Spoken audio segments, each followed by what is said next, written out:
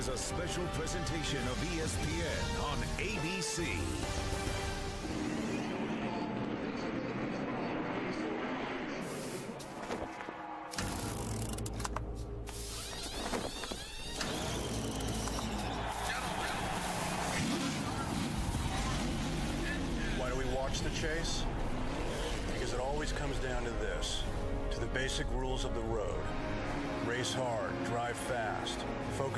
Finish line. When the race for this national treasure is on the line, there can be only one champion. It's also simple, just track and tires, fuel and fire. Every man for himself.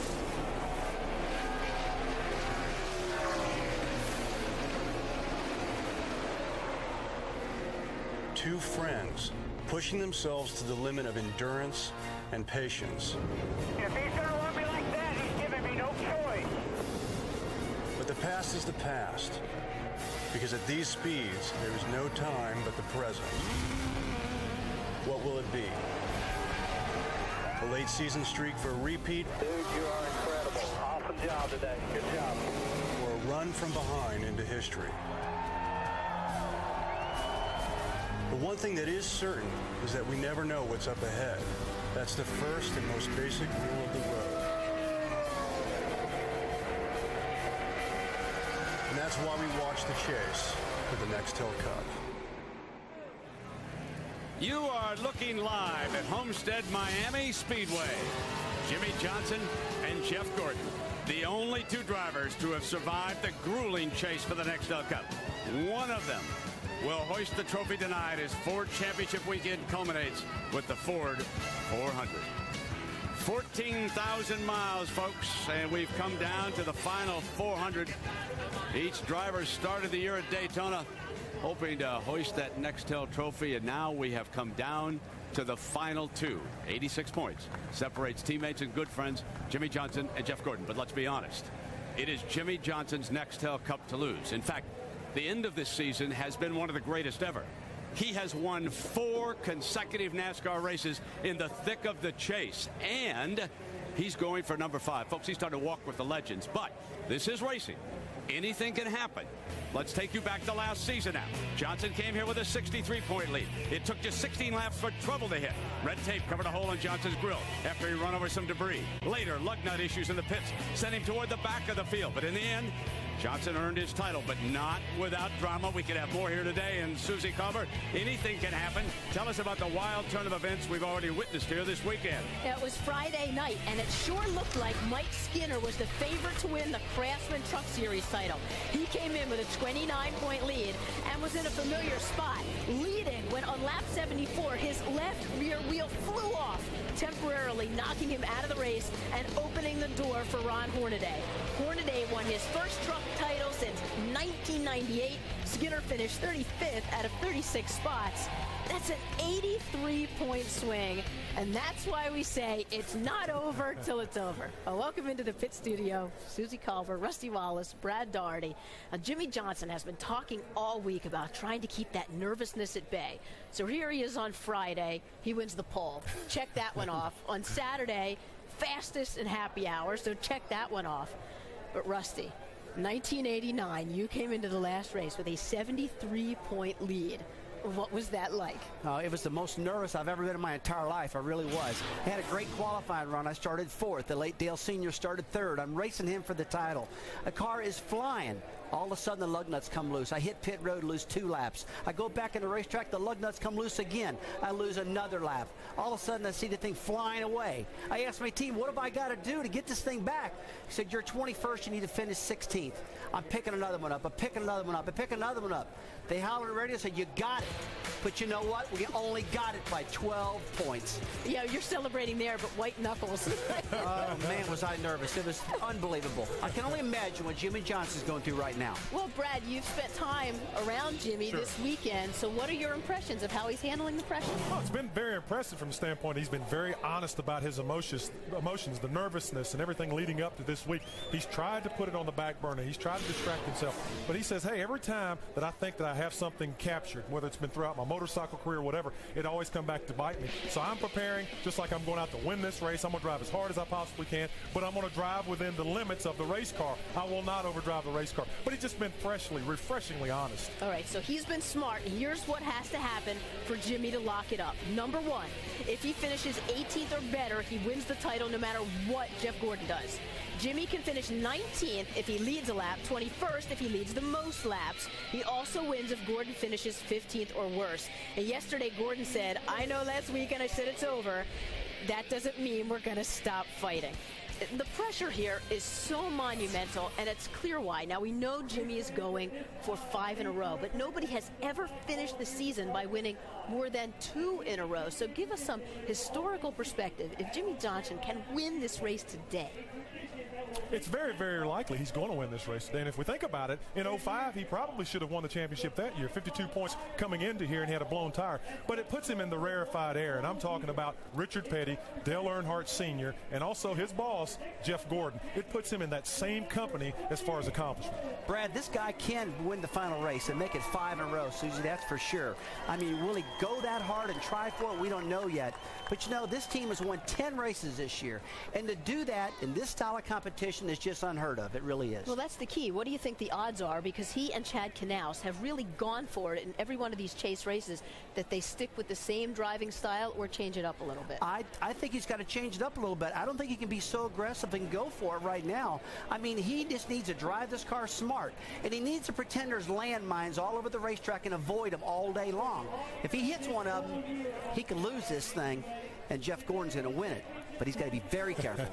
we'll hear from Jimmie Johnson down on the grid in just a little bit. And four hours from now, another Homestead Miami championship moment. Either Jimmie or Jeff will be crowned here. 2002, Tony Stewart led Mark Martin by 89 points entering the season finale. Martin finished fourth, Stewart 18th, but Smoke hung on to win his first title.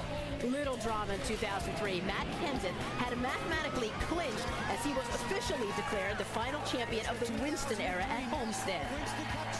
In 2004, Kurt Busch won the first ever chase in the closest points finish in series history, just eight points over Jimmie Johnson in 05. Roush Racing had five drivers in the chase, but they couldn't keep Tony Stewart from winning his second championship in four years.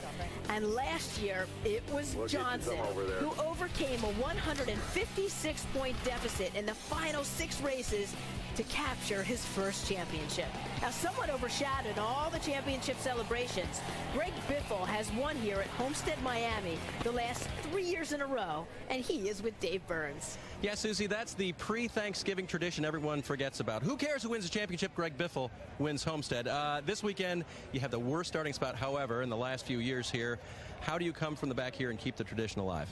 Well, definitely, you know, where we qualify doesn't reflect what kind of car we have. I got loose getting down in there turn one, and, uh, you know, we had a car that probably qualified in the top 15, so uh, feel bad about that. You know, we just didn't have the setup, but the car's really fast. I think we can come from the back. You know, maybe two tire stop at the beginning of the race, get some track position, and uh, you know, it pays the money when the sun goes down and the and the uh, toward the end of the race, the, car, the track gets fast, and I think our car is set up for that. At least that's what I've done the last couple years. So we'll see if uh, it works out tonight. We'll look for the 16 at the end of the race. If he wins here, it'll be his fourth in a row. And Brent, no one's won four in a row at the same track since Jimmie Johnson. Yeah, exactly, Dave. And they're still ahead in this season of change. We'll add insight to the big challenges faced by Tony Stewart, Kyle Busch, and Dale Earnhardt Jr. as we head toward 2008. But before we do that, folks, let's put a bow and tie up 2036 races nine months. It is the longest season of any professional sport in the United States. But you know, each weekend on the NASCAR circuit is so unique. Such drama, emotion, and you talk about amazing pictures.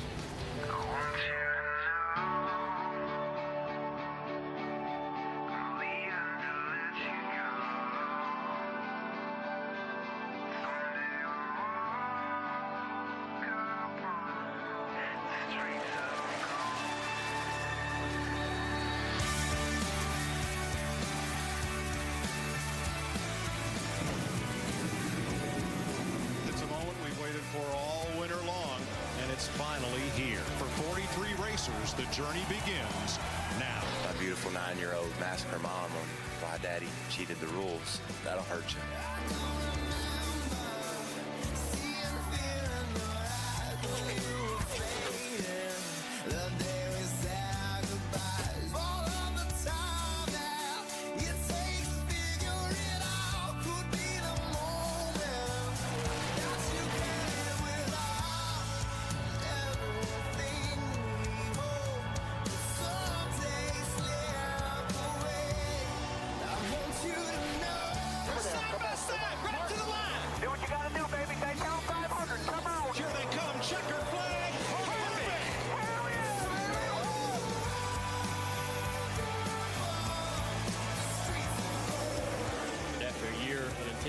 Negotiations and intense effort, we decided that it was time for us to move on.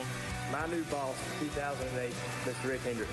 Casey Mears is going to win his first Nextel Cup race. Juan Pablo Montoya wins at Sonoma. Martin Truex wins the Autism Speaks 400. We got some sad news. Bill France Jr. has passed away. We remember the man who made NASCAR what it is today. I'm gonna find you again. Just I just don't know what we're gonna do now that we don't have him. love can die. But I know what he wants us to do, exactly what we're doing here today.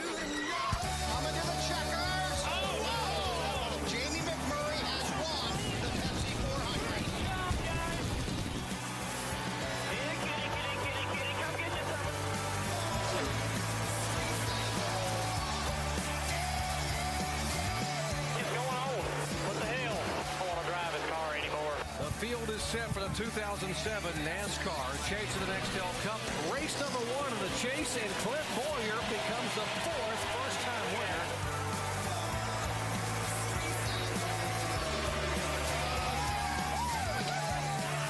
Jimmie Johnson wins his third Las Vegas victory, two in a row. They touch once, twice, drag race. Jimmie Johnson, their fourth win of the season. His fifth win of the year, win number six in 2007. You never see Toby as my brother. In victory lane for the second time this season here at the Atlanta Motor Speedway. Ninth win of the year, four in a row.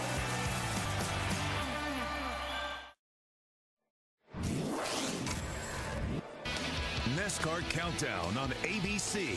Brought to you by Chevy, an American Revolution.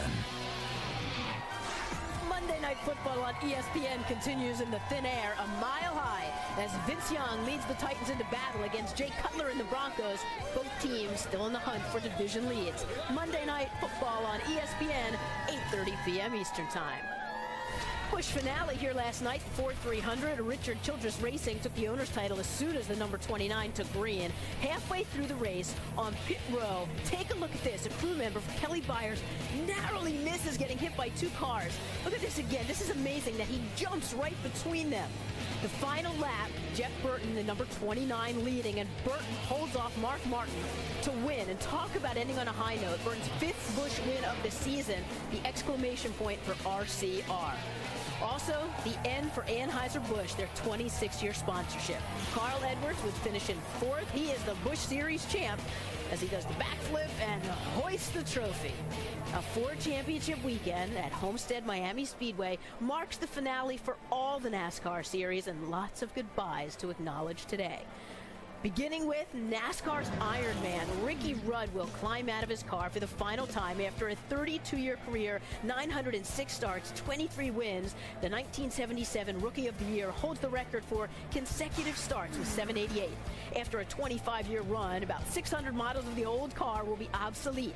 They can't be converted to COTs, so some will be sold to ARCA teams and the like, but at a huge loss. Petty Enterprises is donating some to universities with engineering programs. Tony Stewart and his Joe Gibbs racing teammates say so long to Chevy. After 16 years, they'll be driving Toyota Camrys next year. Kyle Busch takes his last turns in the number five for Hendrick Motorsports. His future is in the number 18 for Gibbs. So goodbye, Tony the Tiger, and hello, M&M's. And Dale Earnhardt Jr., surely the most emotional farewell to the Red Budweiser number eight at DEI, the team his father founded so much more than simply stepping out of a car for the last time. And chances of a fairy tale ending don't look good. Like Kyle Petty, Robby Gordon, Bobby Labonte, and Ryan Newman, it's been a long time since his last win. Dale Jr. has finished 23rd or worse in four of the last six, and his last top 10 was the end of September at Kansas. Last week, he was last after a crash at Phoenix, his ninth DNF of the season. But more than anything, it's about moving on. Dale Jr. is with Allen Bestwick. He is uh, behind the stage awaiting driver introductions now. Susie Jr., I'm curious, happy, sad, thoughts, emotions on the day of your last ride with the only team you've ever driven for professionally. Yeah, we haven't really been looking forward to this day, but uh, you know we'll worry all about all that when the race is over with. But I just want to get a, you know a couple couple minutes to say thanks to them guys when it's over. Uh, I want to thank you know all the all the employees back at DEI uh, that are watching for everything they ever did for me and to get me where I am today and uh, all the hard work that we all went through, and uh, all their families. Just really appreciate everything they gave me over the last several years. But we got to think about this race and get this get this race in, do best we can, concentrate on it. We got a great chance, a good driving car, and uh, hopefully we can have some fun before it's over with. Thanks for the time. Good luck today. Thank you. Unfortunately, Dale Jr.'s got to start at the back today, but he'll go out trying to win, Suzy. He sure will. And Junior has admitted to the so many what ifs if his dad was still alive. But Brad, here we are, Season's just about over. What's your most lasting memory? Well, the whole distraction with the DEI situation. You know, it started out being a business dealing, and then all of a sudden it became a family issue. And, you know, we got involved, and everyone's choosing sides. And I think the person who's been most inaccurately portrayed in all this is Teresa Earnhardt. I mean, she's been she's chosen to be very quiet about that, and that's her right. And I think that uh, she's been inaccurately portrayed, and I, th- I, just think it's a sad situation. You know, Brad, I'm going to remember a lot of the positive things about DEI. I remember Dale Earnhardt Jr. just leading so many races, running up front. You know, you think about the Brickyard 400 up there dominating. I, I remember Watkins Glen dominating, only to be ruined by some blown engines that this team has never really had problems with in the past. So I guess this year wasn't meant to be. But you know what? DEI's got some speed, and they still got Martin Truex and Mark Martin and guys like that to carry the Dale Earnhardt Senior banner on, and they'll be just fine. Dale Jr. has one more shot today to get that win. Other things we'll be watching for races within the race. Top 35 in owners points. Dave Blaney hanging on to the 35th spot, 136 points up on the 21 of Elliott and Schrader. And there are 12 in the chase, but only top 10 take the stage in New York City in two weeks for the end of season awards. Also to be awarded Rookie of the Year, Juan Pablo Montoya a big edge over David Ragan. So we'll be watching for all of that today as we roll on. And Rick Hendrick has as many fans as his drivers do. From humble small town beginnings to complete domination, Hendrick's triumphs and tragedies. His story next as the countdown to a championship ticks on. You're watching ESPN on ABC.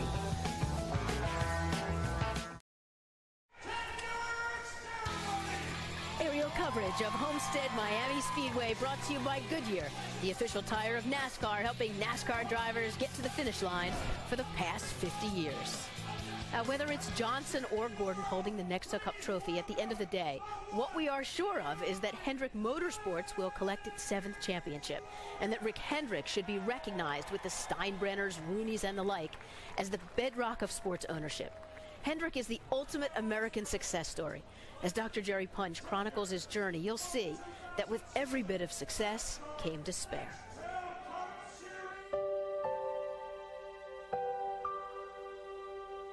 Rick Hendrick's philosophy is that three things are needed for success. You must show up, you must show up on time, and show up with your game face on. Based on his life, there could be a fourth thing show up even in the darkest of times. Everything that he's gone through in his adult life is just very dramatic and very traumatic.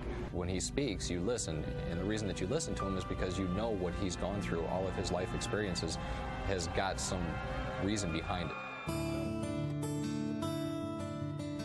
Born Joseph Riddick Hendrick III, he grew up in the small town of Palmer Springs, Virginia.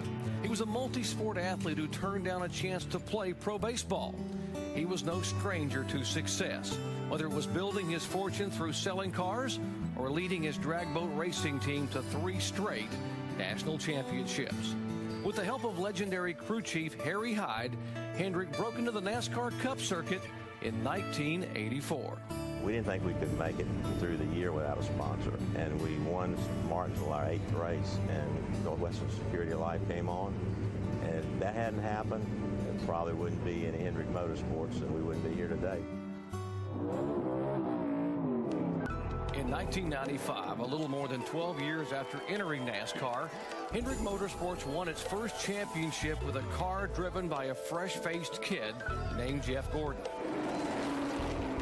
The next year, another Hendrick driver, Terry Labonte, won the title.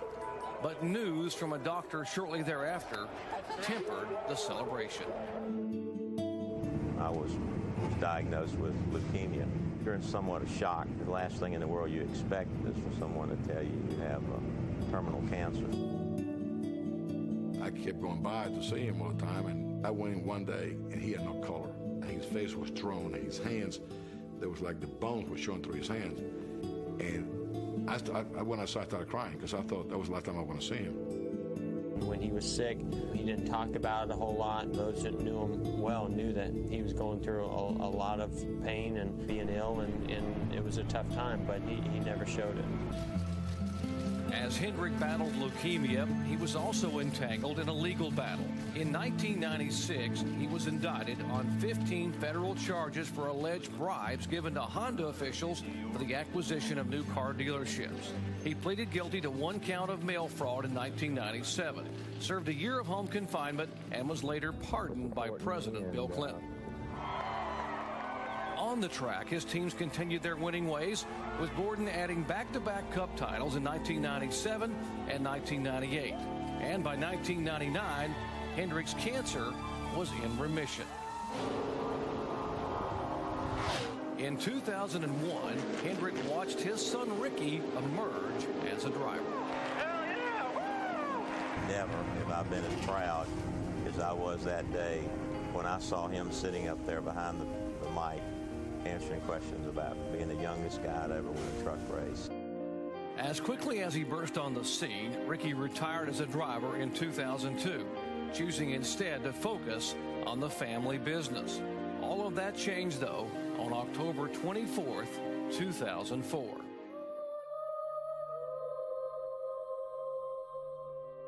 On that day, Rick Hendrick, who was sick at home in Charlotte, got a call that the company plane en route to that week's race had crashed. All 10 people on board were killed, including his brother John and son Ricky. It's a hole in your heart that you that never goes away, and you you think about it every day. But there's such a uh, a loss. You had planned this is the way that motorsports was going to end up, and Ricky was going to take over. I spent a lot of time with Rick away from the racetrack, and I don't think it's been a day that Rick's name doesn't come up in some way or another one. A week later, with Hendrick Motorsports drivers paying tribute to those who had died in the crash, Jimmie Johnson won in Atlanta. And loving memory all the way. We're watching that on TV, all of the family together, and it was just, I mean, everybody was crying. It was, uh, it was a, it was a really special deal. Last year, Johnson won his first cup, Hendrick's sixth title overall, and first since Gordon's 2001 championship. Now on the verge of his seventh championship, Hendrick still shows up, shows up on time, and shows up with his game face on, even when the losses seem greater than the wins. I don't know how he does it, eh, but he, he still shows up every day with a smile on his face. He leads his automotive industry. He uh, leads the, the race shop like he does, and uh, it's just amazing to watch him. Everybody goes through tough times in life. We've been able to enjoy some of the best times and, and, and some of the toughest times. So it just makes you appreciate every day.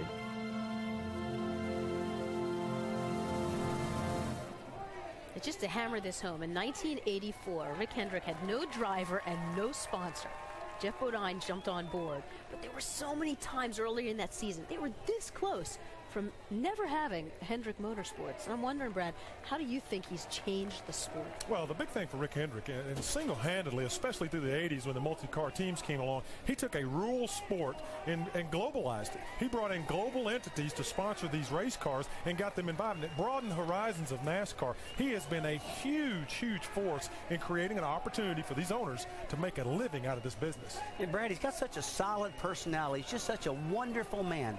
All the employees that work in Hendrick Motorsports will tell you, gosh, we just love working for him. You know, if we ever have a problem, we can talk to Rick.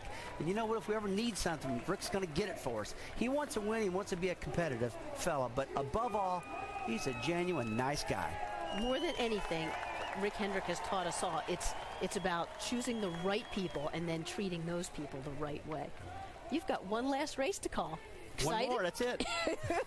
really am. One more to go. Absolutely. You know, there are so many details to having a successful team. Picking the right crew chief, like a Chad Knaus, is so key to managing it. Our crew chief is Tim Brewer, and he's standing by at the Chevy Cutaway car in the Dish Tech Center with the major adjustments we'll be watching for today. As a crew chief, we build a lot of adjustability in our cars so we can adjust spring rate during the race. We can actually change rubbers in the springs, putting them in, making them stiffer, removing them, softening them up. We can actually change the weight distribution in the car with the ratchet as far as loading and unloading the load on the springs. Crew chief's favorite thing, air pressure. How many times have you heard, hey, we went down one pound in the right front tire to help the car turn? What that does, when we take a pound of air pressure out of the tire, it takes 60 pounds of spring rate away from the thing, enabling the car to turn better through the middle of the corner. So the best friend a crew chief's got is air pressure gauge. Cutaway Car is brought to you by Chevy, the most wins in NASCAR history and American Revolution. Jimmie Johnson and Jeff Gordon are ready to fight it out. Lennox Lewis knows they're both champs. Straight ahead, how can teammates have such differing results down the stretch? The tale of two teams and what makes them tick coming next.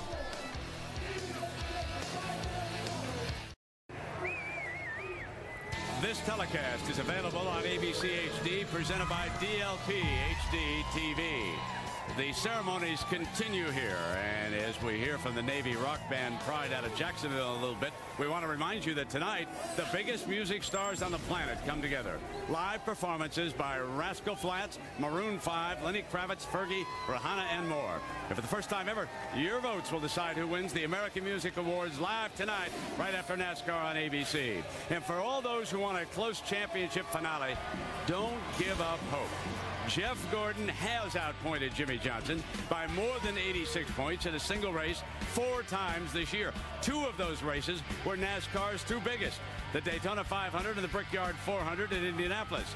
Both Gordon and Johnson haven't done it alone. They have two of the best crew chiefs in the entire business.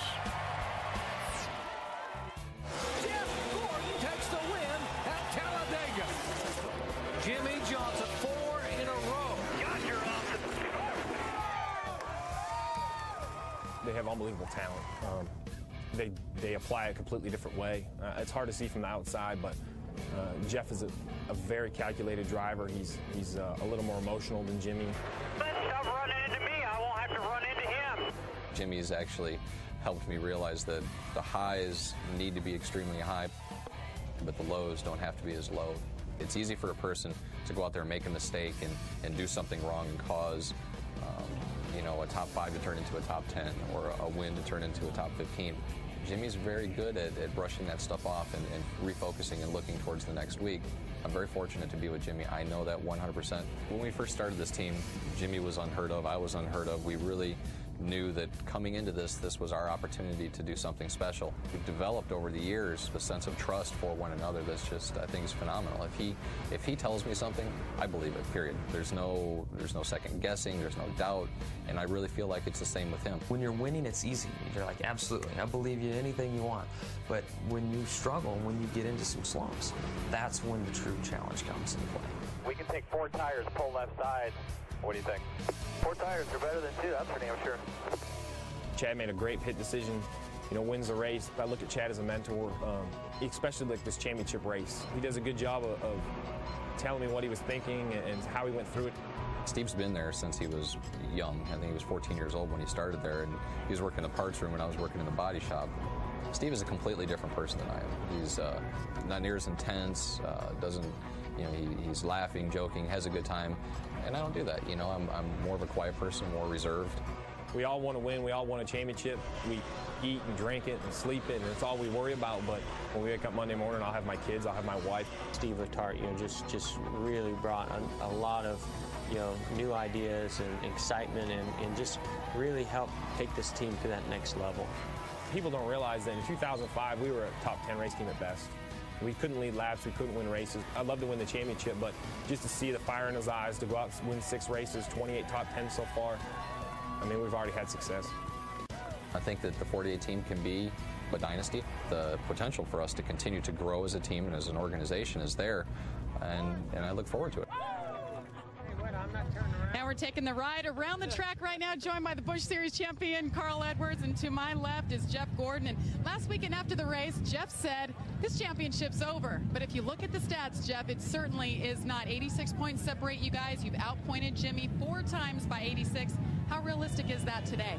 Come on, you took me serious on that? I was just joking. No, uh, you know what? We, we, we, they've really put it to us the last uh, four races, and, and we recognize that you know they've outperformed us we've been very consistent this year. We've we've really done everything we set out to do, and and you know to, to still be behind in the final race was a little discouraging. But you know we came in here with a fresh mind on do everything we can as a team to come in here, qualify the best we can. Get everything out of it, practice, so that uh, this DuPont Chevrolet is ready to go for the race. And, and we really, truly are ready for this race. I hate it's not a little bit closer because I'd love to battle Jimmie, you know, just for position. But uh, we know that if they don't have some kind of major problem, uh, you know, we're, we're going to come out of here second, which still isn't bad. Still been a great year. All right, Jeff Gordon, of course, the hunter today, and he rolls off 11th in pursuit of his fifth NASCAR Cup championship. Jerry? Thank you, Jamie. You know, if you're Jeff Gordon, you must get up at night and say, how can this be? You know, I've got seven poles, six wins, a record tying 29 top 10 finishes. And I look at the charts, and I'm not the points leader. How does that impact you or the team mentally? Well, you just heard him say they've done everything they set out to do. They've, they've won all these races. They've, they've put up all these points, and they don't come in here with the lead. They come in here 86 points behind. You're thinking, man, what have I got to do? They look next door, and their, you know, their teammate is just outperforming them, and that's all they can do. They can just go out here, do the best they can, try to win this race today, and then let happen what happened. You know, Jeff Gordon certainly has had a great year. And Brent Musburger, to put it in perspective, the Colorado Rockies also had a great year. But uh, when it came down to the title chase, there was one team just a little bit better.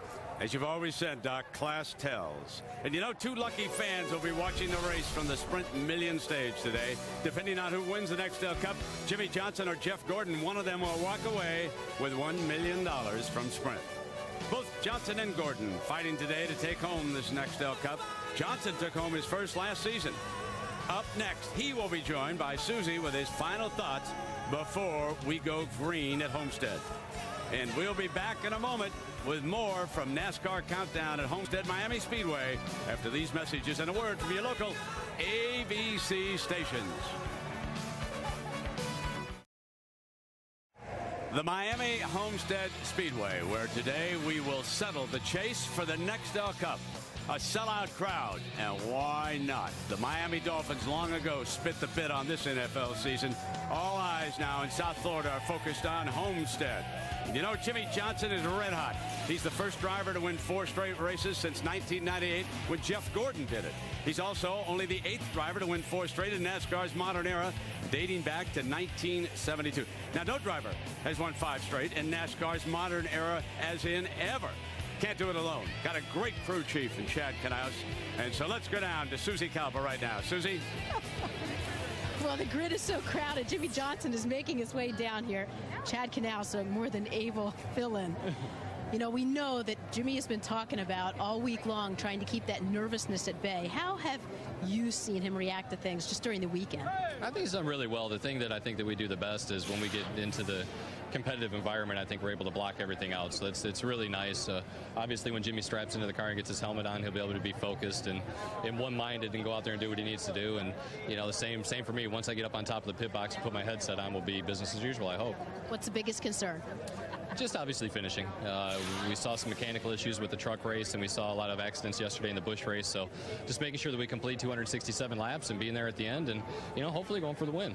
You guys have been going for it. Does the driving style have to change? No, not really. I think that if you've watched the way we've been all year long, uh, Jimmie's done a really good job of waiting to the end of the race, and we've done a good, really good job in the pits with the guys and great pit stops and, and good adjustments on the race car. So at the end, we've got the best car that we can possibly have, and, and that's kind of our goal. And if we can pull that off, it's going to be exciting. Best of luck. Whoever's going to win today is going to have to go through the 48 team. Now let's go to opening ceremonies.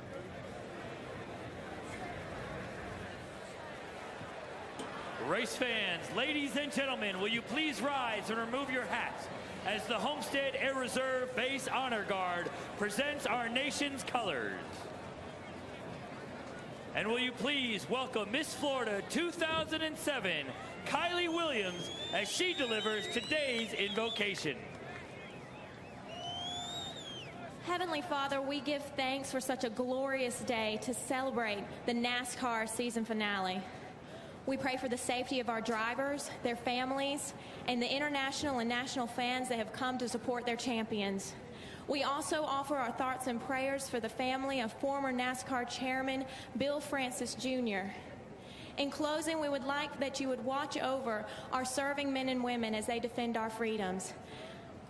It is in your precious and heavenly name we pray. Amen. And now, will you please remain standing and welcome double platinum recording artist from Fuel, Toryn Green, as he performs our national anthem. Oh, say, can you see by the dawn's early light what so proudly we hail at the twilight's last gleaming, whose broad stripes and bright stars through the perilous fight all the ramparts we were so gallantly streaming, and the rocket's red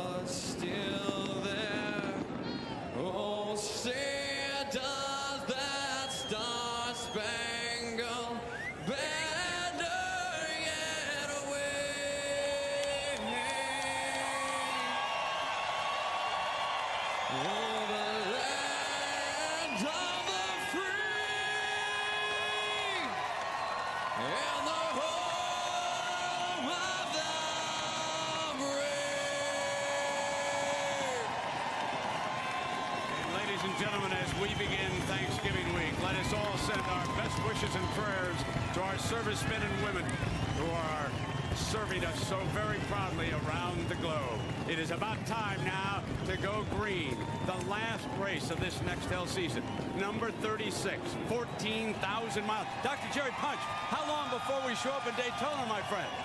It is not very long at all, Brandon. We're excited about uh, finishing up 2007 and moving into 2008. It has all come down to two drivers, one race and one championship. All 12 of these positions could change today, depending upon the outcome of this race. Only two guys can battle for a title. 86 points separate Jimmie Johnson and Jeff Gordon. And how quickly could that change? Well, folks, take a look. Four times this year, Jeff Gordon has outpointed Jimmie Johnson by 88 points or more. And folks, right here two years ago, Gordon gained 100 points on Jimmie Johnson. If he does that today, he will leave as the 2007 Nextel Cup champion. Teams focused, teams concentrating, teams thinking about what this day could mean. It has been a 10 and a half month season, and it will end up four hours and 400 miles from now. Everyone, along with Rusty Wallace and uh, Andy Petree, the champions, I'm Jerry Punch. Glad to have you with us. And uh, Rusty, in your career here, you've experienced exactly what these drivers are feeling today. Now, you've come into the final race of the season as a chaser like Jeff Gordon. You've also come in as a uh, as a chasee like points leader Jimmie Johnson. You know, how does the pressure differ for these two guys? It's extreme different, Jerry. It really is. You take a look at Jimmie Johnson right now. He needs to do what he's been doing all year long that got him here. Although he can't trust anybody, he's going to be very careful what's going on around him in order to win this championship. On the other hand, Jeff Gordon, this guy's got nothing to lose. He's got to stand in the throttle and go wide open. Unless something happens to Jimmie Johnson, then the whole thing changes again, and then it's in, then it's in Jeff's shoes to be careful and do what he's got to do to win this title. Andy, you led Dale Earnhardt Sr. to two cup titles as the crew chief. What's the mindset of these crew chiefs, Chad Knaus versus Steve Letarte? Well, it's real easy with Steve Letarte because he's just going to go out there and race, gamble, do whatever it takes to win. For Chad Knaus, it's a little different. He's got the championship to worry about and something else. Five races in a row he can win right here. So he's in a unique situation that nobody has been in. It's going to be interesting to see just how he does handle this race. I can't wait to see how it unfolds. It's going to be very exciting to watch. What does history tell us about today? Well, folks, only twice in the modern era of NASCAR has a driver overcome a deficit in the final race to capture the title. Kulwicki did it. Richard Petty did it. But you know what they say, folks? The third time is the charm.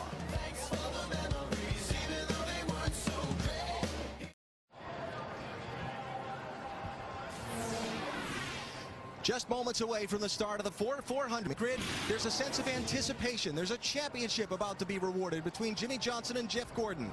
A sense of relief by these crew members as a long season is about to end, and a sense of anticipation. Somebody's going to win this race and ride three months of momentum until the next race at Daytona in February. It's all about to get started right now as we go to the head of the grid for the command to start engines and get this race going.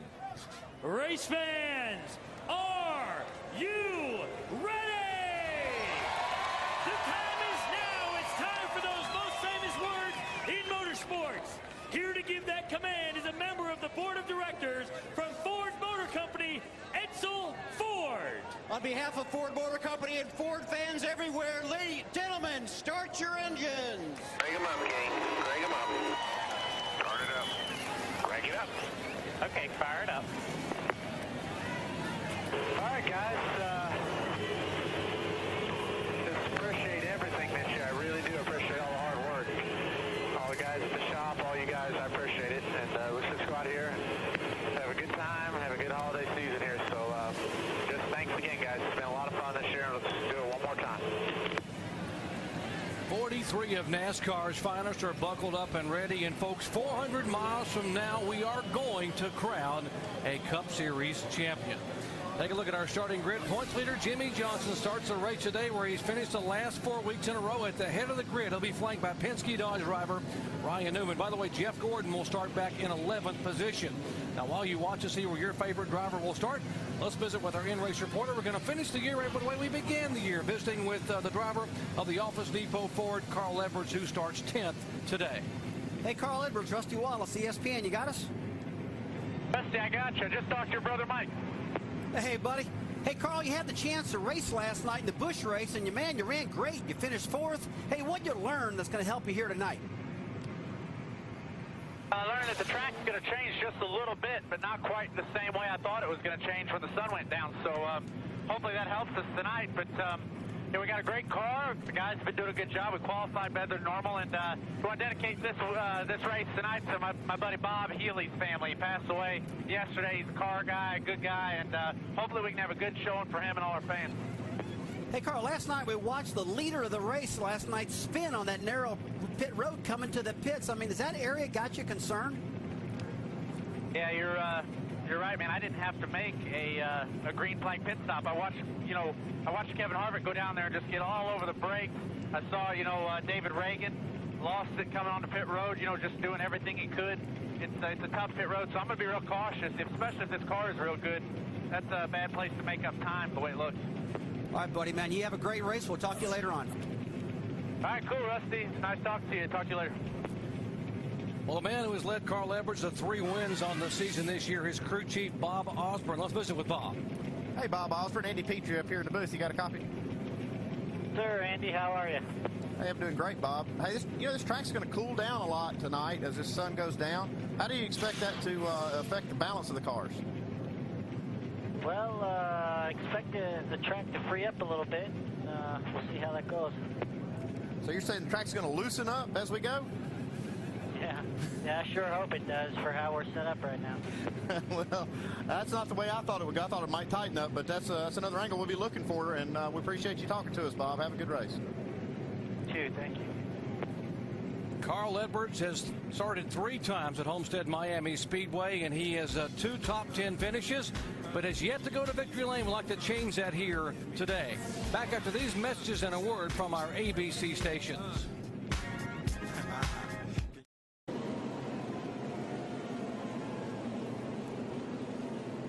Sunny South Florida, Homestead Miami Speedway. Let's update some of the key stories we'll be following today as we head down to the pits. First, here's Jamie Little. Well, Doc, all the talk has been about the 24 and 48. How contender who's really hit his stride the last four races? Matt Kenseth has moved from 12 to 6th in the points. Now, I talked to his crew chief, Robbie Reiser, sitting right in front of me, and he told me they feel they are the only team that has truly challenged the 48 the last four weeks. He expects nothing different tonight. They have nothing to lose. They're going for the win, and they're also racing with a little added emotion. After a 10-year union of driver and crew chief, this is the last race that Robbie Reiser will be on top of the pit box for Matt Kenseth. They're going all out. They want to finish on a high note with a victory. Let's go to Mike Massaro. Well, Jamie, for Jeff Gordon, the drive for five has been a long and at times seemingly endless journey. It has been six years since his fourth and most recent title, and once again, the path to an elusive fifth crown has hit a crossroads. After falling 86 points behind a week ago in Phoenix, Jeff Gordon said, quote, it's over. This week, though, he backed down and said, we're not going to give up without a fight. But to win the championship, he'll have to overcome history. No eventual champion has overcome a deficit larger than 30 points in the final race to claim the championship. Jeff Gordon is trying to do that. Can he pull off the Miami Miracle? We'll find out in just 400 miles. Dave? Mike, this is Jimmie Johnson's pit box at the head of pit road. Today, it can accurately be called the nerve center of the 48 team. Here, the data is stored that's been collected over years of racing and the 2007 season that's made this 48 team so successful. Strategists and engineers have put that information together and will try to apply it tonight to the 48 car with the help of their driver. On the track, Jimmie Johnson will be communicating data all night long to his crew. But in NASCAR, there's no direct electronic data link between driver driver and crew. That means that they'll have to do the best they can with Jimmie on the track from the pit box. And that's where the human nerves come in. These very smart people will be going crazy all night long, not knowing exactly what's going on with the 48 car. Doc? How pumped is that team right there to win this championship? And what kind of leader is Chad Knaus? Let's listen in to the radio. Guys, let's go out there and have some fun today. The short race, 400 miles, 267 laps. It's going to be a good one. It's going to be a lot of fun. Nice and easy, guys, just like what you did last week. 13 and a half second pit stop, I'll get that done, just like I told you guys in the meeting. Thanks for your help this year, guys. I really appreciate it. Lots of confidence on that team as they prepare to try to win two titles in a row. On onboard cameras, eight high definition onboard cameras today. We'll be riding along with the number 11 car, Denny Hamlin, starts 32nd in the FedEx Freight Chevy. Kevin Harvick starts eighth in the Shell Pennzoil Chevrolet. Jeff Burton starts ninth, the AT&T Chevy. Dale Jarrett starts 26th in the UPS Toyota. Ricky Rudd, 38th in the Snickers Ford, his 906th and final start in an illustrious 32-year career. Tony Raines, 42nd, the Texas Instruments DLP Chevrolet. Carl Edwards, our in-race reporter, already heard from, 10th in the Office Depot Ford. And Clint Bowyer starts 19th, the Direct TV on-board camera. Two drivers trying to win a championship. Jimmie Johnson has the points lead, the confidence, all the momentum, four wins in a row. Jeff Gordon, the experience, the focus, and the fire in the belly to win his fifth championship. Star-studded field. Final race of the year. Seven former Cup champions, five former Homestead winners, and two Indy 500 champions as the green flag waves at Homestead, Miami.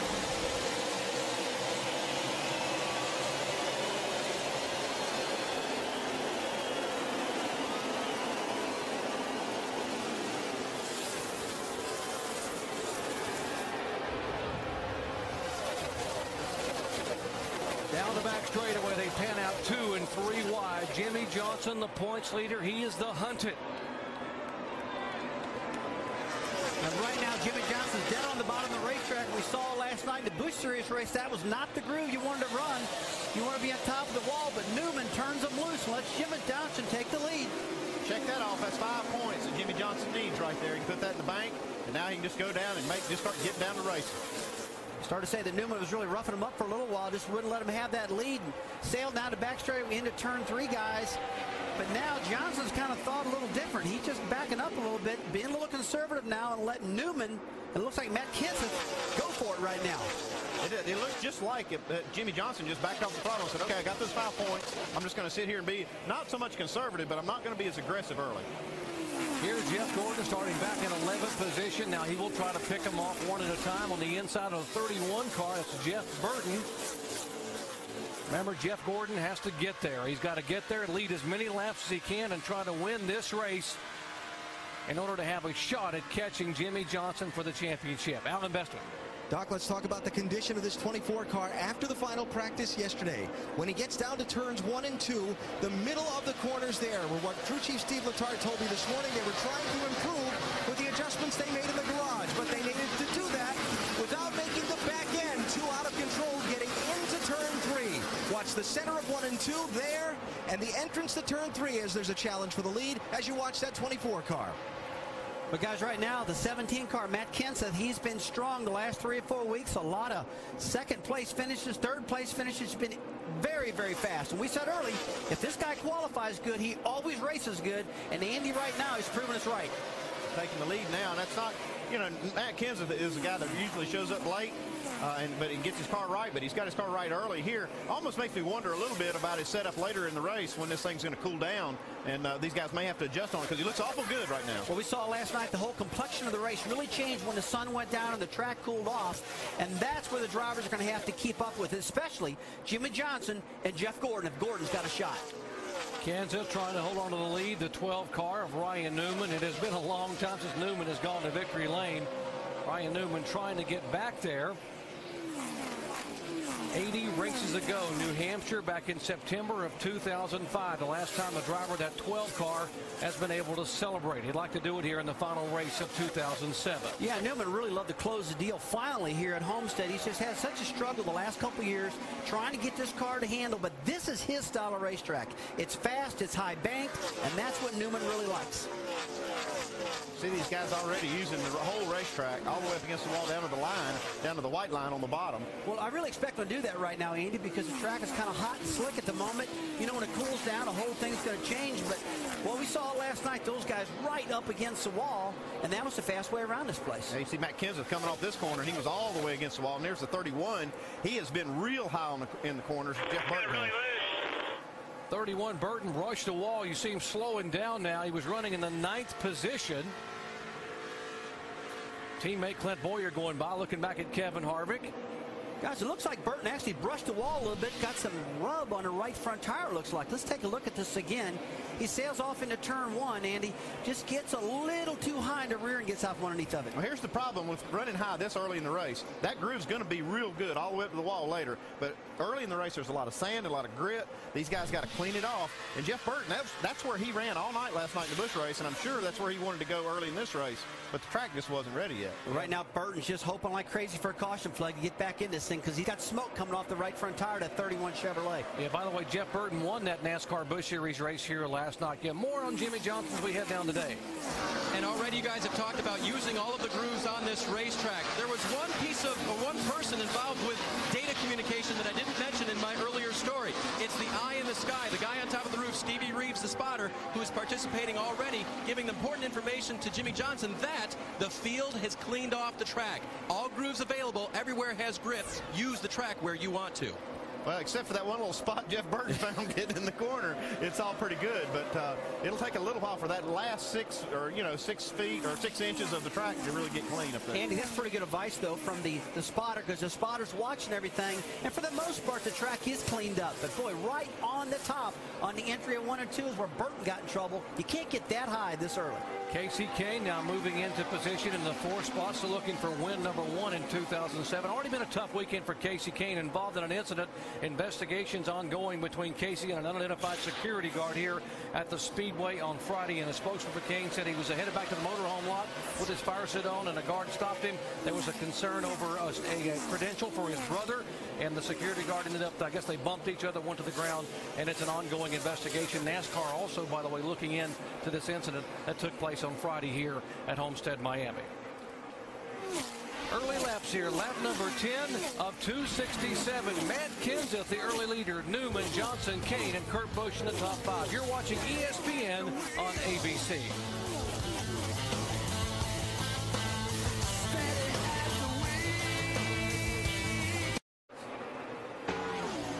Welcome back to the Ford 400 NASCAR Nextel Cup Series season finale. Homestead Miami Speedway. Sixth consecutive year NASCAR has come here to crown a champion at the finish line of this 400 mile event.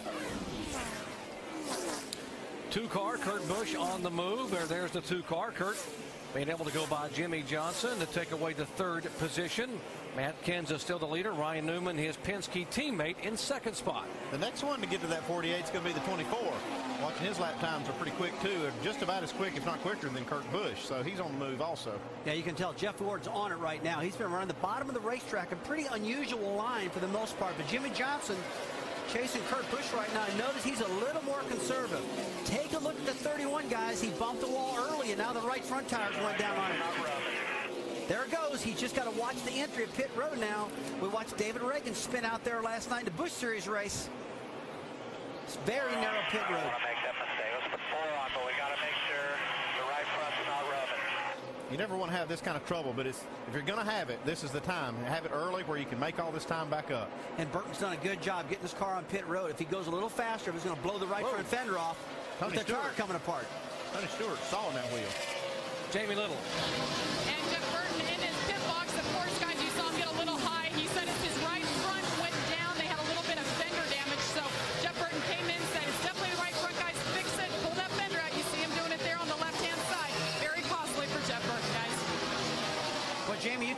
Was going to be a problem early on because when he got in the wall, we saw a lot of smoke off that right front tire, and it kept going. And I was very nervous that this thing might go down, and it finally did. But now, he's just got to make the ground up. He's going to have a lot of ground to make up. He's losing his second lap right here as these leaders go by. So what he's got to do now is try to get this car back out there and get in, in position to get that lucky dog. Because right now he's the only car that's down a lap. Yeah, he's got an opportunity to get that done right now, Andy. As you said, he's the only one down a lap. So if the caution flies, he's back in the game. And he needs a caution very quickly. Now, how about the 20 car? We talked about how good the 24 car is. Both these cars sailing now. The 20, Tony Stewart, started back in 14th position. He and uh, Jeff Gordon both running laps uh, extremely well. 33 15s, 33 10s, and that is quicker than Kenseth, the leader. We can tell right away that Tony, Tony Stewart had a good car, man. He went right to the top of the track. A lot of momentum up there. He's working the bottom. He's working the top. And he's won here before. He knows how to get around this place. He's won here before, but I don't. He's never won on this configuration. That's the only thing he's got to figure out is how to work this banking now. I guess what I meant, I think he's won the championship here, though, with this particular configuration on this track. So, yeah, it's uh, he knows he's mile and a half. So he's probably loving it out there right now. Yeah, he won the very first two events they ran here back in 1999 and 2000 when it was four and six degrees of banking. Now it's a progressive 18 to 20 degrees. The one car, Martin Truex there in a battle with our in-race reporter, Carl Edwards, as these guys battle for seventh spot. Jerry, when he unloaded here on Friday afternoon for the very first practice session, he told us, he said, this is the best car I've had all year long. This thing feels good. It's fast. And right now, we just got to see if it's going to stay that way because he has not yet been able to practice this car at night yet. Dave? And guys, right now, as we're getting a report, uh, maybe there's something going on with the 24. The one car had a scare yesterday in final practice. He had just told his crew chief, Bono Manion, that the top line was running great for him. And on the final lap of final practice, he scraped the wall right in there somewhere between turns one and two. They repaired the whole right side of that car and got it back together. But uh, Bono said, we think we'll have a pretty good race car, but that was close. Man, take a look at the two car per Kurt Busch and the 12 car Ryan Newman. The teammates, they're actually running down Matt Kenseth just a little bit right now. And these guys want to end the year on a high note. Kurt Busch has already won this year, but Newman, he's on a dry spell. Kurt Busch won here from the pole in 2002. Remember, he came here in 2004 as the pole sitter, went on to win a championship by a scant eight points over Jimmie Johnson. So he's had pretty good success here, trying to get up a win here at the end of the year. And the guy behind him, we told you about how Ryan Newman's now had an 80 race dry spell. How much does he want to win for, uh, for not only for himself, but for this Penske operation? Well, he knows he's got one shot to go, and that's it, Jerry. He's got to get it done today if it's going to happen this year, that's for sure. The Ford of Matt Kenseth showing the way here in the early laps. Uh, a couple of Dodges behind him, Kurt Busch and Ryan Newman. And then three Chevrolets, Jimmie Johnson, Jeff Gordon, and Tony Stewart with uh, Martin Truex closing in a hurry. 24 laps are complete.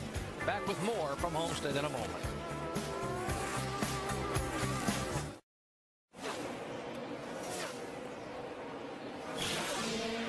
This broadcast is available in Spanish by activating your SAP button presented by ESPN Deportes.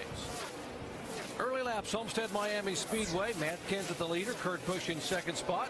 There's a 17-car Kenseth. Four consecutive top five finishes here in the chase. Uh, if it wasn't for Jimmie Johnson, he probably would have won two or three of those races. Kenseth trying to end the season on a, a win here at Homestead Miami. Couple of guys behind him, Kurt Busch and Newman, the two Penske teammates. How about the one car, Martin Truex Jr.?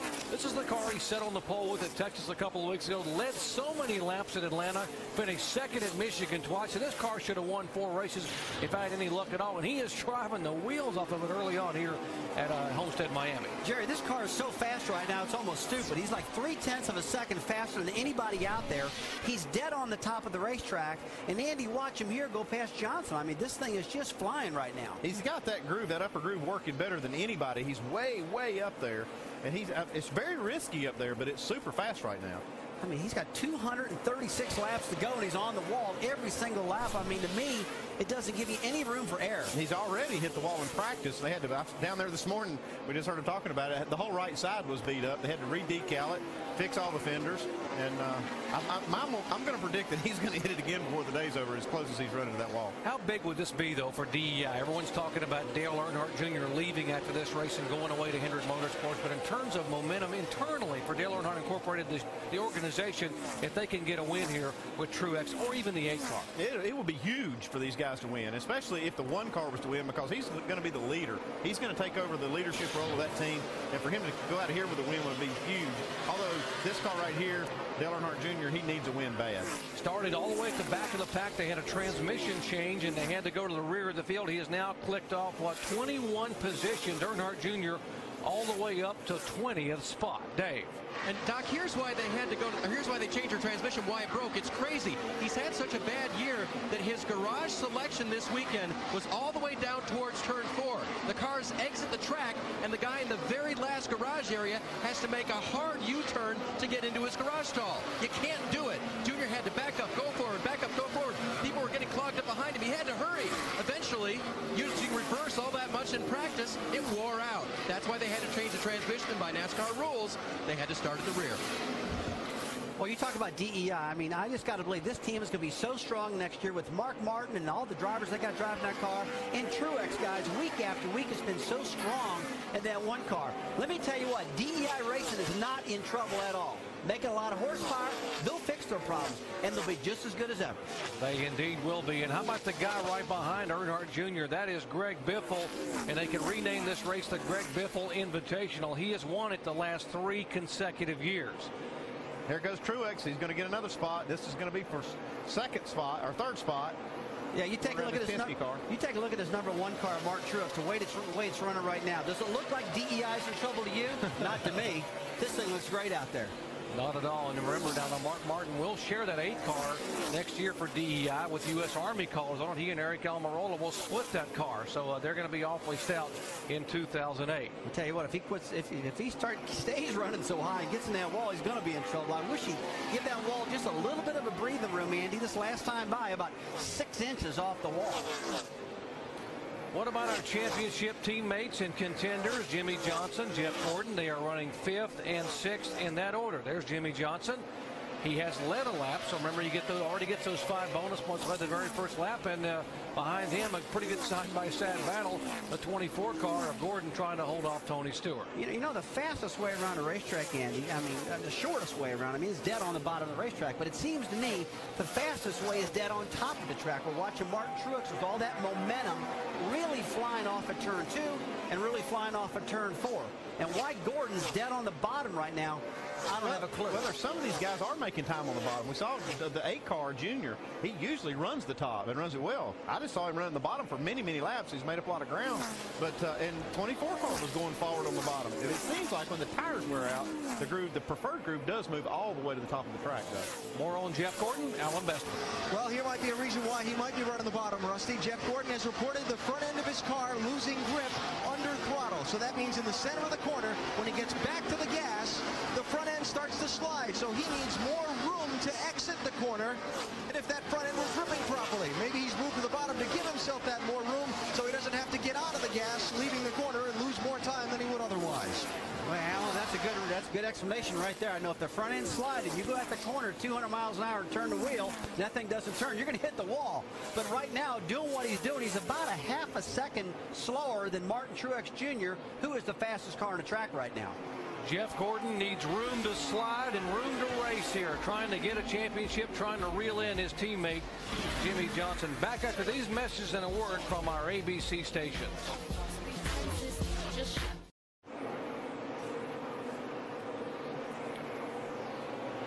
Welcome back to Homestead Miami Speedway. NASCAR Nextel Cup Series season finale. We're getting ready to crown a champion here. These aerial shots from high above, courtesy of our good friends at Goodyear the official tire of NASCAR, helping NASCAR drivers get to the finish line for over 50 years. Matt Kenseth is still our leader. Kurt Busch in second. Martin Truex is now third. Ryan Newman is fourth. Tony Stewart has moved up to fifth position, all the way back from 14 starting spot. Doc, we've been talking about Martin Truex and Matt Kenseth a little bit now. We talked about how fast Truex been, but now the last couple laps, Kenseth has actually matched his time, so it looks like he's not catching now. They're really holding their own. And right there, Kurt Busch is just hanging in right in the middle. His lap times are varying back and forth a little bit, but it appears now the two fastest cars in the field are the one car Truex and Kenseth.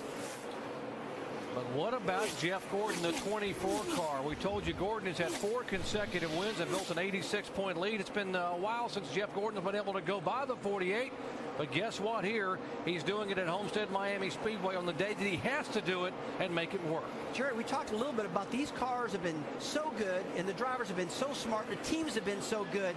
But a lot of times they don't have the fastest race cars in the field, although they end up up front. Andy, right now, they're getting beat by almost four-tenths of a second on the racetrack. And that's a lot. It is a lot, but it's early. Yeah. These guys seem to be good when it counts at the end of the race. And that's what you'll see here. With these guys, they don't have the fastest car the whole day. They work on their cars. They keep working on them until they're the fastest when they need them to be. Early in this race, how about a couple of guys here that uh, Dale Earnhardt Jr. will be driving uh, for Hendrick Motorsports next year? And how about Earnhardt Jr. just sailing by the five of Kyle Busch? It looked like Kyle Busch cut the switch off when they came off that corner. That's just a real uh, illustration of how that momentum works here. Junior was running that bottom line earlier. Now he's got that thing all the way against the wall. And boy, you see that back of that car just kind of jumping around. I mean, him and Martin Truex are doing exactly the same thing. Same type of chassis, dead on top. Check out our sprint speed lap here. Dale Earnhardt Jr. sprinting toward the front. Remember, folks, he started back in 41st position. His last lap over 160.3 miles an hour and uh, much quicker than the leader as the last uh, three consecutive time winner here, Biffle on pit road. Mike? And Greg Biffle real happy with his race car thing. Just a tick tight in center groove, but when he gets up high, a little bit loose there. No significant adjustments to the 16 car. Four tires and fuel. Jamie? And Matt Kenseth been leading ever here at Homestead. He said his car is just right in three and four. A little tight in one and two. Slide adjustment. Four tires. He's down and away. Mike? Carl, Carl Edwards has been adjusting his brake bias throughout the course of this first run. Still very happy with his race car. They'll make an air pressure adjustment. Also raise the track bar because he feels it's a little bit tight in turns one and two and has no grip in turns three and four. They're down and away after a four-tire change. Man, the whole field is hitting pit road. Now, here's Martin Truex on pit road, and they looks like about lap 48, 49 is all they can run on fuel. Go down to Dave. The car wants to spin out in turns three and four. That's a report from the driver, but that is a fast situation right now for Martin Truex. They will change four tires. It'll be an air pressure adjustment for Truex in the one car. Meanwhile, Jimmie Johnson also coming down pit road as his team waits for him as he comes into a stop right now. Jimmie's reporting his car is tight in the center of the corners. That will get a chassis adjustment. The wrench is going in both sides. Those are wedge adjustments, air pressure as well. Chad Knaus telling his driver, we'll try to free you up a little bit, buddy. Tires going on the left-hand side, and now he leaves pit road. Allen. And you see Kurt Busch on the left-hand screen pitting from second place, where he's running before the round of pit stops started. Trouble in turn two. Trouble in the pit entrance. Your caution is out. Caution is out. 29 coming in. Stay low. Eight car, Dale Earnhardt Jr. Sideways, you see him getting back on the racetrack. The 29 of Harvick down there trying to avoid trouble as well. And caution comes out as you see Jeff Gordon in the pits for his first stop of the day. Left side tires, Steve Letarte and crew are going to get four tires on. You hear most of these guys complaining of the cars being tight. All clear, all clear. 42 to the cone, 42 to the cone. It's going to shuffle them up a little bit because all of them had not made their pit stops. Yeah, I got half of them on the racetrack, half of them on pit road right now, Andy. This has got everything totally confused right now when it comes to pit strategy. Folks, Jimmie Johnson, it would be a lap down right now by virtue of making that pit stop and others that haven't pitted yet. Now, let's show you what happened here trying to get on the pit road. We talked to Carl Edwards. He's our in-race reporter about this narrow pit road is very tough. And we saw a race leader last night, David Ragan, spin, but he gets hit.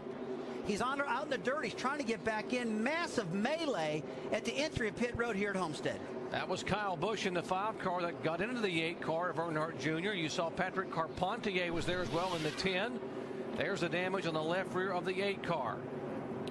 And we are being told that NASCAR is going to call the 8 and 29 in for commitment cone violations. Once you come to that commitment cone, you got to come on the pit road. And he just he came back on the well, racetrack. They, they, definitely violated the, the, commitment cone. They were both crashing as they went by it. You had to you avoid know, that 8 car and not to hit him in the side door there. You know, you know what I mean? Okay, you got these leaders right here. They, they, looked like Tony Stewart wanted to pit, but you have to pit from the from the uh, access road. You can't come in off the racetrack right there. You have to come in off of the end of the back straightaway in turn three. So had he turned down pit road, he would have had a commitment right. cone violation. That's kind of confusing here at this racetrack because it looks like you can come right off the track on the pit road, but NASCAR requires these guys to use the access road, just like you saw where the eight and the five car got together. You know, it makes you wonder. We saw last night in that Busch Series race when David Ragan spun out and crashed on the entry. It's got to be in these drivers' mind because this road is so narrow I mean, there's many cars sliding off in the dirt trying to pit. Looks like his five car's got some damage. He's got a lot of damage on that headlight door. Allen? Kyle Busch was one of those guys who had not yet pitted before that caution came out, which could turn out to be a good break. We'll have to wait and see. He does have some damage behind the left front wheel and in front of the left front wheel. They've got fender damage there from contact. You see them also working around the right front side of the car. So nose damage on this machine from that whole uh, scramble there. Uh, just uh, that brought the caution out in the middle of the green flag stops. And that's too bad. Kasey Kahne, when Kyle Busch went by him on the racetrack, said that five car is going to win the race tonight. He had a good run going in the early part. Now those fenders, eh, it's going to be hard on a fast track like this with those aerodynamics all messed up. Allen, uh, Tony the Tiger there on the hood a little bit bent up here. Watch the violation now. Watch trying to see here. There's the eight of Earnhardt Jr. That was a cone. They went back up on the racetrack. So the uh, 29 and 8 commitment cone violations. Nine cars up front had not yet pitted, including Ryan Newman, Tony Stewart, Juan Pablo Montoya, Reed Sorenson and company. And here they come on the pit road. They slow down at 45 miles an hour for their first stop of the day. Jamie. And Tony Stewart, of course, wanted to come in until the caution came out, but he said his car's really, really tight, and he said it's really tough to see as they enter pit road with that sun setting now. Uh, definitely visibility an issue for Tony Stewart. He's just going to make a slight adjustment, and we're going to go to Mike Massaro. And the 42 car reacting just the way Donnie Wingo expected it to. Started off a little bit loose, then tightened up. No adjustments, just four tires and fuel. Dave? New leader Ryan Newman gives it up to come down pit road. His car just a little bit tight. They make a track bar and air pressure adjustment. The main concern was, do you have enough fuel to make it around? Driver saying, I've still got fuel pressure on his way down pit road pit stop on Ryan Newman's group as he will come back out off of pit road as leader. Juan Pablo Montoya has had a good car all weekend here. Chip Ganassi, Felix Sabates excited about what Juan Pablo could do. It was this race a year ago that he made his very first Cup Series start.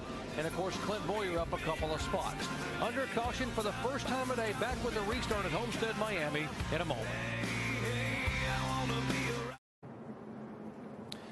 Here at Homestead, Miami, we're under caution for the first time today. An incident uh, during green flag pit stops, a contact uh, coming on the pit road, Kyle Busch and Dale Earnhardt Jr. And that resulted in a commitment cone violation for Earnhardt Jr. and Kevin Harvick, who had to go back up on the racetrack. They have cycled through the pits, uh, but uh, we're not without incident. These pit stops uh, certainly can create problems when you're in a hurry. There's the 41 car, Reed Sorenson. Now, his pit stop was a bit of an adventure. Take a look. Middle of the screen. See the left side of his car. Watch the jack just come shooting out of the left side of the 41 car. Oh, man, that was unbelievable. I mean, that jack was going at such a quick speed. I mean, that could have got one of the crew members. So watch this one more time, guys. This jack just spits out. Whoa! And barely misses the crew guy. I mean, that could have that could have hurt. Yeah, those jacks are light to carry, but boy, when you start pushing them through the air like that. Yeah, they're made out of aluminum, and they're much lighter than a steel jack, but still they're very heavy. Very heavy after the cycling through of pit stops, uh, The 17 is back as the leader. The 24 car and 48 are both on the lead lap. What's going on to the Jeff Gordon pits and Allen? Yeah, they're on the tail end of the lead lap. The leader is behind them on the racetrack because the way the pit rules work. Anytime a yellow comes out in the middle of green flag pit stops, it's confusing, especially for the guy in the cockpit. Where were you on the relative to the start finish when they called for the yellow? That's the 25 pits when they call it yellow. That's four stalls past start finish line. Yeah, what they're doing is they're uh, checking all the tapes, buddy. I think we beat the leader to the outline, and the only reason we lost the lap is because we were on the uh, access road. After you get that all figured out, if they still did, you know, are going to screw us on this deal, then we're going to figure out where we line up, which they got a big mess there. well, NASCAR scores the race using electronic loops under the racetrack all around it. They use that electronic scoring to determine where the caution came out, where the pace car goes. That's how these guys are on the tail end of the lead lap, essentially a mile and a half behind the race leader. Thanks, Allen. For more information on crew communications, log on to ESPN.com. Search word communications. Pace car pulling away, and the leader is in the middle of that pack. That is Matt Kenseth. And these cars in front of him are on the tail end of the lead lap in front of him. And they're going to have to hustle to stay there. Green flag waits again here. Lap 57. So Earnhardt Jr. spins around and gets a, a tap again, and he's in the wall here in, in the front straightaway. Jeff Burton got into the back of this eight car. I don't know what happened, whether maybe Junior didn't get going good enough, but uh, definitely some contact between the 31 and the 8. Uh, this is unbelievable. A lot of people lot predicted car- that Dale Earnhardt Jr. could win this race, and now it's over. A lot of cars are going to get their lap back here because of the way they restarted this race. That will cycle all the guys that were in front of the leader back around behind the leaders, and that will help tremendously. You watch how this field divides now over as you see Earnhardt Jr., the damaged car moving away. And there's the leader, and all the cars in front of him now are going to pull away. There's the opening because the pace car will be able to come out and pick up the leader. Almost half the field is going, is going to be able to go around now. See the pace car sitting there waiting on the bottom of the racetrack. These will go by, then he will pull up there.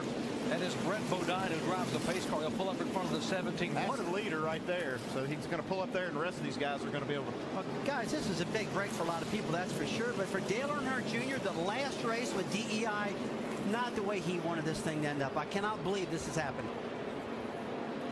Started all the way at the back of the pack by virtue of a transmission change. Had driven the car up into the top 15. Here's the restart. It looked like maybe Dale Jr. had to back off for the guy in front of him, maybe uh, like a accordion effect right there. Well, right now, guys, take a look at the sun. The sunlight is really hurting a lot of these drivers on the restart. We saw last night. It took it for a while for that sun to go away. But until then, this is really tough running.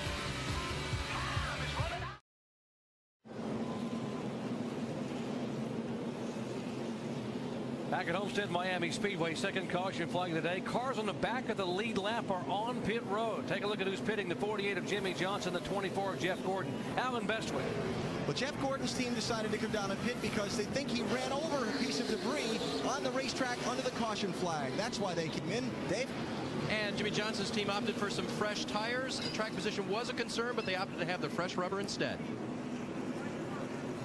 Well, that's just a great move. I mean, there's nothing to lose by doing that. I mean, cycle back around, get yourself, you're, st you're still on the lead lap, top it off the fuel, get some fresh tires, and I think smart move by these guys. When that'll pay off for him is at the end of this run. If it happens to go green again like it did at the beginning of the race, these guys can stay out those few extra laps they need to so they don't put themselves in the same position again. At this time of day here at Homestead Miami Speedway, the sun really starts to become a factor. In fact, to see the driver, see this Jeff Burton trying to hold his hand up to be able to shade some of the sun that's coming off of turns one and two. Let's show you how bad the sun is. And what you do is we head down to our ESPN Dish Tech Center and Tim Brewer. Thanks, Jerry. The sun's really a problem for the drivers late in the afternoon. You would like to start off with a shield like this, but that's not possible. During the event, what they're going to do is the sun goes down, they're going to reach up and take this off. Later in the day, they're going to take this off, so that at the end of the day, they can see the clear vision of the racetrack with a clear shield. Jerry? Thank you, Tim. For more information on visors, log on to ESPN.com. Search word Tech Center And you saw that restart a moment ago, and these guys are trying to see going into turn one how much of that visibility actually may have caused that. Well, Jerry, I really believe that's exactly what caused this accident because it happened in front of Dale Earnhardt Jr. They started stacking up because they couldn't see. You saw Jeff Burton shading his eyes, and when Junior got out of the throttle a little bit to give him some room, hey, there was nothing to do, nothing Jeff Burton could have done. So absolutely, that's what's happened. Jeff Gordon, the 24 car. Yeah, those guys are back on the lead lap. Gordon being shown in 20th position. Now, you got to make some split second decisions when the caution comes out or when, you, when you're going to make these pit stops. Let's listen into the radio communications between Jeff Gordon and crew chief Steve Letarte. If that fixed that mess or made it worse? I don't know. I don't know. Yeah, you were right, buddy. If we'd have rolled through, we would have been on the lead lap, but we might have run out of fuel. So I think I made the wrong call there. I, I didn't want to roll through and lose a lap. We wouldn't have any tires or anything. We'd really be in trouble. So sorry about that. Kind of back to where we would have been now, so it's all right. For more information on, uh, on uh, crew communications, you can log on to ESPN. As you see, these guys, uh, Jeff Jeff Gordon, the DuPont Chevrolet. I mean, these guys had no no choice but to make that call. It's always confusing when that caution comes out right in the middle of green flag stops. These guys just made the decision to go ahead and get the tires, and uh, then they'd figure it out from there. All right, let's visit with our in-race reporter, the uh, driver of the car number 99, Carl Edwards, uh, running back in 24th position. Carl Edwards, Rusty up here in ESPN. You got us? I got you, Rusty. Hey, buddy, looks like that sun on these restarts is really bad down that front straightaway. The 8 car just got turned around by the 31 because of it. You having a problem? Well, I was a little upset with the fact that the caution came out earlier and uh, had been thinking about the sun uh, too much, but uh, it looks like it, it, it is kind of bad when we got stuff on the windshield. But uh, you know, hopefully we, we uh, that goes down soon and we don't get too much more on the windshield. Hardest part was getting to my pit box. I couldn't see a thing. All right, buddy, we're getting ready to go green. I'll get off the radio and we'll talk to you later. Thanks, Rusty. Carl Edwards uh, tightening those belts, pulling down, staying nice and snug in that seat. Most of the crew chiefs and spotters will say tighten those belts as you get ready to go back to the green flag. By the way, Carl uh, crowned as our NASCAR Busch Series champion just a couple of weeks ago here for 2007. What happens during the race, these guys, these, they'll settle in the seat a little bit, the belts get a little bit loose, and you have to keep tightening them all day long. And uh, that's why we, as crew chiefs, remind these guys to tighten up the seat belts.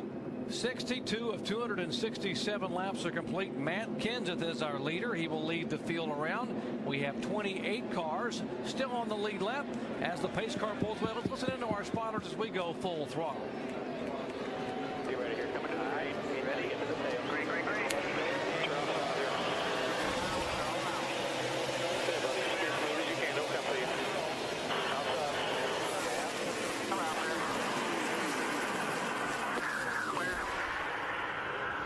Side out your door.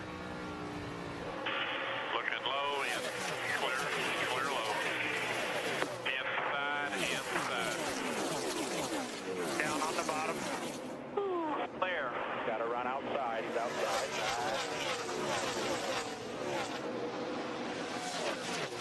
Get him one by one. Doing fine. Inside, inside, left rear quarter, all clear. Running the clear by one. Clear by half. Kurt Busch able to make the move by Matt Kenseth to retake the lead. Busch, one of five different leaders we've had here in the first 64 laps. He has now led a total of three laps. Well, Jerry, I tell you what, Gordon, Jeff, Jeff Gordon almost had a close call getting into turn three. They were stacking up in that restart, and right now they're still all stacked up, Andy. But boy, a little while ago was very, very close. I don't think Gordon's too much worried about this. He's just going to fight his way through it. But the 48 car is behind these guys. He can get caught up in a mess right here. This was a hornet's nest for a little bit. Well, it looks like the 10 car, Patrick Carpentier, is having a lot of problem. Just couldn't get that thing going. And boy, they just really stacked up. The 48 to the inside, the 24 Jeff Gordon outside. And Patrick Carpentier still having problems out there. 24 car now trying to move on the inside of Paul Menard. Here comes the 48 of Johnson. There's the 16 of Biffle, who's won the last three in a row. Now Johnson looking a little racy in that middle groove. Well, this is the point of the race where Johnson's got to be careful. I talked in the countdown show about landmines. He's got to really think that there's landmines all over this track and avoid everything. He gets in his gaggle of cars, and this is where the problem can happen. It's a pretty smart team, though. We all know that. Just got to be careful. Well, he's got a fast race car right here. I mean, how conservative can you afford to be? If you try to just say, okay, I'm going to pick my way by slowly, you might get in one of these wrecks. I mean, you, if you got a fast car, do you just go ahead and push it hard and get past all these guys? Well, Andy, right now, he's dead on a bumper of the 24 cars. There's not much real estate to get around him in right now. So, I mean, this is, he's got to be careful when the 15 cars behind him. Now he's approaching the 66 car. Got to negotiate himself through all these problems. And this is the point of the race where you could have a problem if you don't exercise extreme patience. This is 18th, 19th, and 20th. This is the 20th place car. Carl Edwards, you're riding along left here. As uh, these guys are just about a half a straightaway behind the leaders. Now we're about an hour away for the sunset here in Miami Homestead Speedway down here. That's really going to change a lot. And right now, it's still sunny. The track is still slick. We got problem with a lot of glare in the front straightaway you see here. And the drivers are negotiating that right now. Look when that sun goes away. Boy, they get good visibility. But that front straightaway, it's tough. Here you got a car almost in the wall up there. These guys had to dodge. It looked like the 19 car. Yeah, Elliott Sadler. He's hit the wall. He's crashed. Yeah, he's got a lot of damage. Still green. No caution flag as of yet. As Sadler gets the car down on the inside. And we saw last night. Four guys, be ready here. Now coming to you, I just tore it up. Right rear damage. Probably right side flat. Right rear flat. Me. 12 car left side of your screen. Ryan Newman up in front of the 42 of Juan Pablo Montoya. Close racing everywhere. By the way, Montoya back there in front of his teammate David Stremme. And it gets crowded at this racetrack in a hurry when you're trying to pass and guys in the middle of the groove slipping and sliding up and uh, sometimes not a lot of room on the outside. There's Busch, the leader. Kenseth in second going by. Then comes Newman and Montoya in third and fourth. Like NASCAR's black flag in the eight car. Got a rear panel flapping in the breeze. Mike Massaro. You know, guys, I had a conversation with Juan Pablo Montoya's crew chief, Donnie Wingo, this morning, and the topic that really kept coming up was how much he has improved over the course of this rookie season. And Donnie told me that in the area where he improved the most is driving a loose race car. He's gotten a lot better at that. In fact, he had a big turnaround just a few weeks ago during the Atlanta COT test. They intentionally set that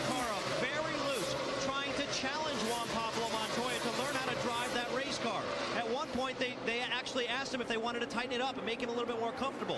Juan Pablo's answer to that was, no, I need to learn how to do this. And he forced himself throughout the day to learn that handling condition. That may be paying off here today.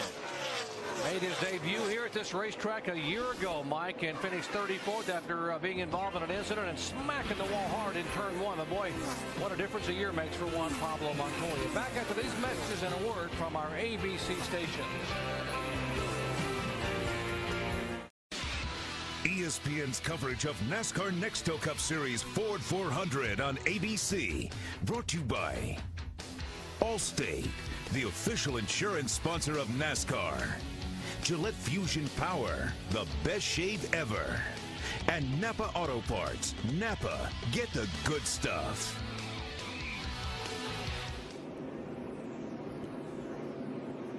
Sun setting here in South Florida at Homestead Miami Speedway. We are under caution for the third time today. That's the car number there, uh, 15 of Paul Menard, the rookie driver, spinning and around as they have brought the car on the pit road to try to bend some of that sheet metal away. And let's take a look and see the, the view that uh, Ricky Rudd had of what happened to Menard. Oh, Andy, it looks like that top groove. He just got a little too high, got out from underneath him. I didn't see anybody touch him. Just flat spun that car out. That thing just snapped around on Paul. Bangs the left side into the wall pretty good. They're going to have to fix some of that damage. Probably have some suspension damage. Here comes the leaders. Here they will come down uh, 45 miles an hour. Second major pit stop of the day. Jeff Gordon's bunch is there. Jimmie Johnson's bunch are ready. We head down to pit road and Jamie Little. And Robbie Reiser, crew chief for, for Matt Kenseth, reminding him come down to your pit box slow. We're going to do four tires. We're not going to make any changes. And Matt said, you guys need to direct me. I cannot see my pit box. The sun is a big problem right now. Allen? And Jeff Gordon, center box left screen, is pitting. He says that the car is better on the entry to the corner, but still the nose sliding a little too much off the corner. So they're going to try and make an adjustment here. It'll be a four-tire change for the 24 car. David? And the 48 thinks they might go for two, Allen, but they're going to stay with four up here on the 48. No changes except for a little air pressure to try to free him up a little bit more. The 24 does take two. The 48 will take the left sides as well. Jack going up at this point, and Jimmie going up pit road. Jimmie saying, the car is doing what I wanted to do. I hope my times are good. Uh, the one on pit road there wasn't necessarily their best, guys. Yeah, looked like they had some problems on that pit stop and lost a few spots. Lost a lot of spots, actually. And you see Jeff Gordon, by virtue of those two tire stops, gaining 10 positions, so that will put him up. And 48 Jimmie Johnson back where he does not want to be in a crowd of cars toward the back of the pack on a restart. We'll come back with a green flag at Homestead, Miami in a moment.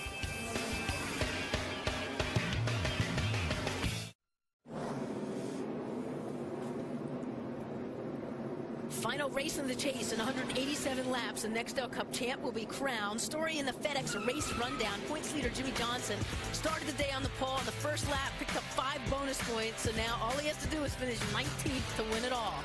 And the battle we're keeping an eye on, Jeff Gordon with an early pass on Johnson. Jeff Gordon marching towards the front. Jimmie Johnson did what he had to do early, getting those five bonus points. Now he's just out trying to maintain position. Jeff, Jeff Gordon is coming. Though. The last race for Dale Earnhardt Jr. in the number eight for DEI, and he found trouble early. Boy, just the season for Dale Earnhardt Jr. cannot end quick enough, and uh, this is just like the rest of the season. He's had a lot of bad luck today. Right now, the 48 and the 24 separated by just 47 points. We're keeping an eye on it, Doc.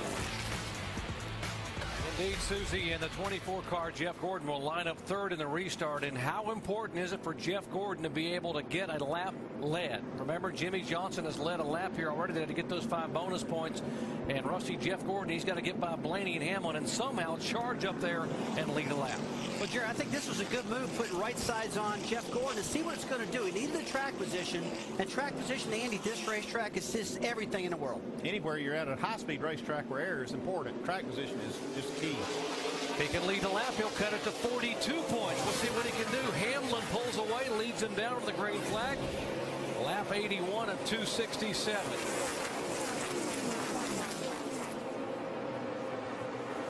Jimmie Johnson mired back in 14th position back there behind Mark Martin and in front of Carl Edwards. A gaggle of cars. There's the glare. You're looking back at Denny Hamlin from Jeff Burton's onboard camera. Jeff Burton's now back on the lead lap after all his problems. He's worked his way back now. He's not just a lucky dog. He's on the lead lap in front of this 11. Here comes Denny Hamlin. He's challenging him back for this lap. Well, how about Matt Kenseth? He's gone by Gordon to try to move his way to the front. Here comes Kenseth on the high side, the 17 car. Well, it appears right now the two right side tires for Gordon aren't coming in very good at the moment. Although, before we judge it, let's let him run some more laps and see if that car settles in because that's generally what happens to right side tires. Rolling the dice for Gordon. Two tire changes for the second time, and he's trying to hold his position. Here comes Truex, who's been awfully good on the bottom to take that spot away. Boy, I just saw the 24 just wiggle wiggling the back of that car up off of turn four. Means it's a little loose right now on those two right side tires. And the rest of these guys got four tires. They're just driving off at the moment. So this might not be paying off. Again, let's watch this a little longer, though. Tells and me that Jeff Gordon's driving that car extremely hard right now, too. You can see how he's sawing that wheel. And we heard him complaining how the nose of the car has been sliding up across the racetrack. He was lacking so much grip just like that. The one car just slipped up across the racetrack. I think he went up there to see how the grip level was up there because he's been running there the whole time. And what they do is they run these the laps on the bottom with the good tires, and then they'll move up. But I think Martin Truex just says, hey, my crew's up top. I'm going to go up here and run. Now, he's not even messing around with the bottom. I mean, he just threw that bottom away, went right to that top again, and he's just comfortable up there. Like he was headed to Key Largo. He just turned right going into turn one there, went way up across the racetrack. Now he's trying to race back by the 24 car and make that high groove work.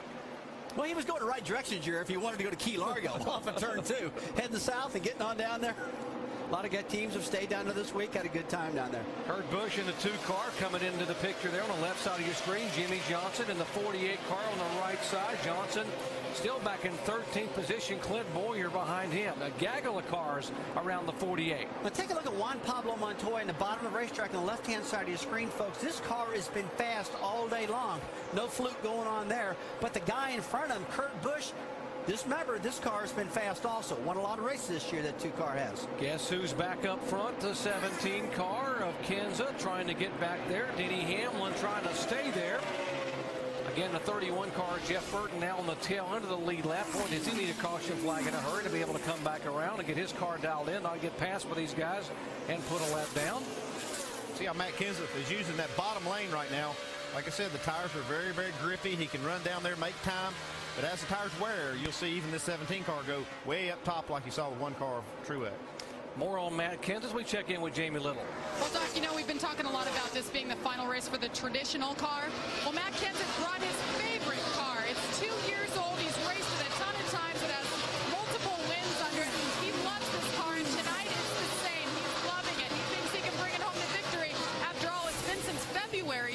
won a race. And as I mentioned earlier, this is his final race with Robbie Reiser as his crew chief, and they would want nothing more than to go to victory lane and then, of course, retire the traditional car.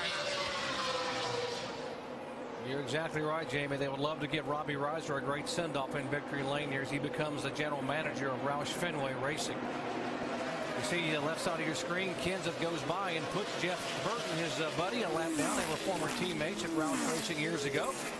Right side of your screen, you see Jeff Gordon uh, still running the bottom of the racetrack trying to hang tough with the 42 car and the 20. Montoya and Stewart just go sailing by. These two tires are not working for the 24. They, you know, it, was a, it was a good gamble, but it's just not working for him right now. No, it's definitely a great idea to go for track position because they had no idea what the car was going to do on two. So uh, they just had to try and go for it. Allen?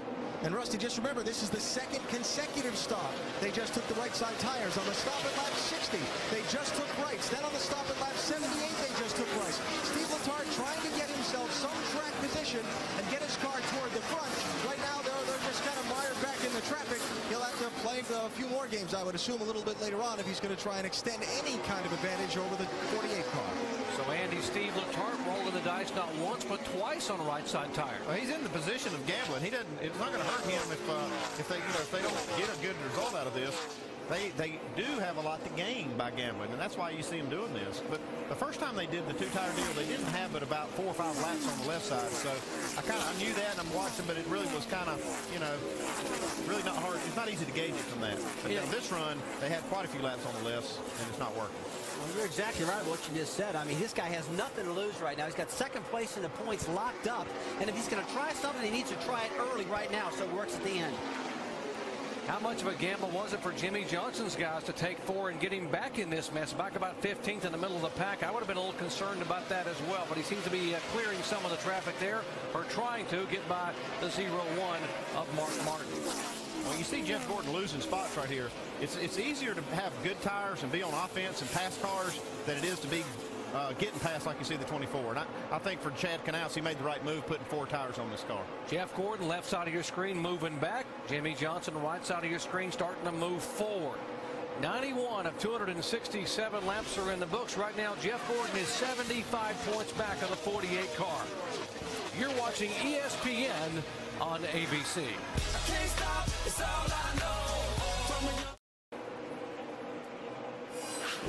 The biggest music stars on the planet come together with live performances by Rascal Flatts, Maroon 5, Lenny Kravitz, Fergie, Rihanna, and more. For the first time ever, your votes will decide who wins. Hosted by Jimmy Kimmel and broadcast live from the Nokia Theater LA, the American Music Awards live tonight following the race right here on ABC.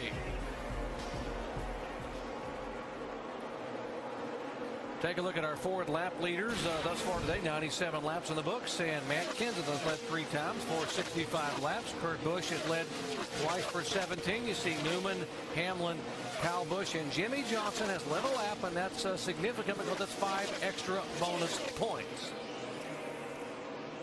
One of our lap leaders, the two car of Kurt Busch, uh, could be uh, having an issue. There's a 17 car of Kenseth. Newman is second, by the way. Denny Hamlin back in third. Here, here comes the two car of Kurt Busch. I don't know which one's vibrating, but we need to get a real tight. I bet we know which one it is. Yeah, I believe it's the left rear. We saw in that last pit stop, it looks like they were struggling back there. I would bet they got a left rear problem. Allen. Well, Rusty, when they went to attach the lugs onto the left rear on the last pit stop, the socket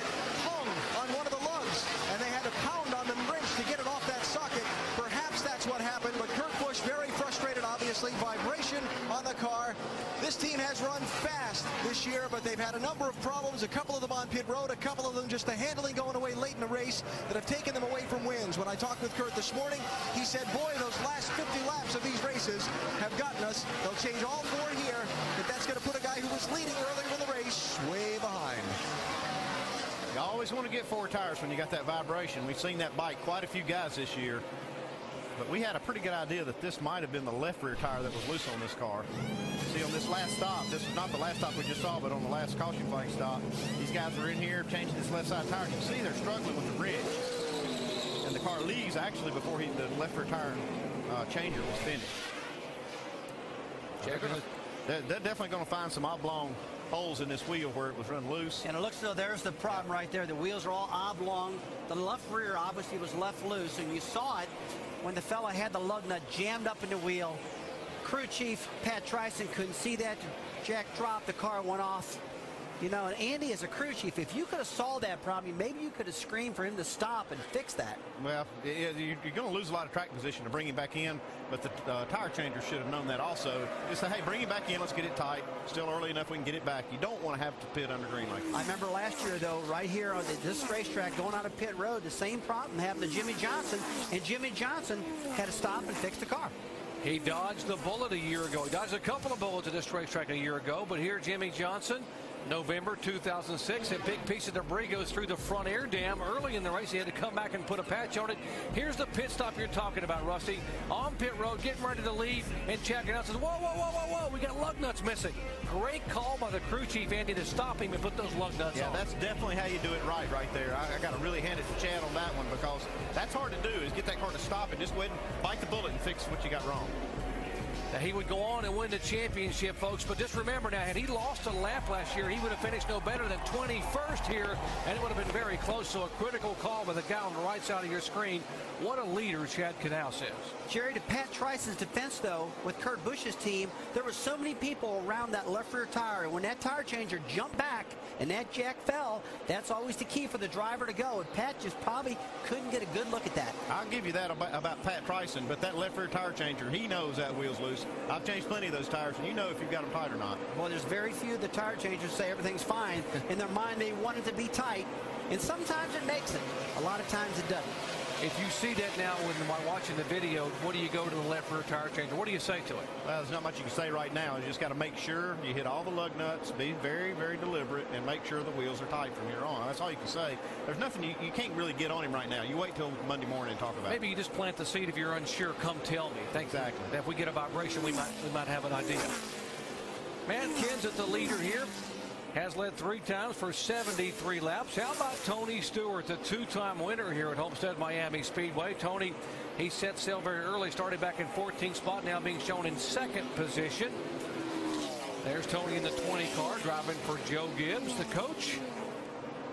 And boy, talking about the 20 car, I mean, he is about a tenth of a second faster than the leader, Kenseth, right now. Ryan Newman, we talked about that 80 race winless streak. Boy, would he love to go to victory lane uh, in this finale for 2007. Back and forth. Denny Hamlin, one of our chasers, has struggled a little bit in the chase here down the stretch, but uh, having a good run here today now being shown in the fourth position. The other Joe Gibbs car, by the way. Then comes the fifth place car, the one of Martin Truex Jr. Truex, uh, this is the car he settled the pole with in Texas, nearly won at Atlanta. In fifth spot, behind him, leading rookie of the year contender Juan Pablo Montoya in the 42, the one-year anniversary of his very first NASCAR Nextel Cup start here at Homestead Miami Speedway. Well, the one car, I've been looking at the right front fender, and it looks like it's got some damage on it right now. It's not slowing the car down much, but he must have got himself in an incident somewhere or something doesn't look right on that corner. Yeah, I see that. I saw that earlier when we showed that. It could be some of the repair that they made on that car from the practice crash. They use a lot of these uh, decals and wraps and whatnot to, to kind of repair that damage, and it looks like some of that's blowing off. So it may not have been recent damage. Yeah, he brushed the wall in the first of two practice sessions here on Saturday. They had to go in and repair the car, but it hadn't slowed it down too much because he's already led here today. Matt Kenseth, four consecutive top five finishes. He didn't get the win. He's just trying to do it here today. Back after these messages and a word from our ABC stations.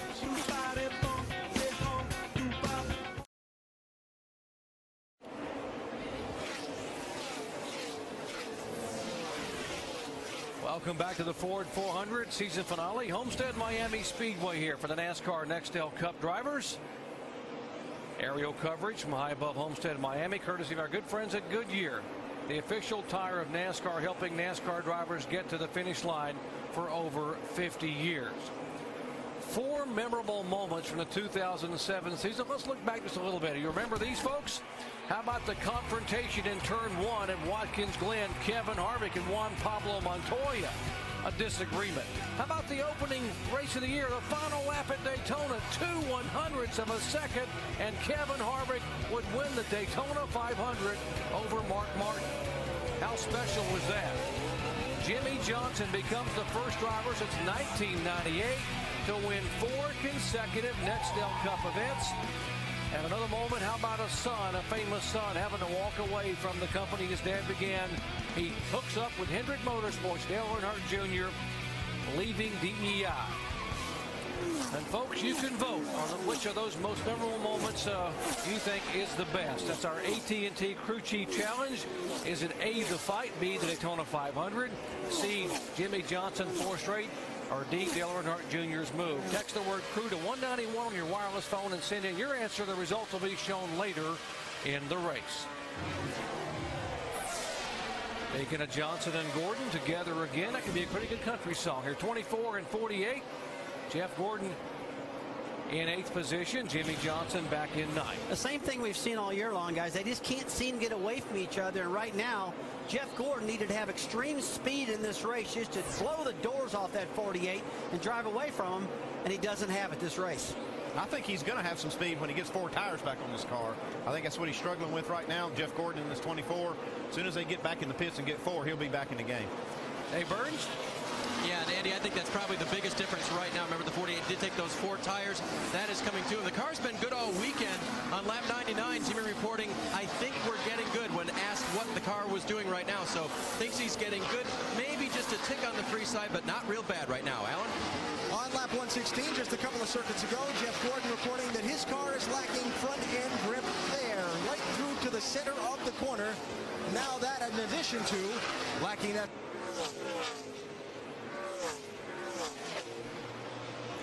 Lap 118, 267. Kenseth, Stewart, holding 1-2. Getting set for pit stops moving in here as the 48 and 24. And as you said, Andy Petree, that 24, they want to come in and get four fresh Goodyears on Jeff Gordon's Chevy. Back with pit stops and more in a moment. And we welcome you back to the Ford 400. You saw the number 17 car, the number one Green Bay Packer fan on the NASCAR circuit, Matt Kenseth, continues to lead. But the man who's stalking him right there in the 20 car is a story as we start to look ahead to next year. Consider, folks, this is the last day that you're going to see Tony Stewart driving a Chevy. That's right. Next year, the Gibbs team will make that switch to Toyota, and I wonder how all his fans will accept that. Tony very loose prior to the start of this race. He felt he was going to have a good run. The fellas upstairs have been telling you he's got one of the fastest cars.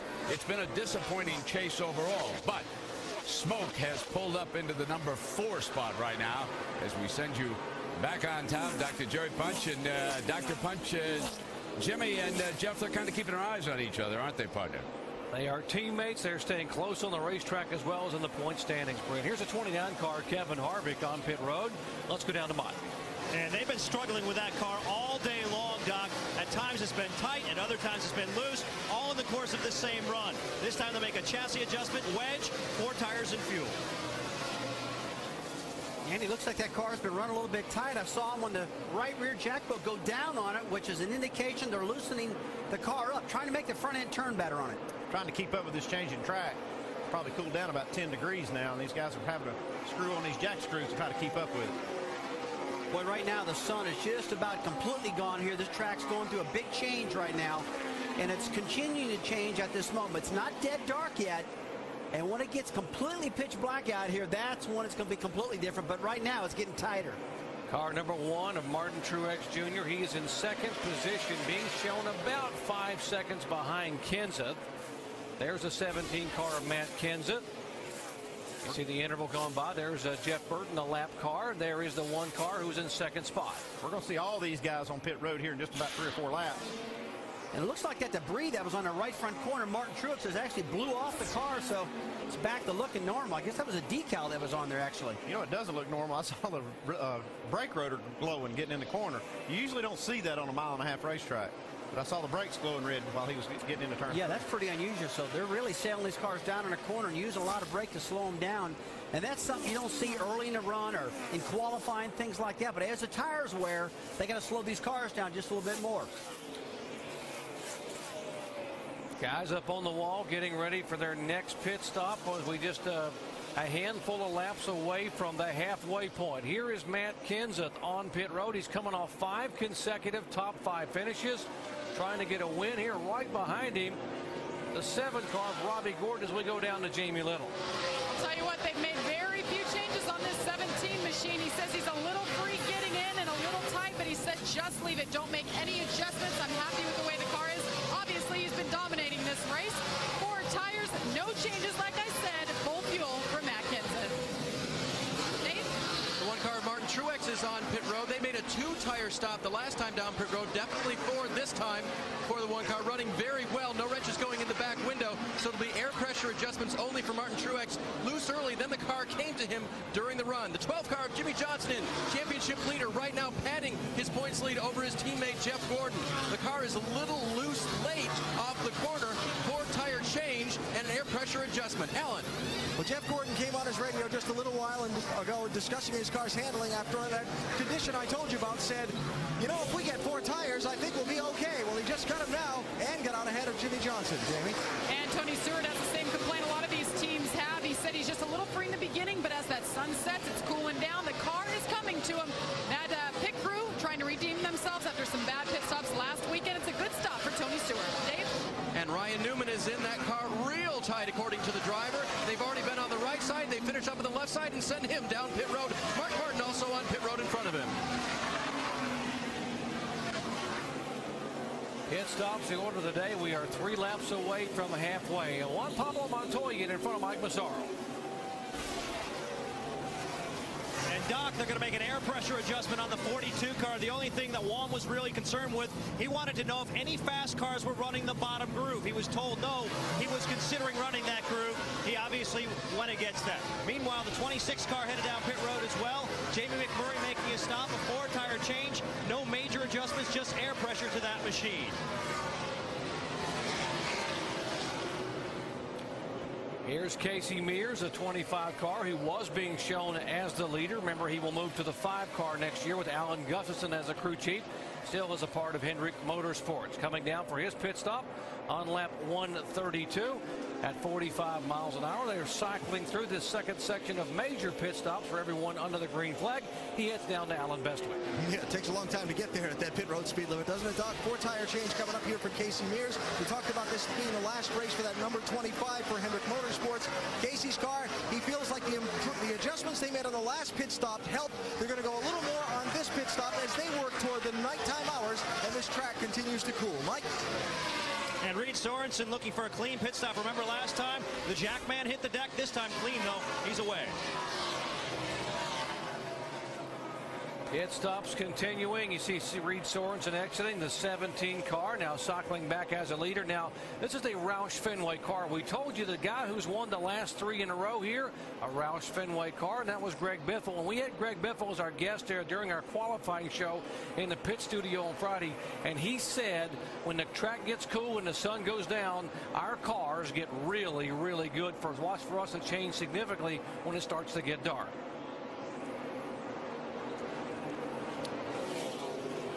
Here we got Juan Pablo Montoya just made his pit stop. You see his crew cam right here from the from uh, Chip Good. He's the rear tire carrier. He carries the tire out here for this rear tire changer. You see all the action, how quick these guys have to move. Has to get that tire back to the pit wall. Grab this new tire for the left rear.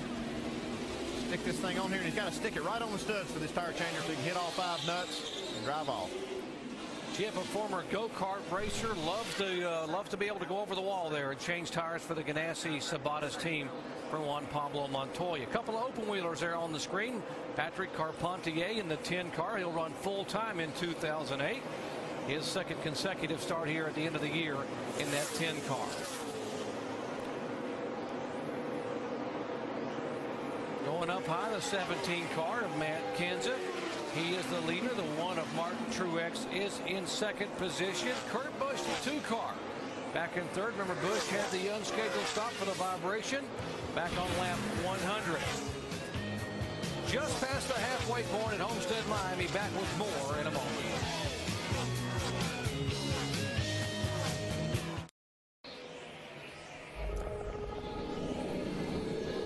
Telecast is available on ABC HD, presented by DLP HD TV. Monday Night Football on ESPN continues tomorrow in the thin air of Invesco Field at Mile High as Vince Young leads the Tennessee Titans in a battle against Jay Cutler and the Denver Broncos. Monday Night Football at ESPN 8.30 Eastern Time. Coverage begins at 7 Eastern with Monday Night Countdown. Mike Jaws, Tony Michelle, and our own Suzy Kolber will be there. Out in Denver, should be a good one coming up on Monday night. Take a look at our Ford lap leaders. Matt Kenseth has led four times for 108 laps. Kurt Busch has led 17 laps. You see Ryan Newman there has led eight. Eddie Hamlin. And remember now, Jimmie Johnson has led a lap, so he's gotten the extra five bonus points. As uh, we take you up to speed with our lead drivers, starting with Matt Kenseth and Jamie Little. Well, Doc, what a difference this race has turned out to be for Matt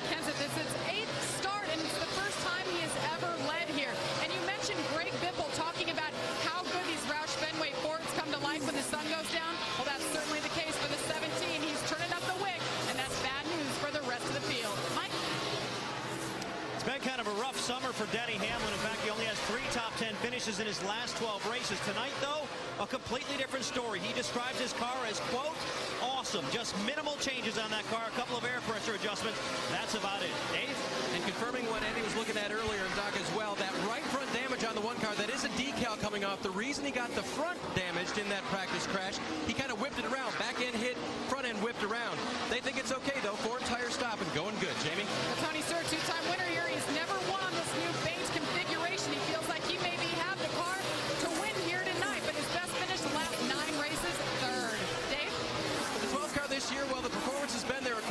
Chief Mike Nelson. They've been really proud of that. Trying to finish off the year strong. He's been close a few times. Today, a tight race car that they need to keep adjusting on, Jamie.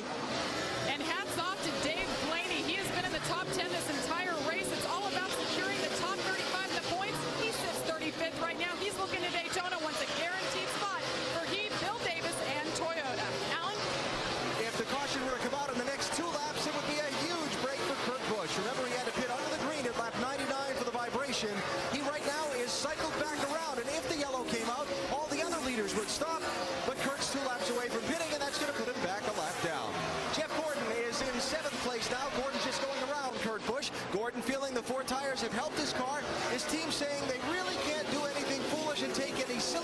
right now because anything could happen with the 48 until later in the race. They've got to still play slightly conservative as well. Mike?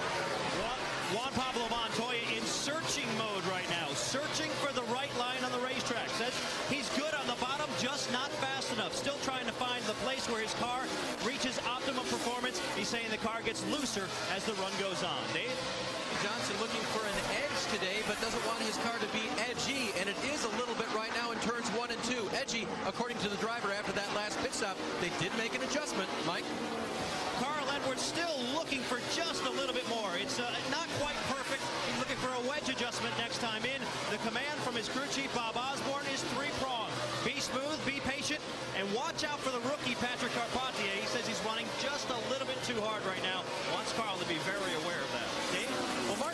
Finishing out the year in the 0-1 car. It's been a good year for him. Highlights include almost winning the Daytona 500, driving a Busch car for Rick Hendrick, and doing what he can for this DEI team as now Ryan Newman has spun in turns three and four. Guys? And boy, that's good news for Kurt Busch. That's exactly what Busch needed, and it happened by his own teammate. Man, that was just unbelievable, Andy. When you, you never think your teammate's going to spin and help you out.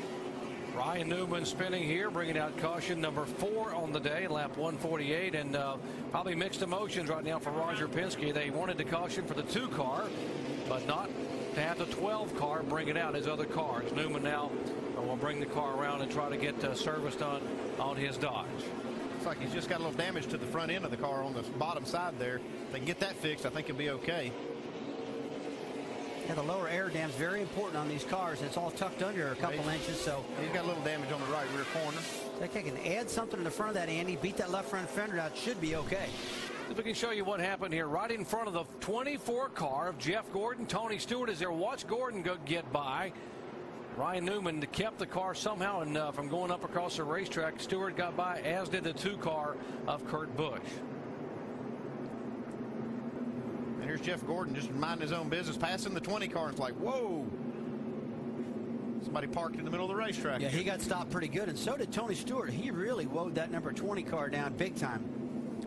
Let's go down to Jamie Little as the 17 car is going to be headed to you for his pit stop. Jamie? Well, some bad news for our leader, Matt Kenseth. He just came over the radio and said, guys, I've lost my primary battery and I have no brake fluid. This is going to make things really difficult tonight. Remember, this happened to him in Dover and it cost him the entire race. Four tires, no changes. Let's go to Allen. Jeff Gordon, center frame said, I am having a lot of trouble passing guys. His crew chief, Steve Letarte, said, your lap times look good. We just need to get up there and race with him. It's going to be a four tire change for the 24. Shankenhouse asking his driver, is it really loose or just a little bit? Let's do a little something, says Jimmie Johnson. That'll be a wedge bar, that'll be a wedge adjustment in the left rear, air pressure on the right rear. As they come to the left side now, the 24 is going to win that race off of pit road this time. Bowyer gains 10 spots. You see uh, Tony Stewart minus five. Kenseth will remain the leader, but boy, that battery issue's got to be worrisome in the 17 pit. Back after these messages and a word from our ABC stations.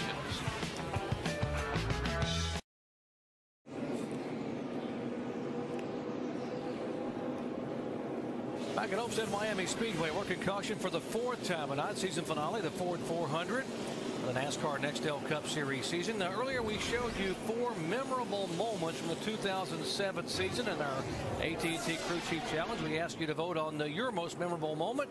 You guys, what do you think? What's your vote? Oh, man, I'm going for the fight. Not me, man. I'm going with Junior.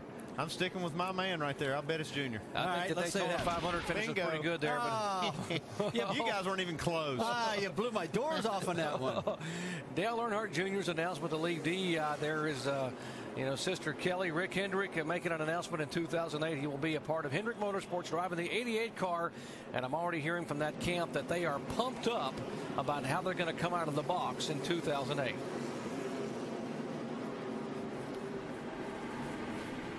Okay, Carl Edwards is trying to get some of this tape off the windshield.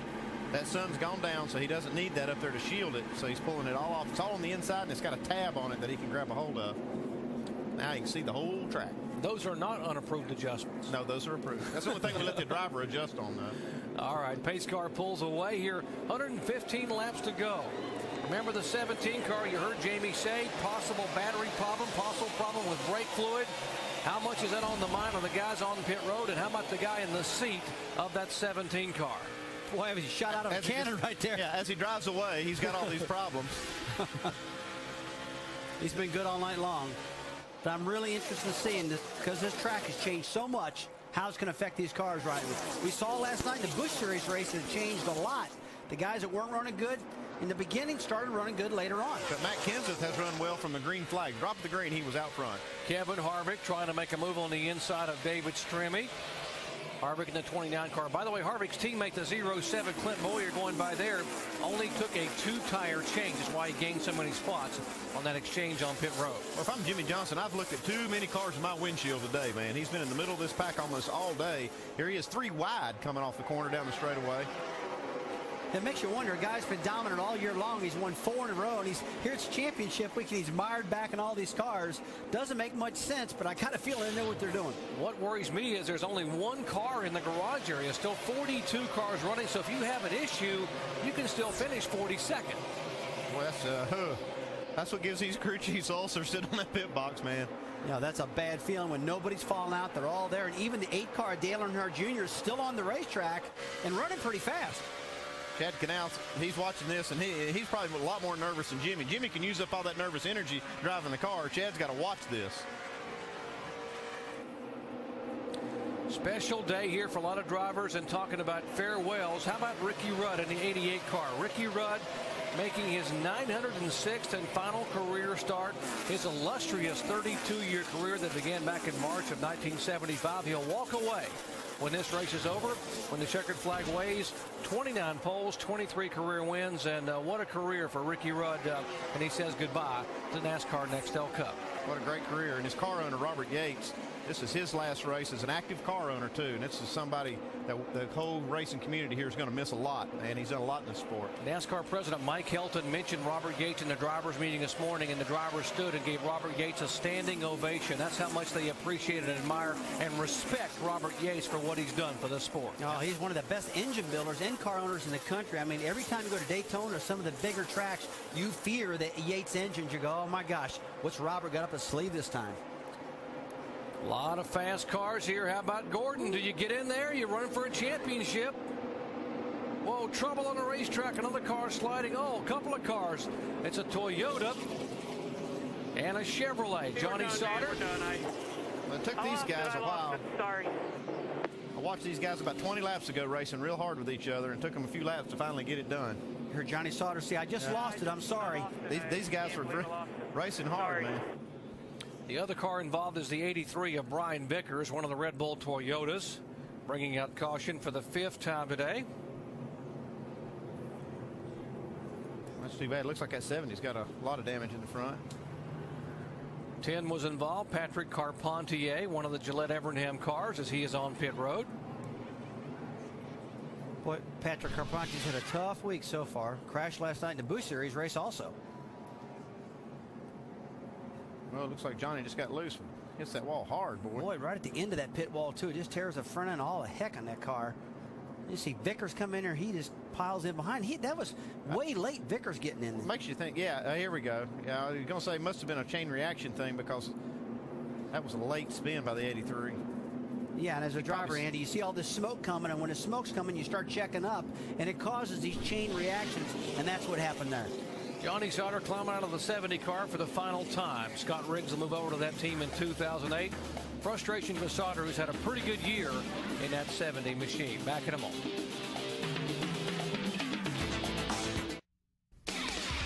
ESPN's coverage of NASCAR Nextel Cup Series Ford 400 on ABC. Brought to you by Pennzoil Platinum, full synthetic motor oil with adaptive molecules. Aflac. Want to meet Carl Edwards and the Aflac Duck? Visit AflacRacing.com for more details. Coca Cola. Thanks for drinking. And Subway.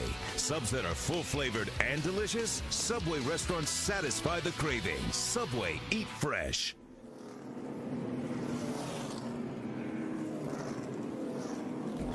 Tonight, the biggest music stars on the planet come together with live performances by Rascal Flatts, Maroon 5, Lenny Kravitz, Fergie, Rihanna, and more.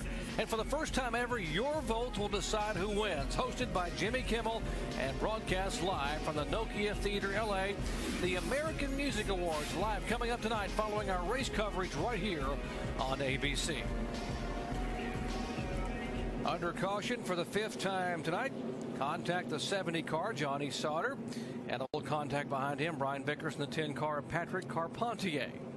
Has brought out the yellow flag. 106 laps to go. Matt Kenseth has had the best car. First time he has ever led a lap in racing here at Homestead Miami Speedway in a Cup car. And he is uh, certainly making up for it tonight. Five times he's led for 125 laps. While we're under yellow, why don't we visit with our in-race reporter, uh, the 99 car, Carl Edwards, sitting back in 14th position. Hey, Carl Edwards, Rusty Wallace up at ESPN. You got us. Got you, Rusty. Hey, buddy, what's the transition, the track doing right now from daytime to nighttime? Is it much different at the moment? Uh, for me right now, we've been uh, we've been freeing the car up, so the car is real loose on the short run. I'm just trying to survive that and uh, get going, man. We got to get up there with the the one and the 11, so they don't uh, get my spot there at the banquet. Yeah, I can tell you're racing for the points, that's for sure. You're doing a good job at it right now. You see most of the passing happen on the top side of the track or the bottom side? Where, where's most of the cars passing at out there, Carl? On the short run, it seems like you can pass on the bottom pretty well. It gets choked up, but uh, long runs at the top for sure. It just seems like the momentum's so important, and the way the banking changes here, that's uh, that's the place. So hopefully we can get a couple on the bottom, move up here in about 10 laps, and be fast. All right, buddy, have a good one. We'll talk to you later. Trust Hey, Bob Osborne, Andy Petree, you got a copy? Coming inside. Hey, Bob Osborne, Andy Petree, you got a copy? Yeah, Andy, how's it going? Hey, pretty good. Just watching you guys' progress. Uh, well, have you been adjusting on your car, and what kind of adjustments have you made so far? Uh, we, we did some track bar adjustments, some wedge adjustments, and air pressure adjustments. So we're, we're freeing it up a little bit at a time here each time we stop. Uh, with these long green flag runs, we got to be freer than we had expected here. So we're trying to do it. I'm going to cut you off here, coming to green, so take it easy. Okay, Bob, you're all business, man. Good luck. Bob Osborne, the crew chief for Carl Edwards, a three-time winner this year in 2007. Having a pretty good run here. Yeah, they're doing pretty good. And Bob's got a lot on his mind right now. You can tell. Usually he's a little more chipper or excited. He's he's pretty focused right pretty now, Andy. intense. He's kind of cutting us off right there. Remember the Roush Fenway guy said when it gets dark, our cars get good. Remember Greg Biffle has won the last three in a row, said we were terrible here. We were awful until it got really dark, and then we were almost unbeatable. Maybe myself and my teammates will be that way. Well, one of his teammates has been unbeatable even in the daylight, that being the 17 car of Matt Kenseth. Just watching that volt gauge, though, if he's got a battery issue and some things may be brewing in that car that haven't shown up yet. Let's see what he does when he jams the throttle for the restart. Will he have the voltage to pull away as he did a moment ago from Denny Hamlin and Martin Truex?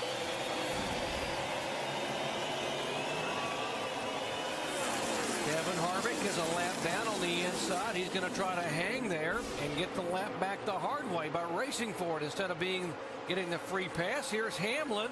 He is there. Watch the 24 car. Jeff Gordon back in fourth position. And boy, this is the time of the race heat drivers really love it. This track is cool right now, and it's fast. When you put four tires on, you can really get after it on these restarts. The car sticks really good. Jeff Gordon struggling with behind uh, his teammate, the five car, who was a lap down, trying to get around the five of Kyle Busch. You see the 24 car smoking just a little bit. Andy, we've seen that a lot out of this car throughout the day. Looks a little tire smoke from somewhere. I've seen it all weekend long. That right front tire rubbing the fender. They're traveling these cars so much that the tire rubs, rubs the fender in the hood area. More on Jeff Gordon. Let's check in with Allen Bestwick. Well, let's check in with Jeff Gordon and Steve Letarte. Their radio conversation under the caution about their car at this point in the race. Not, not bad. I mean, uh, you know, the, I roll in there, I arc in there, and it's pretty good. And uh, right as I get to the middle, it starts to get a little snug. And when I pick up the throttle, it's a little on the tight side. And then um, down there, one and two is my biggest. I'm, I'm, I'm pretty decent down here in the bottom through fours. Through one and two, that you know, it starts off good. It just gets real tight um, as I land in there and get the throttle. I just can't do anything to get it to rotate. While there's a lead change on the left-hand side of the screen, we follow up one more time with Jeff Gordon. He's running the bottom because so many guys are running the top. If you want to pass people, you got to go where they're not. Well, that's a good point. You just can't follow a guy if you think you're going to pass him. If you think you go to the top, go to the top. If you get on the bottom, go to the bottom. And if you got momentum, you got an opportunity to do whatever you want at that point, and he's got some momentum now, so he's going around the top side. Jeff Gordon running in fourth position. Uh, the guy he's chasing in points, actually behind him on the racetrack, Jimmie Johnson, just moved into eighth spot. Denny Hamlin, our leader, the 17 car of Kenseth in second spot. Martin Truex Jr. creeping up there in that one car. There comes the one car. And he is actually faster that time by than either one of the cars in front of it. You saw three different grooves right there from those top three guys. You saw the bottom, top, and the middle with Martin Truex running the middle of the racetrack. Love this racetrack. Now, we need to remind everybody this place has got progressive banking. There's three different grooves here. It starts off at 18 degrees on the bottom, 19, then 20 at the very top of the track. So these guys can run all over it. It's a great innovation they did here at this track. 99 laps to go. And folks, in this race a year ago, we had rookies finish second and third. The second place finisher was Martin Truex, who finished second this race a year ago. And who finished third? Denny Hamlin. Oh, trouble in turn four, the 38 car. 38 car, that's actually off of turn two. David Gilliland, the Robert Yates racing car, brushes the wall, and we stay green. Thought he was going to lose it and come across the racetrack, but he did not. Great job. Yeah. Boy, he hit that wall Right pretty side, good, Todd. too. He thought there was enough stuff flew off that car. The caution my flag might come out, but it's still green right now. And look at the damage on the right front. It's got it's tore up pretty good there. They can peel that back though. He's pancaked that thing Show you over between turns one and two, right in front of the 42 of Montoya. Boy, Montoya actually got into him a little bit because the 38 of David Gilliland really slowed down. But Andy, it looks like the back of the car kicked out. And then when he slowed up, Montoya just had nothing to do. And he just got in the back of him a little bit there. Inside of 100 laps to go, Denny Hamlin, who started 33rd last year and finished third. Folks, he started 32nd this year, and he is leading here. Hamlin, our leader. You're watching ESPN on ABC.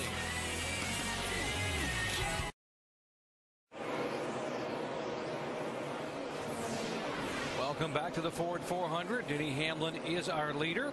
Aerial coverage from high above Homestead Miami Speedway, courtesy of our good friends at Goodyear, the official tire of NASCAR, helping NASCAR drivers get to the finish line for over 50 years. This is the farewell race for this race car here. It will be full time for the uh, COT car, the car of tomorrow, which will become the car of today. So we can keep the COT. We just can't call it car of tomorrow. We call it car of today. And boy, I want to know what they're going to do with 700 of these cars. We talked about, you know, 50 teams, 15 cars a piece. Man, there is a lot of cars going to be available for somebody to put in their garage or do something. Richard Schroeder said if you want to get one, you can get one really cheap, and you just put it out in the yard and go out and sit in it if you want to. it's a buyer's market, obviously. Here about the 17 car. And some of these people are donating cars to different charities and different groups, we're told. Yeah, we're hearing Richard Petty's donating some of his cars to universities to teach some of these kids about racing. Because right now, Andy, they're sitting in these schools and really don't have the real cars, the real hot rods, I call them, to, to play around with. Yeah, this is a good opportunity for a lot of schools to get some real race cars, current race cars, to look at. Guys at ARCA are going to be able to get some great race cars to run next year, and of course other areas in within NASCAR, the divisions of NASCAR. I'll guarantee you're going to see a lot of restaurants with these cars bolted on poles parked out front, too. Dave? And Doc, you hit it on the head. You can run this race car in the Busch East Series uh, next year if you want to, and that's going to help carry on a tradition with a generation of Earnhardts. The Earnhardt Jr.'s cars, Martin Truex's cars, Paul Menard's cars, those are going to be shared by a young man named Jeffrey Earnhardt, his nephew, and a guy named Trevor Bayne. They're going to run those in the Busch East Series and uh, hopefully gain some footholds in that series. Do you think some of these cars, maybe not this one in particular, because it's had some contact, but a lot of good race cars that they can use to learn in that series following this season? In fact, this year, Chase Austin, the yellow fellow drives for me, Andy. It's a 110-inch NASCAR Nextel Cup car. You can run the, the Busch cars also, but we actually found out they give you a 50-pound weight break if you run a Cup car, and they were actually faster with these cars. So the Busch Series, the Busch East Series, could be pretty good there. By the way, Jeffrey Earnhardt is the, son of Kerry Earnhardt. He, of course, obviously is the grandson of the late Dale Earnhardt Sr. as well. So uh, continuing that tradition, as Dave was talking about having an Earnhardt as a part of DEI in the Busch East Division. See Jeff Gordon in his 24 cars running down the 11. Denny Hamlin. These, these two guys were racing each other, and uh, Gordon kind of caught up with them here. You know, one thing I'm noticing right now, we talked about the transition of daytime to nighttime. It looks as though that it's starting to affect some of the cars, although the one holding pretty strong is Kenseth throughout the day. Looks like he's got a setup that doesn't matter if it's daytime or nighttime. And evidently, Robbie Reiser's staying up with the racetrack on his adjustments, too. It seems like that one car really likes to run a lot of laps. So the more laps they run, the better his car gets. Uh, the 17's just been good all day, so he's good no matter what. This is one of the best runs I've seen of Jeff Gordon out of the last four or five weeks. He's hanging in there real good, third spot right now, but he's about three tenths of a second slower than the leader, Matt Kenseth. Andy, we heard at the top of the show the 24 car was having a lot of trouble with the nose of the car beginning to slip and slide. With the track cooling off, how much better is going to help you? Is it going to help the whole car, or will it just help the front of the car? Well, it can actually make the nose scoot more. So if they have a push, they need to start working on it. Look at this one car. He's starting to come alive here. But if the car is tight and the get, track gets cooler, the car's going to get tighter. So they have to start adjusting on this car. Yeah, and every single pit stop, I'm going to want them to loosen my car up, take some wedge out, put some air in the right rear tire, something to make that car turn better. Because as it gets cooler, just like you said, Andy, the track's not going to change, change the same. Something's going to happen. Still four positions separating Jeff Gordon on the right side of your screen from Jimmie Johnson on the left. Now Jeff Gordon basically has run in front of Jimmie Johnson for the for the majority of the day. The bad news is he's not in, far enough in front of him to be able to make up a significant amount of points. 73 points of differential right now. But folks, uh, there are still 39 cars on the racetrack. So if Jimmie Johnson has troubles, he can still have a pretty poor finish, and Jeff Gordon can become a champion. Back after these messages and awards from our ABC station.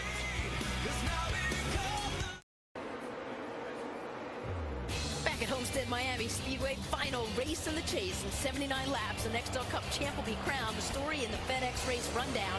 Points leader Jimmie Johnson started the day on the pole. He only needs to finish 21st or better now to win, and he is safely in eighth. Last race for Dale Earnhardt Jr. in the number eight, and for DEI, we know the entrance to pit road is tricky. He found it early. he really did. Had a tough day thus far, Suzy. Got to an accident early. He's had a tough, tough season, and it continues here today. And Jeff Gordon and Steve Letarte looking for any way to make up ground on that 48 team. They are pulling out all stops, but Jimmie Johnson did a great job by leading the first lap, getting those five bonus points, and he has further widened the gap between himself and Jeff Gordon. Yeah, well, Jeff said the car isn't bad, but he sits in fourth. That's certainly not enough to get it done. Not the place he wants to be. He needs to be leading the most laps as possible and running up front. He's just not been able to get there today. We talked about the race within the race. Only the top 10 go to New York. Right now, Martin Truex and Denny Hamlin are out of that mix, Doc. Thank you, Suzy. Brad, by the way, uh, the 83 car Brian Vickers driver and Johnny Sauter both checked out and released at the infield care center after that pretty hard lick back on lap 158. That brought out caution number five. Matt Kenseth, uh, we told you he's coming off of uh, four consecutive top five finishes. It's been feast or famine for Kenseth in the chase. He's either had uh, really good runs, fifth, fourth, uh, second, and third the last four weeks, or he's had four finishes of 26th or worse early in the chase. He's either been real good or real bad, and tonight he is really good. But Doc, you know, talking about Martin Truex a little while ago, talking about the points, trying to get in the top 10 to go to New York. He's only 16 points behind the 31 car of Jeff Burton, and Burton right now is a lap down. How important is it to sit up on that stage or go up on the stage in that top 10, Russ? It's very important. I love being there. If you're not on the, in the top 10 of New York, you feel humiliated. You, you don't even want to go up there. So these guys are just desperately wanting to get in the top 10, that's for sure. Martin Truex has come so far this year with his career after being a rookie a year ago, finishing second in this race. So he finished the 2006 season on a high note. Picked up his first win this year, one of four first-time winners. He won at Dover in only his 58th career start. And obviously would love to be able to go to New York in the top 10. It would certainly help uh, his sponsors. Yes, the yellow flag is waving here for the sixth time. 06 Sam Hornish Jr. making his second ever cup start and he has tagged the concrete there with the right side of his Dodge. Well, he's pounded that thing. Looks as though that the suspension's not tore up on it. Let's take a look here. He gets in the corner just real high again. Gets up and scrapes that wall. And we were talking earlier. He's been running the real high line all week long in this car. And he just there's a lot of grip up there, a lot of speed, but boy, there's Just no risky. room for air. Just risky up there. All right, money stops coming your way. Let's go down to our ESPN Dish Tech Center and Tim Brewer. Hey, this is where the crapshoot comes in, folks. We got to put a little bit more tape on the nose of this car. What we're going to do, we're trying to plant the nose of this thing, get us more downforce so we can run those corners a little bit better. Jeff Gordon, he's got nothing to lose. He's got to go for it right now. Yeah, Tim, you're probably going to see some of these guys putting tape on the grill because it's getting cooler. They're looking for that front downforce to keep these things from sliding around. For more information on adjustments, log on to ESPN.com, search word know-how. If you just joined our coverage, Jeff Gordon's guys have been talking about the, the, the, nose of his 24 car slipping and sliding. If they put some tape on as you saw Tim Brewer show you, maybe they can plant that nose, and Gordon needs to be able to plant that car at the front of the field and at least lead a lap and uh, maybe hope that something's going to happen to the guy he's chasing in the points, Jimmie Johnson. Cruise up on the wall. And folks, when they stop here, they should be able to make it easily on one more pit stop. Let's go down to Jamie Little. And Matt Kenseth in first gear, 4,800 RPM as he makes the long trek down pit road. He said his car's still a little loose, which is the reason why he's not running as fast as the others. Four tires, a wedge adjustment. That's it for the 17. Mike. Mike Ford has been calling for minute changes on the 11 car all day long, and this is another one. They're going to go down an eighth of a round on the left rear four tires and fuel. Allen?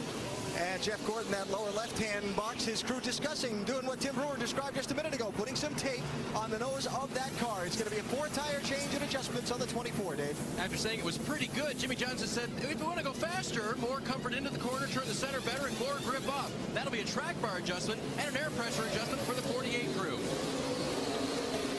Gordon's crew will beat the 48 out. And how about Kenseth? 12 and a half seconds for Robbie Reiser and company down there. Great pit stop on the 17. Kurt Busch up a couple of spots. Denny Hamlin back three positions. Working caution for the sixth time tonight, lap 193. Sam Hornish Hornish's Dodge has contact with the wall.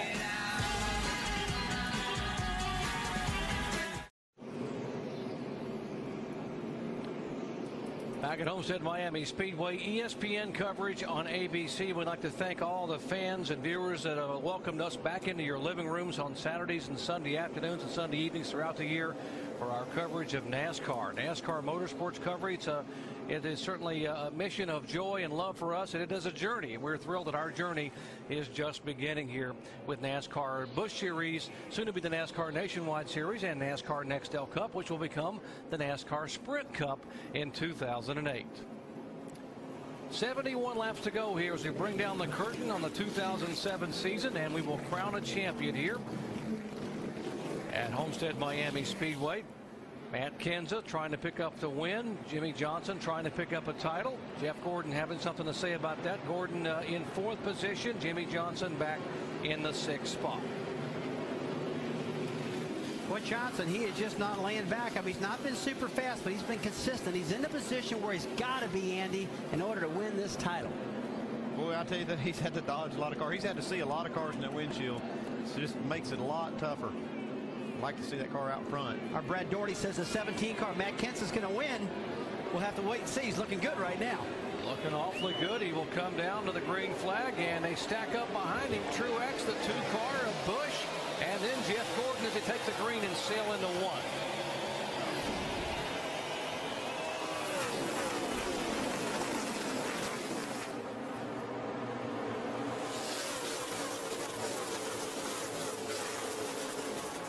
Well, these guys and these restarts, I mean, they just go like the banshee. You see Kevin Harvick down there trying to get a lap back, trying to get going, and just flying around the bottom of that racetrack. His teammate, Jeff Burton, just got the lucky dog. He's back on the lead lap now, so Harvick's fighting to get his back.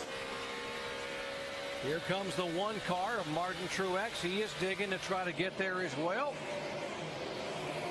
Holds it within about five feet. Now pulls to the inside of the 17 car, and he's got a lap car on the bottom of the racetrack. Harvick and Kenseth. Is he going to be able to get between them? Whoa!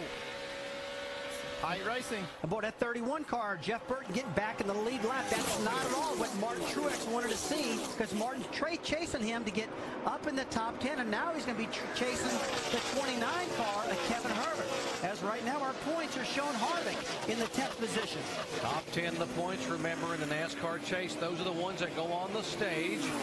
Top of your screen, that's the running order on the racetrack. Line number two in the chase shows you where they are in terms of points. Jeff Gordon, 81 points back of the 48 car, Jimmie Johnson right now. Boy, some of the lap times are turning out there right now, guys, are some of the fastest I've seen all day. In fact, they are the fastest laps we've seen since the start of the race. So, Andy, a lot of speed in that racetrack right now. The cooler it gets, the faster they go. We're going to see these cars even get faster before the race is over.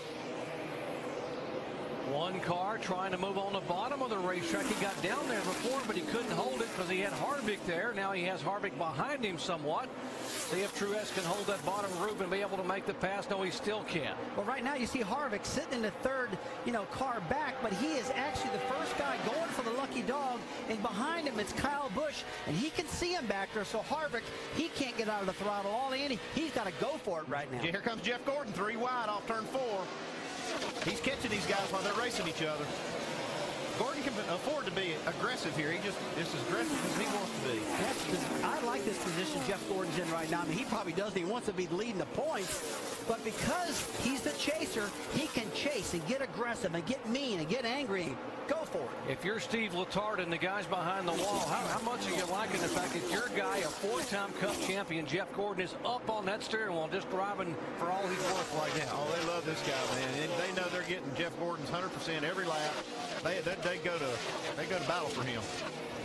Allen Bestwick. Well, Doc, the one thing that they want to keep in mind, and Steve Letarte talked about this with me this morning up at their team's hauler, there are still so many cars on the racetrack that if Jimmie Johnson has a problem now and they keep running in the top five, they're going to win the championship. So they want their driver to be aggressive and be up in that top five.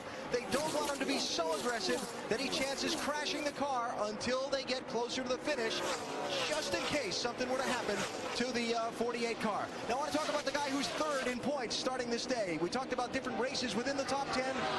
The Clint Bowyer car has a vibration. They think it's an engine problem. Bowyer is trying to hang on. Kyle Busch was 155 points behind him starting the day. If Bowyer were to fall out of this race, Kyle Busch is a lap down right now. If somehow Kyle can come back and get a good finish, he might steal third away in points and make it a 1-2-3 for Hendrick. But Bowyer will have to fall out, and Kyle's going to have to come back and have a really good finish for that to be a possibility. Right now, he's back in 22nd place. Uh, thank you, Allen. A little bit of a wobble there for the five car. And the point is, the 48 car, they realize that there are still 30 or 40 cars on the racetrack.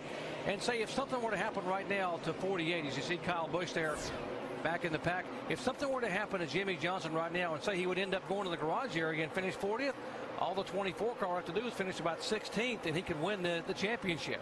He's well, in third right now, so that wouldn't be a problem. There are so many scenarios how Jimmie Johnson can lose this thing, but as long as he stays clear of all these guys like he is right now, he's in safe territory. Whoa, that's tight right there, three wide. And these are two cars trying to run down Kevin Harvick to get that lucky dog. 48 car of Jimmie Johnson, 24 of Jeff Gordon. Both these cars, as well as the five of Kyle Busch, owned by one Rick Hendrick. And we talked to Chad Knaus about Rick Hendrick's vision for these teams. His goal was to have these two teams battling for wins and battling for championships at, at, all costs. And the way that he put it together was we weren't going to have two teams in one building. We were going to have one team with two race cars. And it's a completely different approach. Uh, as you walk into any other competitor shop, you'll see one group of cars on one side of the facility, another group on the other side of the facility, and they're, they're segregated. Um, what we've got going on in the 2448 shop isn't that way. Uh, the, the 80 plus people that we've got working there, they all work on each other cars. And it's called the Hendrick Way. Rick Hendrick, you saw him a moment ago. That's the way he runs his dealerships, the way he runs his business. It's all about cooperation, hand in hand. It just makes everyone better in terms of the team concept. Dave? And Doc, this week, Rick Hendrick said one more of the ways that he does things he's going to do for the 48, or try to do, that he did for Jeff Gordon in 1999, and that was to sign him to a lifetime driving contract. Rick saying, my goal is simple, to keep Jimmie Johnson with me for as long as he races. Now they become more similar if he gets that to happen. That's a pretty cool concept, you know.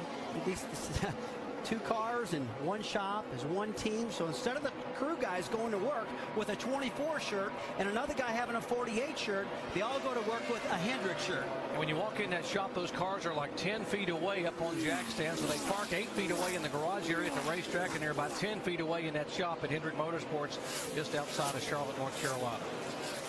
Gordon's working hard underneath Mark, uh, Mark Truex Jr. trying to get this spot. He's got a he's got one of the fastest cars on the track right now. Well, there's one thing for sure, Andy. This 24 car, as his sun has went down and the track is cool right now. We're in the nighttime here. Homestead Miami Speedway. This definitely helped this 24 car.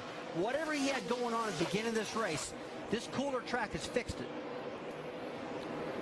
Jeff Gordon working over the back of the one car, trying to get there. Remember, he is yet to lead a lap today. He needs to get up and lead those.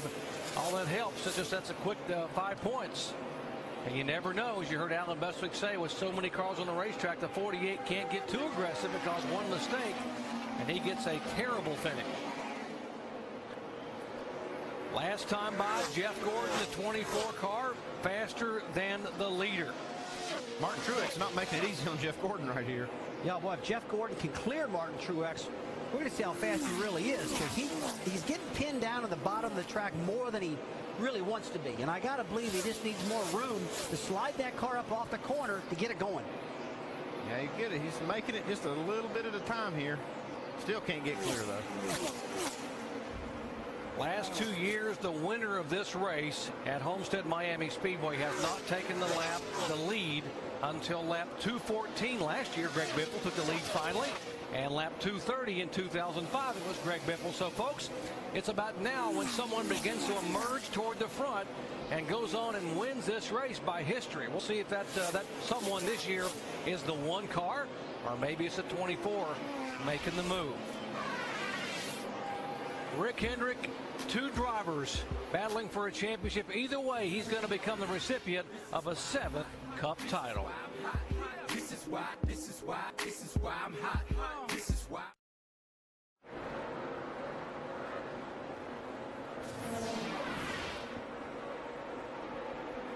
We welcome you back to the Ford 400, where Matt Kenseth continues to cruise on our lead. And this the final NASCAR race of the season, the 36th race. And the two teammates who are dominating, and their story is worth telling again. Because Jimmie Johnson, a few years back, wanted to crash into the Cup Series. He approached Jeff Gordon, who was his hero. He said a couple of teams had come after him. He'd been successful in feeder circuits. Jeff said, hang on. He went to Rick Hendricks and he said, you know, I think this young man's got some skill. Let's see if we can get him a ride. And Rick said to him, Jeff, you put your money where your mouth is. And ladies and gentlemen, Jeff Gordon owns part of the car that Jimmie Johnson is piloting toward a back-to-back chase trophy here today. The only thing that is going to cost Jimmie Johnson consecutive titles is bad racing luck. Think of what's going on right now as the Tour de France. The man in the yellow jersey is driving number 48. He's in a cocoon. No one wants to tango with him. Rusty Wallace will tell you what drivers are like right here. They do not want to be the guy in the black hat at this moment. If there is bad luck, then yes, Jeff can win. Otherwise, folks, we're going to have back-to-back -back championships by one Jimmie Johnson. Up we go to speed now. Let's start off here. Jamie Little. Jamie. Hi, Brent. The man crashing the party at the front of the field all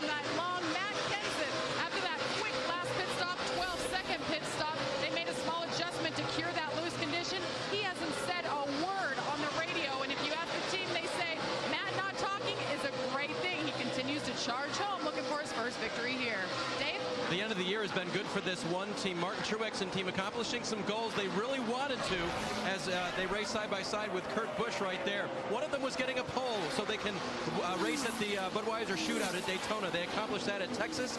Here they're running well once again, finishing second in this race before. They'd like to win it, but running strong at the end of the year. Another year-end goal. Allen. What a night it's been for Kurt Busch, who just took over the second spot. Lap 78, the problem on the left rear of the pit stop. Lap 99, a green flag pit stop, went to 33rd a yellow flag just as he was about to have to make a green flag pit stop that got him back onto the lead lap. He might be a race winner later. He's fast. Watch him. Jeff Gordon just calling into Steve Letarte, his crew chief right now, describing the handling on their car.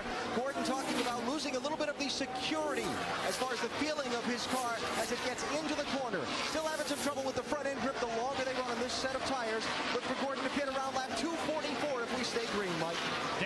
Trying to make a move around the outside of Jeff Gordon to pick up a spot. They're dead even as they head through the corner. Hamlin said after they fell out of contention for the championship, he was adjusting his goals. The attitude was just to go for wins. That's what they've done tonight. Right now, the car pretty good. He says it's a little bit loose up top, but tight on the bottom, but looking pretty strong right now as he bypasses the 24. Dave? One of the hardest things for the 48 team to do has been holding back. They've been very fast at the end of this year, and they've won the last four races. Today, the car has been very good. And recall, their last adjustments on pit road. Jimmie said he was fine with the race car, but if we wanted to go faster, let's try some things. Right now, they're sort of maintaining, haven't really picked up the track position, but still willing to try things to race fast. Mike?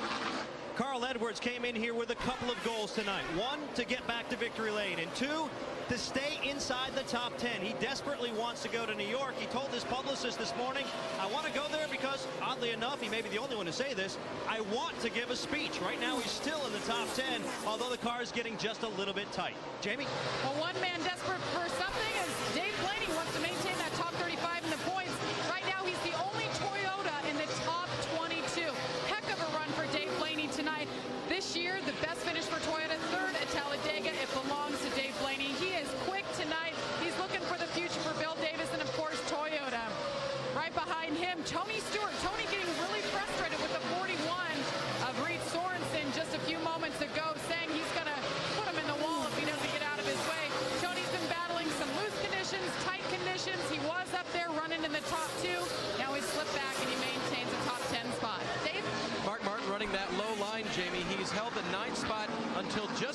was where he restarted. The car's been pretty neutral all night long. Mark's already had four top fives here at this track trying to move forward tonight in that 0-1 car. Jamie? And David Ragan in the sixth car. Congratulations go out to he and Jack Roush for winning the Rookie of the Year standings in the Busch Series. He's actually running for it tonight as well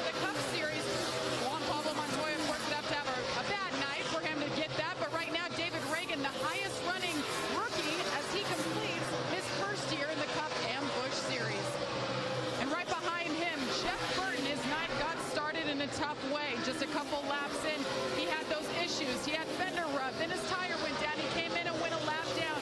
He continues to forge to the front. This has definitely been a year he's disappointed with. They expected the charge for the championship, and it just has not been that way, especially in the chase. But Jeff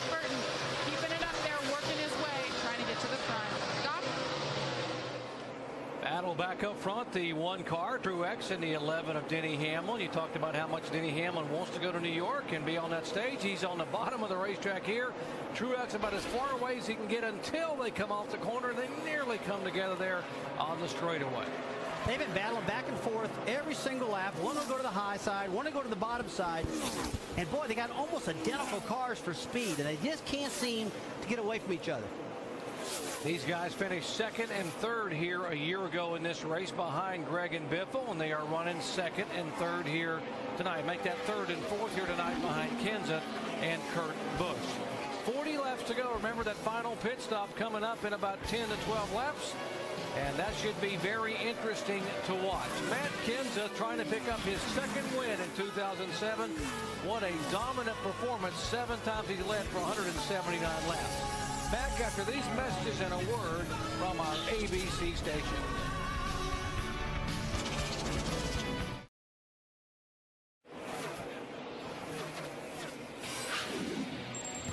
Tonight, the biggest music stars on the planet come together with live performances by Rascal Flatts, Maroon 5, Lenny Kravitz, Fergie, Rihanna, and more. For the first time ever, your vote will decide who wins.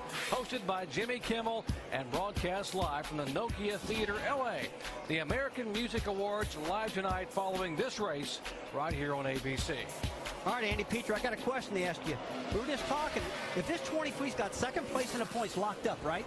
And these cars are, I mean, they're falling off almost two seconds because of tire wear. If he pitted right now, I know it's a gamble. How much time do you think he can pick up? And maybe if it goes green, he can win this race. This would be a good time for them to short pit and bring Jeff down pit road. Nothing to lose and a lot to gain. Just bring him down pit road. If it goes green, he'll wind up out front and uh, and have some track position on these guys. So it'd be worth the gamble. Yeah. If I was Steve Letarte, I'd throw, I'd just roll the dice right yeah, here. Roll the dice. Why not bring him in? And then uh, if it cycles through, you're at least going to lead a lap, and you may you may you may get lucky. So so what if it's a mistake? If it's a mistake, he's still got second to points locked up. But at least he can go for a win if he makes the major gamble, which a lot of these guys can't afford to do. That's a great idea. I didn't know drivers could think that. No, you thought that up. Oh. you thought that up. Andy Petree thought that up. I just want to let everybody know he did that. oh, you've heard that from a crew chief before. Well, when he said that, it got me all excited. I'm thinking, hey, that's pretty smart. Allen? Well, Rusty, it came out of your mouths just uh, about the same time. They were talking about it on Jeff Gordon's team radio. 15 away from a pit stop. We're going to have about 20 to go when you leave pit road. I'm going to give you that security back. I tell you what, we're plowing. We need to come early. That's what Jeff Gordon is saying from the car. He is falling back and losing spots. But again, the counterbalance on Steve Letarte's position is this. What if something happens to Jimmie Johnson in the late laps? That's what's holding him back for now. He's hesitating on pulling the trigger. And you know, agonizing call to make the short pit. It is agonizing, but this is the perfect time to do it. I haven't seen anybody or any reason to think this 48 is going to have any trouble. Just roll the dice. Try to make something happen here. You're not going to finish worse than second in the points, so why not gamble and go for it? Come on, Stevie. Bring him in. All right, Allen, go down there and tell him that our Andy Petree said pit now. yeah. And I, I know Rusty here's going to agree He's got with enough him. on his mind without me telling him what to do. really. okay. Yeah, he gets paid to make those calls. We'll see what's going to happen here. Now, Jeff Gordon, you heard talking about they were going to pit around lap 244 to 245, and that is uh, just about seven or eight laps away. Well, somebody heard you. I think the one car may be coming a little bit early. Here's Martin Truex Jr. in the one car. It was being shown back in the fourth position. He uh, damage on the right side from an earlier contact about lap 45. He comes down at 45 miles an hour to make his final stop. And this move right here could win in the race. if the rest of the guys stay in the track. Dave Burns. Martin Truex Jr. reporting now that that car is loose off the corner and uh, not that bad. So what they will do is make an air pressure adjustment for him and change four tires. Again, most of the way through the corner is just fine. It's just that last little second off the corner that it wants to get away from him. Two tire stop for the one team. Oh, Bono's rolling the dice here. Two tires, pitting early. It's probably going to tip the hand of some of these other guys, though. They're going to see this and they're going to, ah, they're gonna, I got to get on pit road. I don't want this guy to get too much time on me. Now it's going to put the uh, pressure back on Robbie Reiser with this 17 car. How, do, how long do I leave him out? Well, how long do you leave him out? Well, I'm going to pit him pretty quick. I, you know, I, I, don't want this guy to get much of a lead on me. I might let him, I'll watch him a lap or two, and then I'm coming down pit road. How about the guy who's won here the last three years in a row?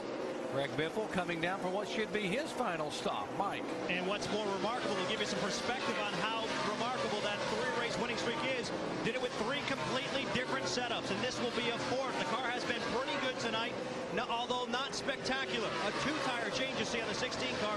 Looking for some track position here. 16 car Biffle coming out and the 24 crew we are told are climbing up on the wall so maybe uh, they are going to come in a little bit earlier than they had anticipated. There are the DuPont guys uh, for Jeff Gordon. They were talking about pitting. You heard Allen Bestwick say lap 244, 245. It's 241 right now. So maybe they're going to listen to their driver and say, let's get in there and uh, get some tires. Boy, look what fresh tires does, though. I mean, the one car is just shooting around that 24. Watch that acceleration gone. Boy, new tires. That's Mr. Feel Good right there when you get those babies time, on you. This time, this time, this time. Four, ten, four. I think he pitted too late, Andy. Yeah, he pitted too late to get the advantage. Now, the, the, move might be to get four tires and get even give up a little track position, but have better tires in case the caution does come out right after this, and then he'll have better tires than the other guys. I'd do something different. I wouldn't do what they're doing. That's what I'd do. I'd do four tires. I agree with you. Here comes a 24 car, which could possibly be the final pit stop of the year. Try to fill it up. And Steve Letarte watching his driver come down pit road here, getting ready to make this stop, talking about it on the radio to Jeff. Here he comes to his pit stall. Now, remember, they've run a full fuel load, so they're going to have to sit here and wait. If they choose to take four tires, they won't be here that much longer because they have to get the car, well, actually, they don't have to get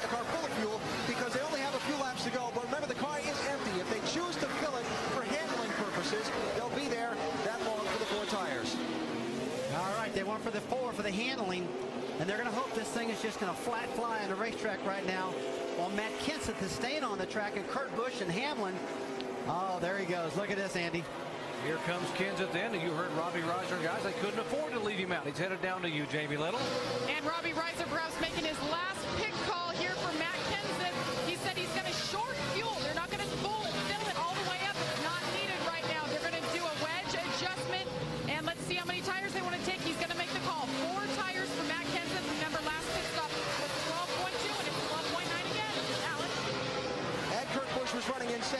when he came down pit road.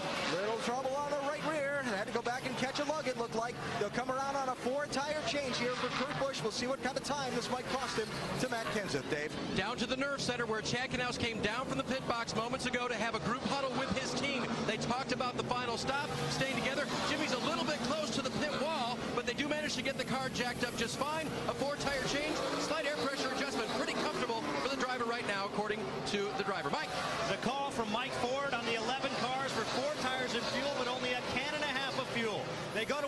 the left-hand side, making their service there. He's down and away.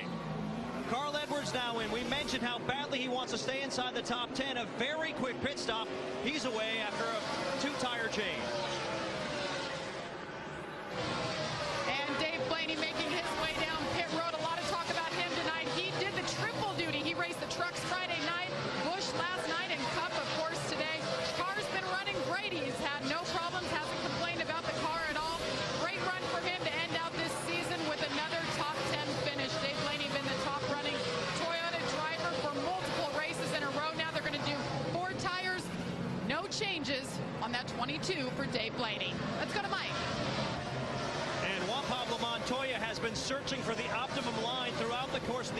Right now, he's been running the middle groove. Team looking for a four-tire change, no major adjustments, a slight air pressure adjustment on the left side. That's it for Juan Pablo Montoya. Montoya, 14.4 seconds, a good stop. Jamie? And Rookie of the Year contender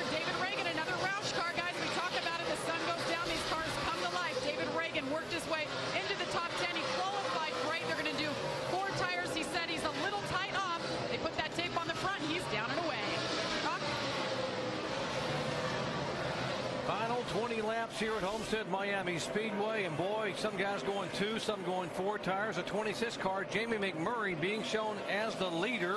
One of the final cars to make a pit stop. He will be the final car to cycle through on the pit road. That would make Martin Truex Jr. the leader, but Truex gets passed by Kenseth. And here comes McMurray down pit road at 45 miles an hour. And here's the battle up front. The one car, remember, took only two tires. The 17 of Kenseth took four tires. And the four tires does make a big difference. It's a big difference, but this one car's got that high line, and, and it's going to be difficult. He's making it difficult on Matt Kenseth. If Matt can get him cleared here, he'll be able to sail on, but yeah, looks like he's going to get him cleared here. You know, it looked like the one car actually pitted about six or eight laps early from when he needed to, but actually Matt Kenseth was due in at lap 245 and hit pit road at 244, so it was pretty well scheduled. Matt came in right when he needed to. Now he's got four tires. He's actually the best car on the racetrack in the best shape at the moment. Yeah, he's got the lead too, so that doesn't hurt him. Four tires full of gas and got the lead with 19 to go. Woo, that's feeling good right there. What about Gordon and Johnson, folks? They've been inseparable in the garage, inseparable on the racetrack and in the point standings, and uh, they are currently sixth and seventh. Jeff Gordon is sixth, and there's Jimmie in seventh spot. One position away, and the interval is 87 points. Right now in the standings, remember, uh, Jimmie Johnson led a lap, and Jeff Gordon has not. This thing's not going to be over to the checkered flag because if he blows up with one lap to go, he's still in trouble. I mean, he has just got to keep pedaling. Actually, if he blows up with two laps to go, he's in trouble. With one lap to go, he can probably, yeah, he's, he's in good shape because there's only uh, 16 cars on the lead lap. And Jerry, what was it? 19th or better, no matter what Jeff Gordon does, he can lock it up. Now that's if Gordon wins. And, and led the most laps. Now it's 21st because Gordon can't lead the most laps. So obviously Jimmie Johnson would like to finish 21st or better in the running in seventh spot. 17 laps to go. Season finale, Homestead Miami Speedway. What a dominant performance by Matt Kenseth, who has led eight times for 197 laps. One win this year for Kenseth, that coming early in the year at California, where he swept both the NASCAR Busch Series and Cup races in the same weekend. And I tell you, that car, Matt Kenseth, that is one good-looking car. I like that black and yellow under Andy. Hey, what's that remind you of? Black and yellow, old Miller car I used to see running around. That old number two Miller car, I like that color. I like the way that thing's handling too. Look at that car. I mean, it's just been the nose has been on the ground all night long. Matt has been able to maneuver this thing anywhere on the racetrack. It's not over yet, but I'll tell you, he's got a good car tonight. Well, coming up later tonight, 10 o'clock Eastern time on E ESPN, NASCAR Now. We'll close out our season coverage. Updates you on all that happened here in this season finale for the NASCAR Craftsman Truck Series and NASCAR Craftsman uh, NASCAR Nextel Cup Series. And of course, uh, we'll update all the things and how the points broke down and who's going on the stage in New York and more on the championship celebration. 10 o'clock Eastern time, NASCAR Now. We're going to have plenty of post-race coverage here too when this race is over. Caution, Tony Stewart, issues on the racetrack with the 20 car. Whoa, man, he's hit this far. He's hit hard here. Tore the whole back end off of it, the left side. Here, see if we can fix it now. Here, see if you can fix it now. Obviously, he's probably pretty upset with the way it was handling. He's really upset now. Tony Stewart, seventh caution flag. We got to put more tires on this thing. Greg Zipadelli. And Doc, I was just about to say, I saw the 07 car, Clint Bowyer, come down pit road with another problem, and maybe Tony Stewart could have caught him, but now it's not going to happen because they both had the same problem on the same lap. So we see what happened to Stewart, top of your screen. The car just by himself just spins backwards and tags the wall, and then slams it with the left front. And you never see Tony Stewart eh, hardly ever losing a car. He's one of the best drivers out here, especially with a loose car, so this thing had to be Yeah, you got to think really he was dealing loose. with some kind of an issue there because that car just snapped around on him. Okay, what are these guys going to do here? I can hear the frustration in Tony Stewart's voice. Uh, what do you what do you do if you're uh, Kenseth? These guys that have pitted, you don't need uh, you don't need to do much. Do you, do you gamble if you're one of the guys on the back part of the lead? Yeah, oh, sure, absolutely. Come on in and get some tires, but uh, Matt's going to stay out here and kind of looks like he's going to make it make a play for this, and the guy's going to follow him. He's pretty well got to stay out, Andy. I mean, with Yeah, he's got 13 four to go. I mean, he is so fast right now. It's incredible. I'm Surprised that some more of these guys didn't try to come down pit road and get tired. Yeah, right now, Mark Truex is thinking, I wish I'd have put four instead of two on this thing, but he was going for it. Very few takers among the lead cars. Working caution for the seventh time. Just 13 laps to go here in the 2007 season.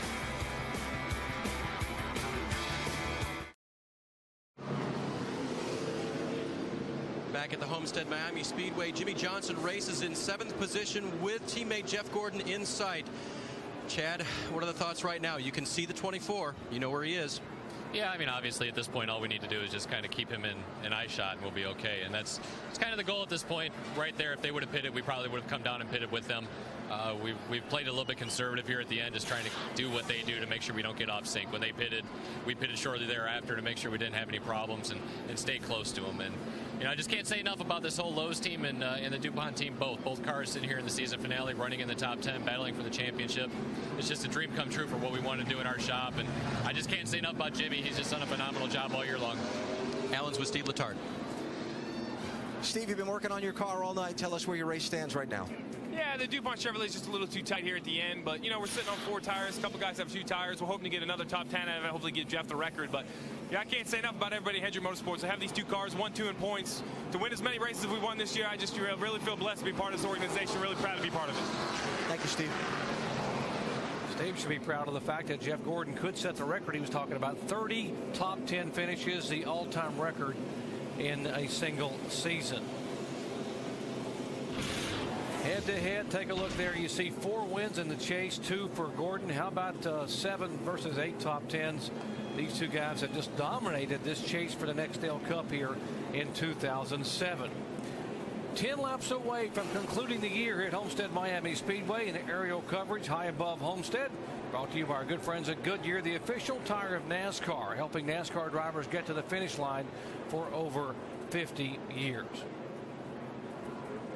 How about the Allstate Good Hands move? Now, how many times has Jeff Burton dodged bullets here during this race afternoon? Cars up on the racetrack, a cut tire early on, and they're just able to get underneath Tony Stewart on the most recent caution flag on lap 253.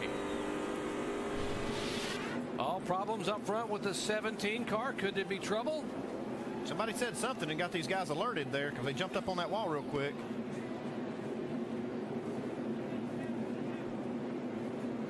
Pace car off the racetrack. Kenseth, remember we told you that he had a battery issue. Does he have the voltage? He's worried about some brake fluid.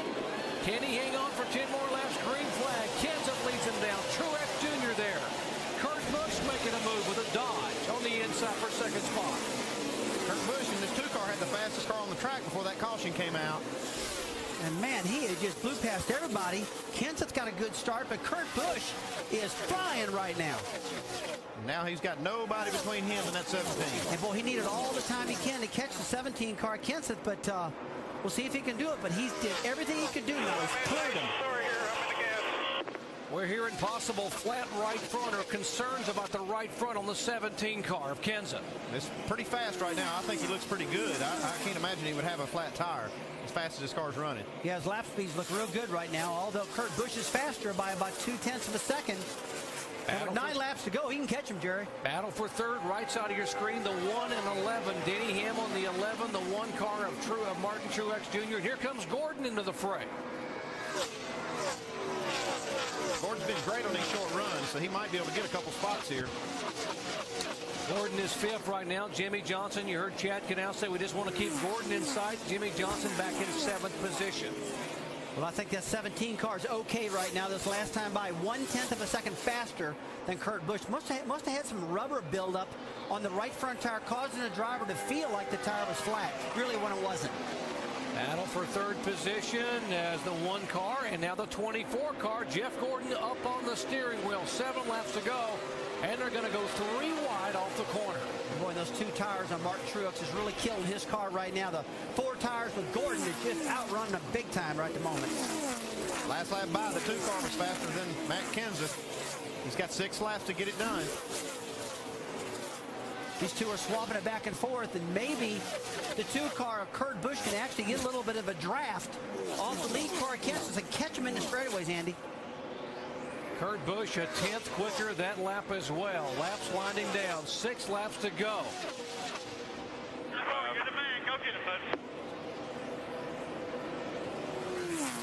Got to be nervous as Kenseth has been all night long, leading this race with now Kurt Busch chasing him down.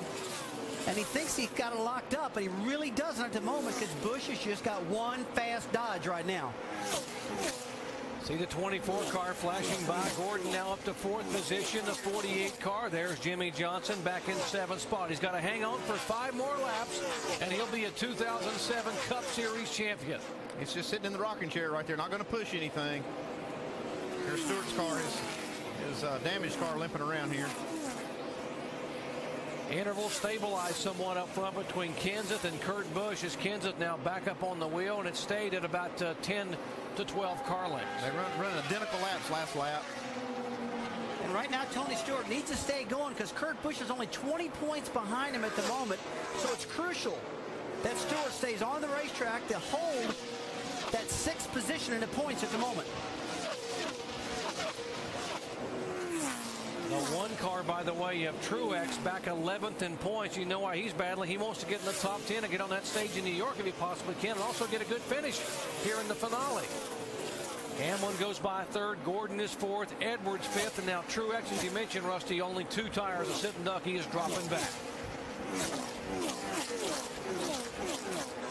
John, Johnson's trying to get past Truex on the bottom of the racetrack right now. He's been running the middle to the top. Now he's dead on the bottom. He's just going to take advantage. He's not going to push it. He's not going to push it. He's just two laps away from the championship. Only thing that could ruin it here would be to push too hard and wreck the car. So we, watched, we watched him all year long, Andy. I think he's going to go for it. What do you think? I mean, he's on that bottom. He'll take it if it's there, but he's not going to push the issue. Wasn't going to back into a championship. You see wife Shanny sitting there at right side uh, watching, not wanting, really wanting to watch. Chandra, Jimmie's wife, watching and hoping and probably wondering about all the discussions they've had the last few weeks. All right, white flag, last lap, guys. It's been a long year. Jimmie Johnson in seventh position, trying to battle to get in the sixth spot. Up front, Matt Kenseth, dominant performance by the Wisconsin driver in the final ride with Robbie Reiser, his longtime friend and crew chief atop the box. Reiser will bid farewell and become general manager at Roush Fenway. But what a way to go out as Kenseth comes out of turn four and Matt Kenseth will win the season finale at Homestead Miami Speedway.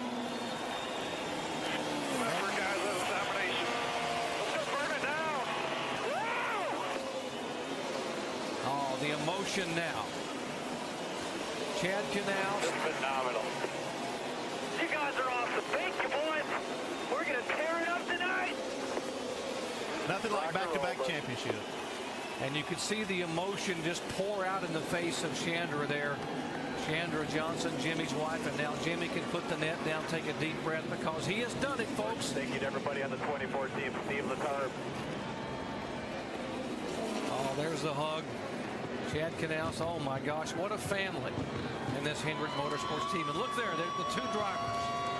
86 point lead, but you never know until it's completely over and it's finally done. Guys, you're off. Ah, there you go. Chad Knaus, thank you everyone. Fantastic. What about Rick Hendrick? He's got to be loving it right now.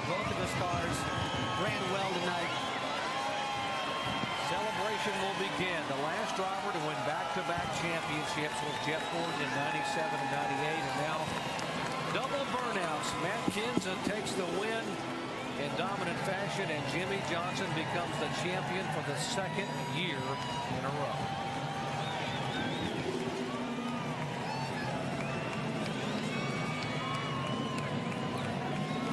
Crew Chief Steve Letarte, Chad Knaus said, oh, Jimmie's dad, what a big smile there. Proud can they be hugging his daughter-in-law?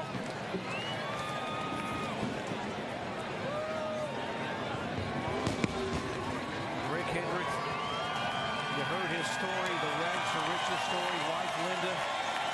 And kids oh, make just a blown the engine in the race-winning car, but he doesn't care. He celebrates, and there's the championship flag for Jimmie Johnson. He began the day on the pole in the final race of the year, and he ends the night as the series NASCAR Nextel Cup champion. Let's go down to Dave Burns. Chad Knaus getting the probably the, the hug from the man who appreciates it most, Rick Hendrick, car owner. Chad, last year was an accomplishment for the whole 48 team, actually for the whole organization. What does it mean to repeat?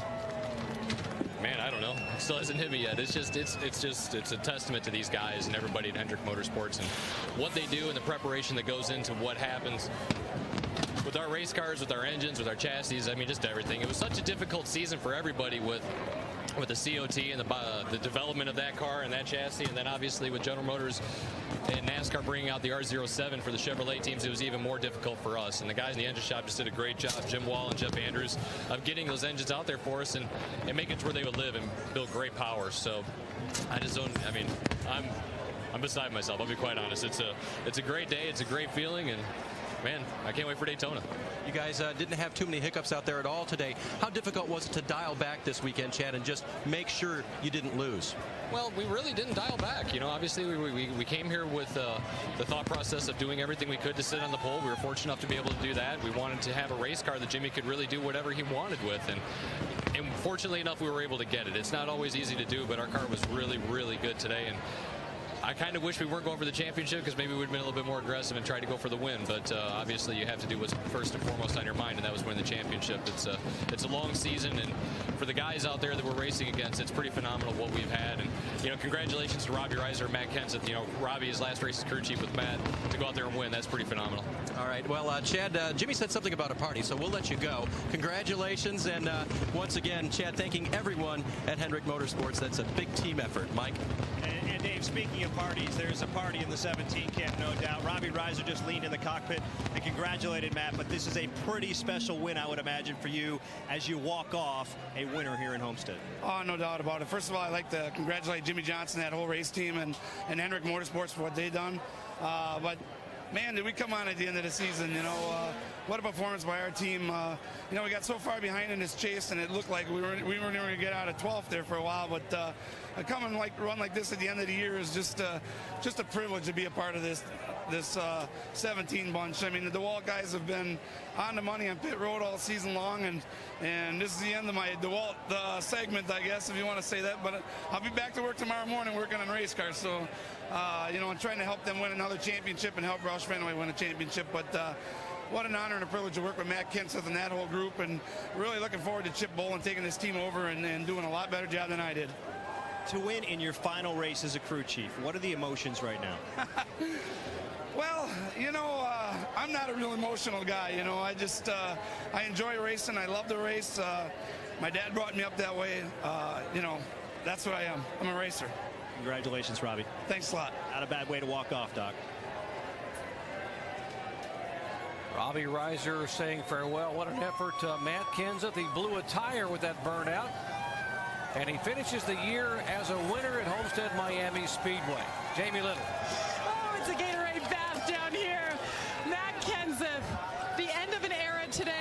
traditional car. This win, you go out with this win and the last win with your crew chief. What does this win mean to you, Matt? It means we're getting wet right now, but uh, uh, it's a great feeling. I just uh, feel like I really let these guys down. We uh, lost a lot of close races this year, so um, feels great to win a, win one, win a close one. Congratulations to Jimmie and Rick Hendrick and them guys. And uh, really want to thank DeWalt Car, USG, uh, Renai, RNL Trucking, RNL Carriers, and uh, all our sponsors that make this happen. This is an awesome ride today. Talk about that last restart. You came over the radio and scared your entire team thinking something was wrong with the car. I used to pull that one on Robbie all the time. You know, they say I got a big imagination, but I really did think it. You know, whenever you're leading, you always think that. But uh, I must have got a big piece of uh, uh, debris on the right front tire and started shaking a little bit. And as soon as I got to one, it, it rubbed off. So uh, it was a pretty dominating day. It was pretty fun.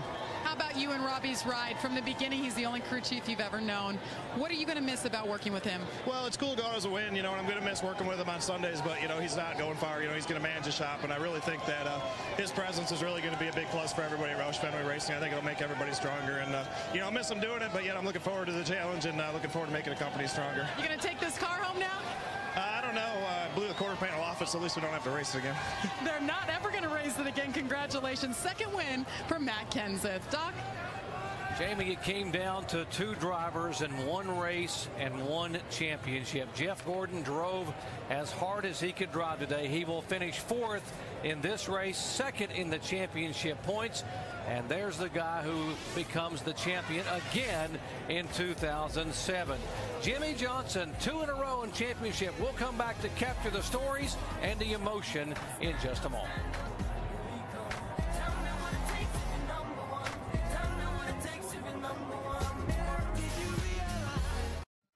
Back at Homestead Miami Speedway, let the celebration begin for Jimmie Johnson and the Hendrick Motorsports team. They're the Lowe's team, Chad Knaus Company, as they have won back-to-back -back Cup Series championships.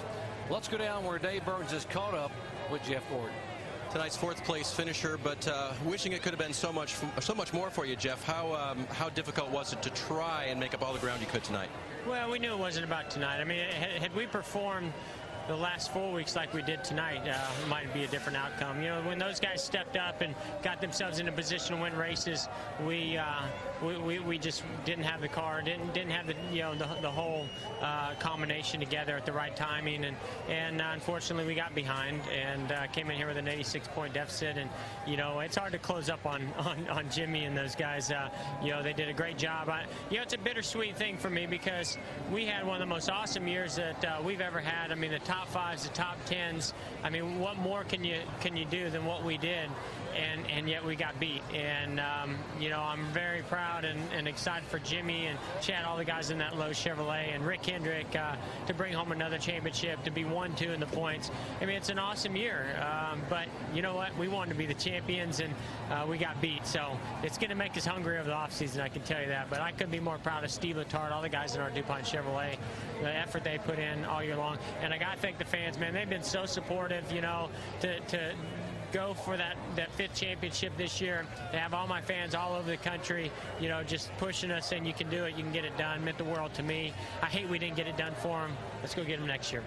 Jeff, if you could, I want you to play out just a little bit the commentary on the competitiveness in this chase. This finish will give you an average finish of under five for the chase, and yet the 48 team with the same cars under the same roof and a lot of friendship and uh, and notes shared, frankly, between you two went out and beat you. Is that does that make it tough?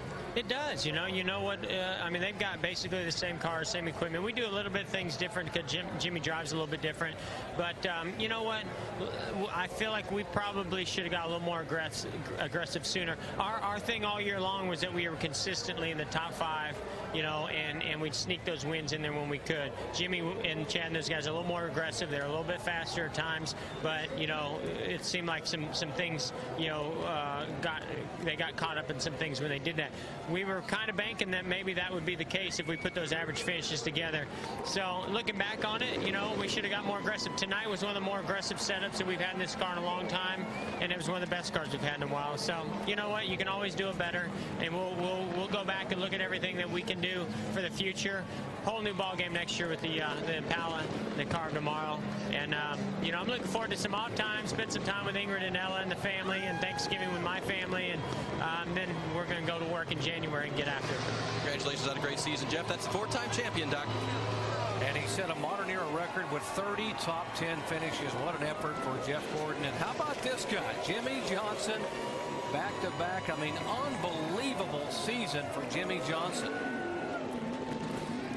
And the flag is in the cars. He does the donuts and the celebrations. And uh, he did what he had to do. Four consecutive wins in a row coming into here with an 86-point lead. And he will win this title by 77 points, by the way, the largest margin in the four-year history of the chase. You know, he can finally breathe now. He told me this morning, man, Rusty, I just want to breathe. I'm so tense. And now he can do it so much pressure. There's so much joy now. Jamie pulls up in front of the championship stage, and uh, finally his wife comes over to give him a big hug. And let's go down to Allen Bestwick in the championship ceremony. Here he comes, the champion.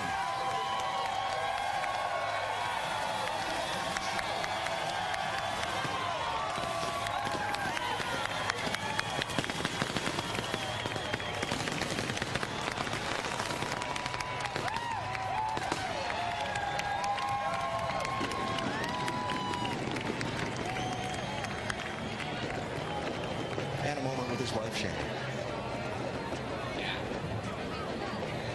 Congratulations, the champion again. Last year when you got out of the car, yeah, set that down. It's probably a little heavy after a 400 mile race.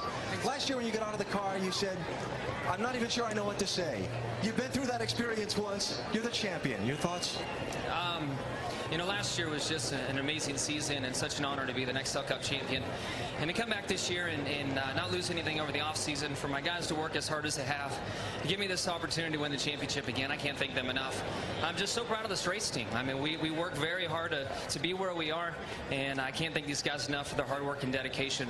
Uh, I can't thank NASCAR enough, Nextel, and uh, first and foremost, Lowe's and all their employee owners for everything they do for us. Um, it's just, uh, it's such a special time for me. I can't believe uh, everything, all the success that I've been able to experience. I've been so blessed, and um, it's just awesome stuff. I see that smile. Just wanted to break out really big. The race tonight, you were up front for a while, then you got mired back in traffic a little bit. Was this a nerve-wracking race, or did you have more than you were using? Um, there's probably a little bit more, but I don't think I had anything to win the race tonight. Uh, there's a couple times where we took four tires where some guys took two. Uh, we got trapped down a lap, which wasn't any fun, but we were able to get a quick caution right away and get back going again. So, um, you know, just uh, a, long night, but I have to say, after what I experienced last year, coming into this season and even this this night, uh, just went so much smoother for me. Um, I was in the right right frame of mind, could focus on the right things. Uh, had the great support from these crew guys, great support from my loving wife, and uh, everything came together. We're rocking. Four wins in this championship in the last five races. How did this team get on such a roll? We're not really sure, but we're not. We don't really care either. we're just happy it happened. Um, it's just been a, an unbelievable roll. These races are always good for us at the end. Um, we stayed focused on the right things and got the job done. And you know, I can't go without also thanking Jeff Gordon for his, um, you know, the time that he spent uh, researching me, looking into me as a driver, uh, being a great friend and a great teammate. And I think everybody saw the, the relationship play out through the chase. He's just an awesome guy. I got to thank Rick Hendrick um, as well for believing in me. And even Ricky Hendrick, he's not here with us any longer, but I know he did a lot behind the scenes for me with his dad. I want to talk about racing, your teammates, people that work in the same building your guys do, prepare the same cars that you do. You guys talked all through, you were asked a lot of questions about how difficult that was. Now tell us, how difficult was it racing those guys you look at every day right next door? You know, it was difficult, but we knew what we were up against, and we were up against the best in the business. And uh, to have a heads-up race like this against those guys, it's everything we dreamt of having, having in that 24-48 shop. And uh, we got it. We finished one, two in points. I know Mr. Hendrick smiling ear to ear, and uh, you know we did all that we could as, a, as the 24-48 shop could. It just was you know the 48th year this year, and uh, hopefully we come back next year and can do it again. Back-to-back -back championships. It's okay if you want to scream. Uh, it's crazy. I don't even know what to think. Uh, it's crazy, and this man right here is uh, the reason why. Here's the team owner, Rick Hendrick, his wife Linda behind him as well.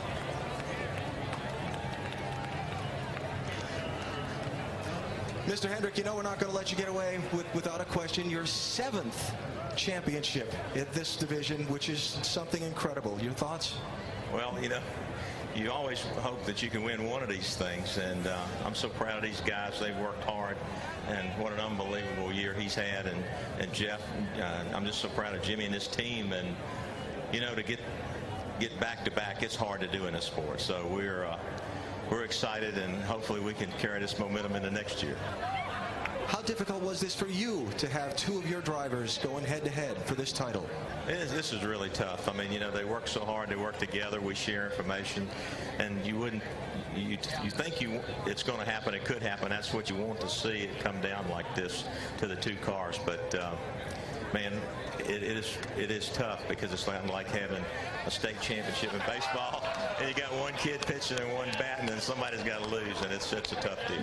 You came very close to getting very wet there, but they missed you. My last question for you would be, what does the owner get out of winning? What does the owner get out, out of a championship? You're not behind the wheel.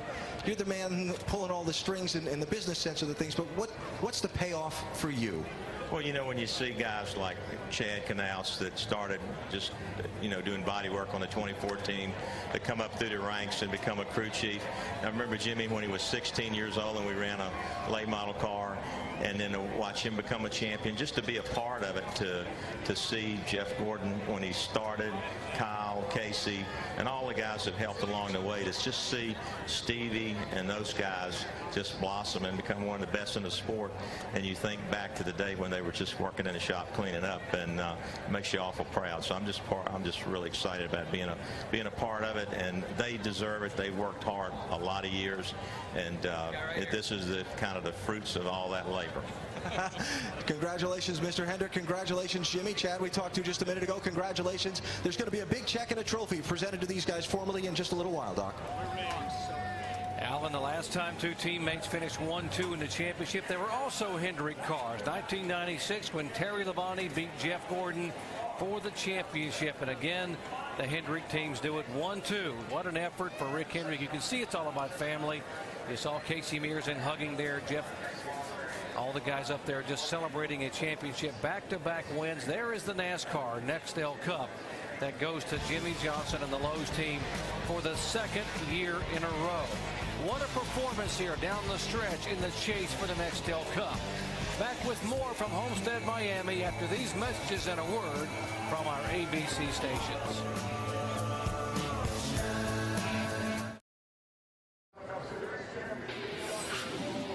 The biggest music stars on the planet come together with live performances by Rascal Flatts, Maroon 5, Lenny Kravitz, Fergie, Rihanna, and more. For the first time ever, your votes will decide who wins. Hosted by Jimmy Kimmel and broadcast live from the Nokia Theater, LA. It's the American Music Awards live tonight, coming up following our coverage here at Homestead, Miami on ABC. Championship celebration ongoing, and here is winner's circle victory lane, Matt Kenseth. But what a performance down the stretch for Kenseth. Five consecutive top five finishes, including the win here.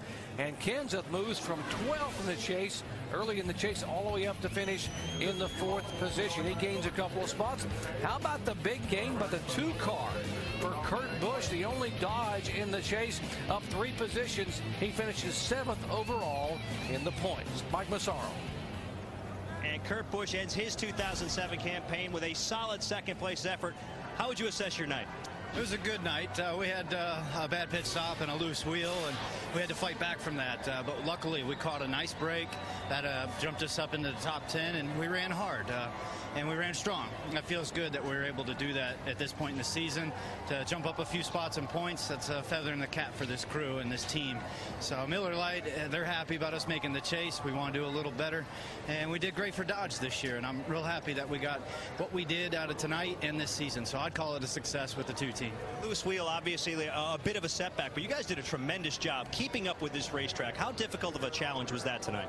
Yeah, we had been losing track of the track, um, you know, midway through the race, getting real loose and just trying to make big adjustments. And when you're trying to tighten up a car, it just makes it a little slow to start. And at least we made Kenseth earn his win today. That was great to race with him. And, you know, we just got beat all year by the Hendrick cars, uh, time in and time out. So they deserve to finish up where they did. With the season now in your rearview mirror, give me some perspective on how you thought 2007 went. This was a great season for me to fit in with Penske and this team, uh, to be able to bring Miller to the chase and to be the only Dodge in the chase. We, we felt like that was a, a, big success. And so we'll look back on this year as a good transitional year, and, and hopefully this will propel us into some success in 2008. Uh, we're, we're excited. We can't get ready to go. You've been here before. You've hoisted the championship trophy and celebrated here in Homestead. When you look at what Hendrick Motorsports accomplished this year, the 48 and 24 in particular, what were your thoughts on the way this championship played out with those two guys? I felt like they had an advantage with the COT. Uh, the team that jumped on it right away was going to be tough to beat, and they had that. And so that's what our team has to do better is uh, figure out the COT and, and work at finishing consistent. Uh, both Jimmie and Jeff posted some top tens that were phenomenal. I think they only finished out of the top 10 a handful of times. It's tough to beat that type of dominance. Reminded me of Gordon's season back in 1998 when he dominated, and then to see Jimmie uh, win all these races here at the end. Uh, he's the outright champion, back to back-to-back. Congratulations to those guys and Mr. Hendrick. He's got it going on, and maybe Dale Earnhardt Jr. now. He's got that team. He can put it together. Congratulations on another very solid season. Thank you. Appreciate it, guys. Kurt Busch bringing it home second here at Homestead. Yeah, very nice job for Kurt Busch finishing second uh, in the race, finishing seventh in the point standings. When we return, we'll go back to the championship stage for some very special presentations. Jimmie Johnson and the Lowe's team back-to-back NASCAR Nextel Cup champion.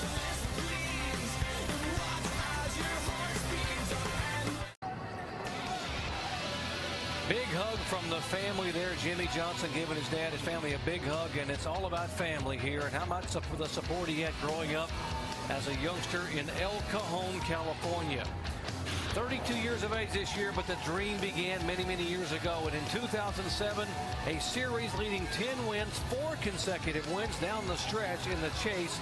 And for the second consecutive year, he becomes a champion in just his sixth full season. Let's go back down to the championship stage and Allen Bestwick.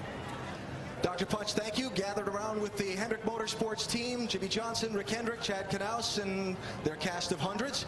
And time now for the formal presentation of the Nextel Cup Championship Trophy. I introduce the Chairman and Chief Executive Officer of NASCAR, Mr. Brian France. Thank you, Allen. On behalf of the best fans in sports, not only here in South Florida, but all over the country, are NASCAR fans, and they witnessed a dominant performance, maybe as dominant as we've seen in the modern era. Jimmie is a great champion now. He'll remain a great champion for 08. We're real proud of you. Let me give this trophy to you right now.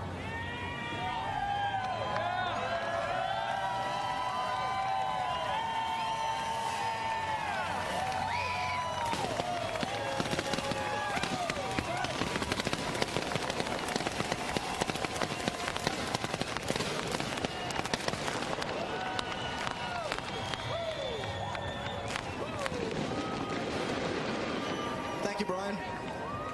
I'm going to step a second, Jimmie, because we're on a short microphone cord, and introduce Tim Kelly, the Chief Marketing Officer from Sprint Nextel, who has a, a rather large check for you. I do. Uh, Jimmie, congratulations. Congratulations to Rick Hendrick and the Lowe's team. Back-to-back championships. Absolutely amazing. Everyone at Sprint Nextel is so happy to have you as the uh, champion of our series and I'd like to present you with a check for $6.7 million.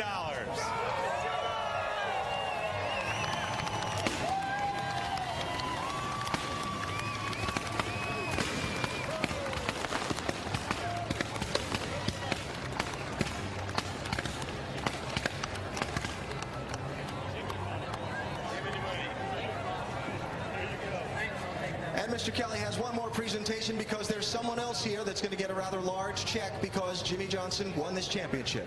We have more money to give away, Jimmie, and you'll be happy to know that Terry Randall of Las Vegas, Nevada, selected you as her driver in the Sprint Speed Millions contest. And today, Terry's with us, and she's receiving a check for $1 million. Come on out here, Terry. Let me step back here.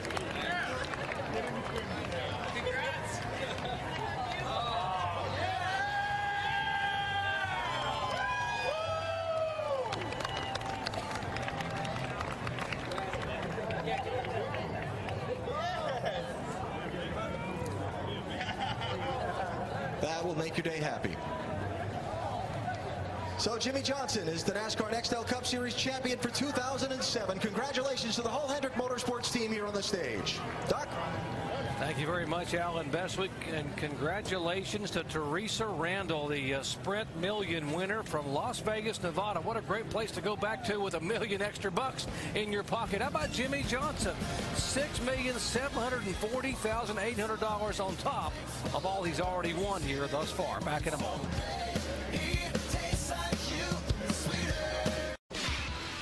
ESPN's coverage of NASCAR Nextel Cup Series Ford 400 on ABC. Brought to you by the new 2008 Focus. Zales, the perfect gift at Zales, the diamond store. And Shell, made to move.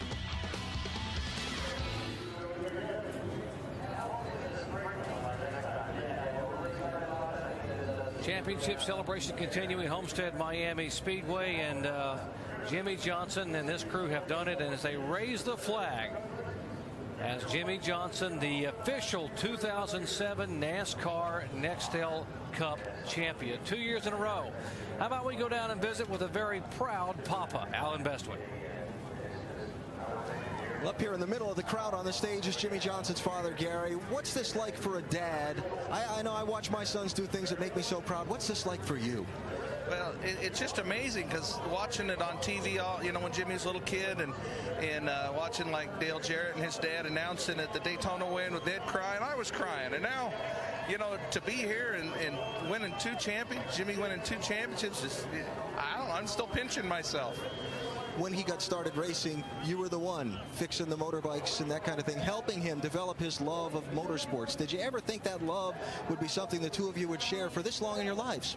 Yeah, no, it, it's amazing, and uh, I'm still pinching myself. Like I said because it just keeps going and going, and uh, he keeps getting better and better, and through motorcycles, jet skis, everything. We raced everything, and for him, the career path he took to get here was very odd, you know, because we raced everything. But we all did it as a family, and there's a lot of love, and uh, just had a great time doing it. Where'd you watch the race from, and how nerve-wracking was it? I got Grandma with me here, so we uh, we watched it in the coach in the infield, and then we come back out here. wasn't as nerve-wracking as last year. Not quite as bad. Congratulations to you. I hope you enjoy the uh, the championship and the success your son has had. Thank you very much. Grandma, congratulations to you too. Thank you. We planned it this way. there you go. Uh, grandmas always know best. Uh, proud uh, Gary Johnson, Jimmie's dad, down there celebrating as with all the team. And a little bit ago, we saw uh, Jimmie's teammate, Casey Mears, up there to congratulate everyone. And how about Jeff Gordon coming out to celebrate with uh, with the guy he chased all year long, his protege. And he, Jimmie talked about how this team would not be where it was if it wasn't for Jeff Gordon's unselfishness when the team started up and how much input he has given this team to help them get up and running. Remember, it was in Jeff Gordon's sixth year. And as a driver, he won back to back titles. And this year, in Jimmie Johnson's sixth year, he indeed has won back to back titles. And uh, Jeff Gordon going to come out and celebrate with Jimmie Johnson and the crew with what a great championship season they have had. All the way back out from the garage area, you see him headed back up there toward the stage. I'm sure he wants to go out and be able to give Rick Hendrick and, and Jimmie. I mean, this is a team that shared so much throughout the year, on and off the racetrack. Yesterday in the garage area, Jimmie Johnson was talking about, I wouldn't be where I am if it weren't for Jeff Gordon. Jeff really believed in him. Put his heart and soul into him. They share everything. They've taught each other a whole lot. Jeff's been a big part of this championship with Jimmie Johnson. Jeff congratulating Chad Knaus, and you see the sincerity and the big smile. And when you got a four-time Cup champion coming up to say, "Yeah, you guys did a great job," that's got to make you awfully proud. Well, it just so it goes to show you how much of a team they are. Andy, it's just a great feeling for Chad Knaus and everybody. This is great for Chad winning back-to-back. I know the sense of pride he's got for this race team. Let's go down to Allen Bestwick. You know, Doc, there was a point earlier this season where Chad Knaus was not able to come to the racetrack. He was under suspension from NASCAR, and Ron Malec filled in as the crew chief. He had a big hand in this championship. He's been with Jimmie Johnson through his entire oval track racing career. What's this like for you to be part of your best friend winning two straight championships?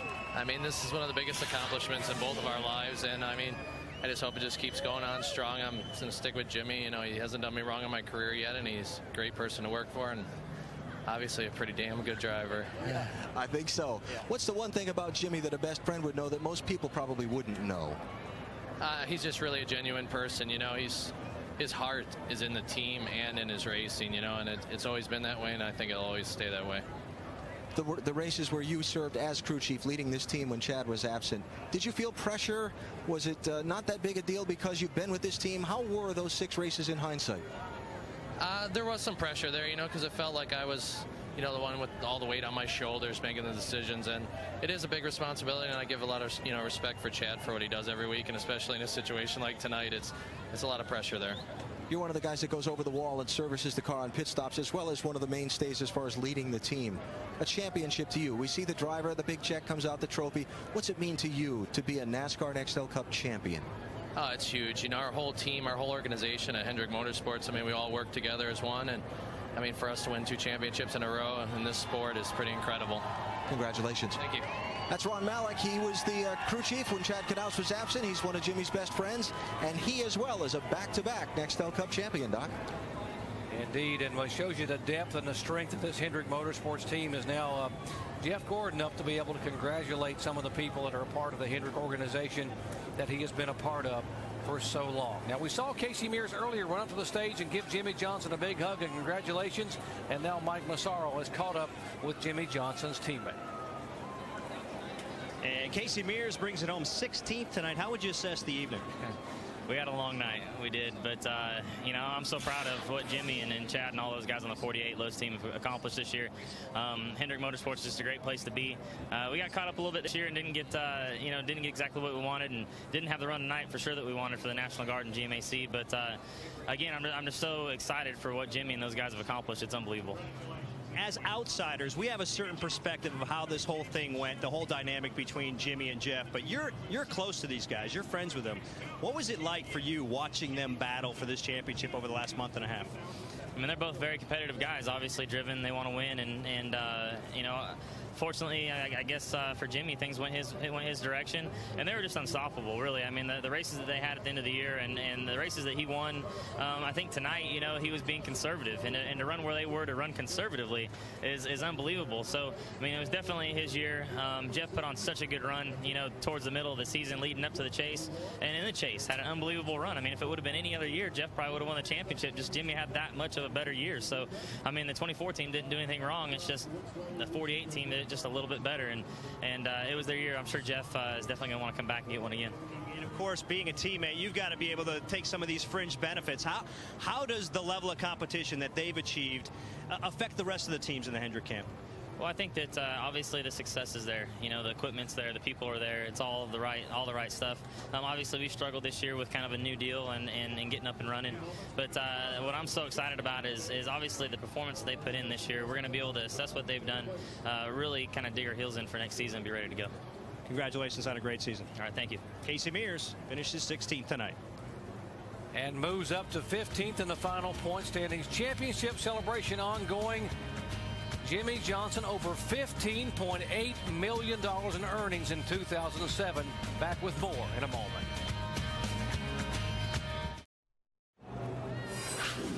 Coming up next, the American Music Awards live from the Nokia Theater LA. Live performances by Rascal Flatts, Maroon 5, Lenny Kravitz, Fergie, Rihanna, and much more. And guys, former champions in your own right, how would you put it into perspective the kind of performance we saw this year for Jimmie Johnson and his whole team? Jim, er, Doc, I've never seen domination like this in a long, long time. Johnson, this guy is for real. He's here to stay and he's going to be proud because this man's amazing. And it moves Chad Knaus up a notch in my book. He's a great crew chief, and what a great night for Robbie Reiser, his last race with Matt Kenseth. And Brent Musburger, this may go down as one of the all-time most dominant performances in Nextel Cup history. Jimmie Johnson back-to-back -back championships. Yeah, exactly, Dr. Jerry Punch. You know, the NASCAR season, ladies and gentlemen, is a marathon. And I want to congratulate all the announcers and a wonderful group of technicians here at ESPN who, for that 36 period of time, have brought you this amazing coverage.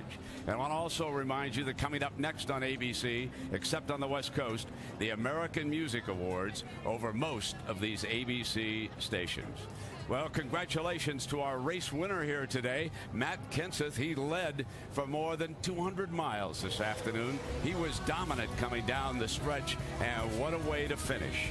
And then, of course, our Nextel Cup champion, back-to-back -back champions, if you will, because he came home with the flag again. Jimmie Johnson with Chad Knaus and that wonderful group of people up there in the pits. And folks, what a year it's been.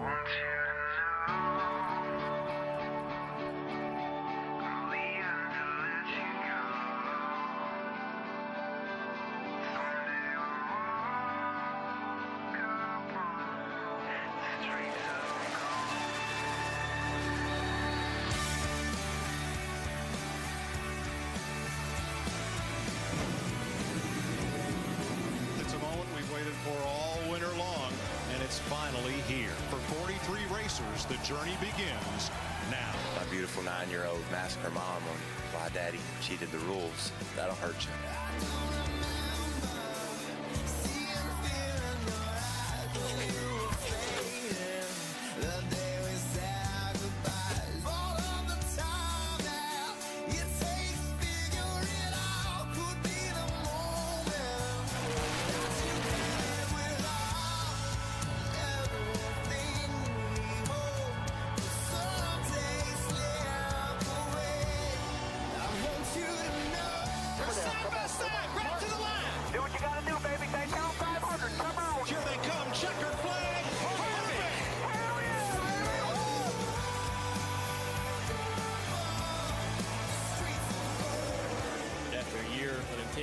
Negotiations and intense effort, we decided that it was time for us to move on. My new boss, 2008, Mr. Rick Hendrick. Casey Mears is going to win his first Nextel Cup race. Juan Pablo Montoya wins at Sonoma. Martin Truex wins the Autism Speaks 400. We got some sad news. Bill France Jr. has passed away. We remember the man who made NASCAR what it is today. I'm gonna find you again. Just I just don't know what we're going to do now that we don't have him. love can die. But I know what he wants us to do, exactly what we're doing here today.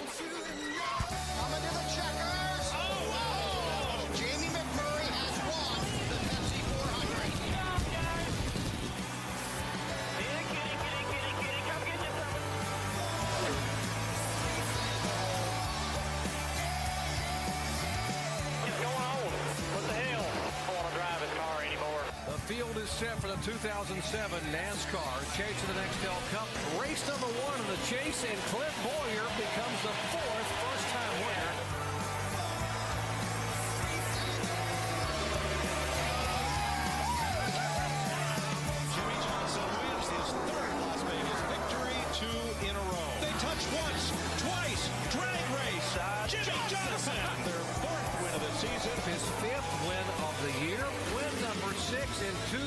You never see it too easy, brother. In victory lane for the second time this season here at the Atlanta Motor Speedway. Ninth win of the year, four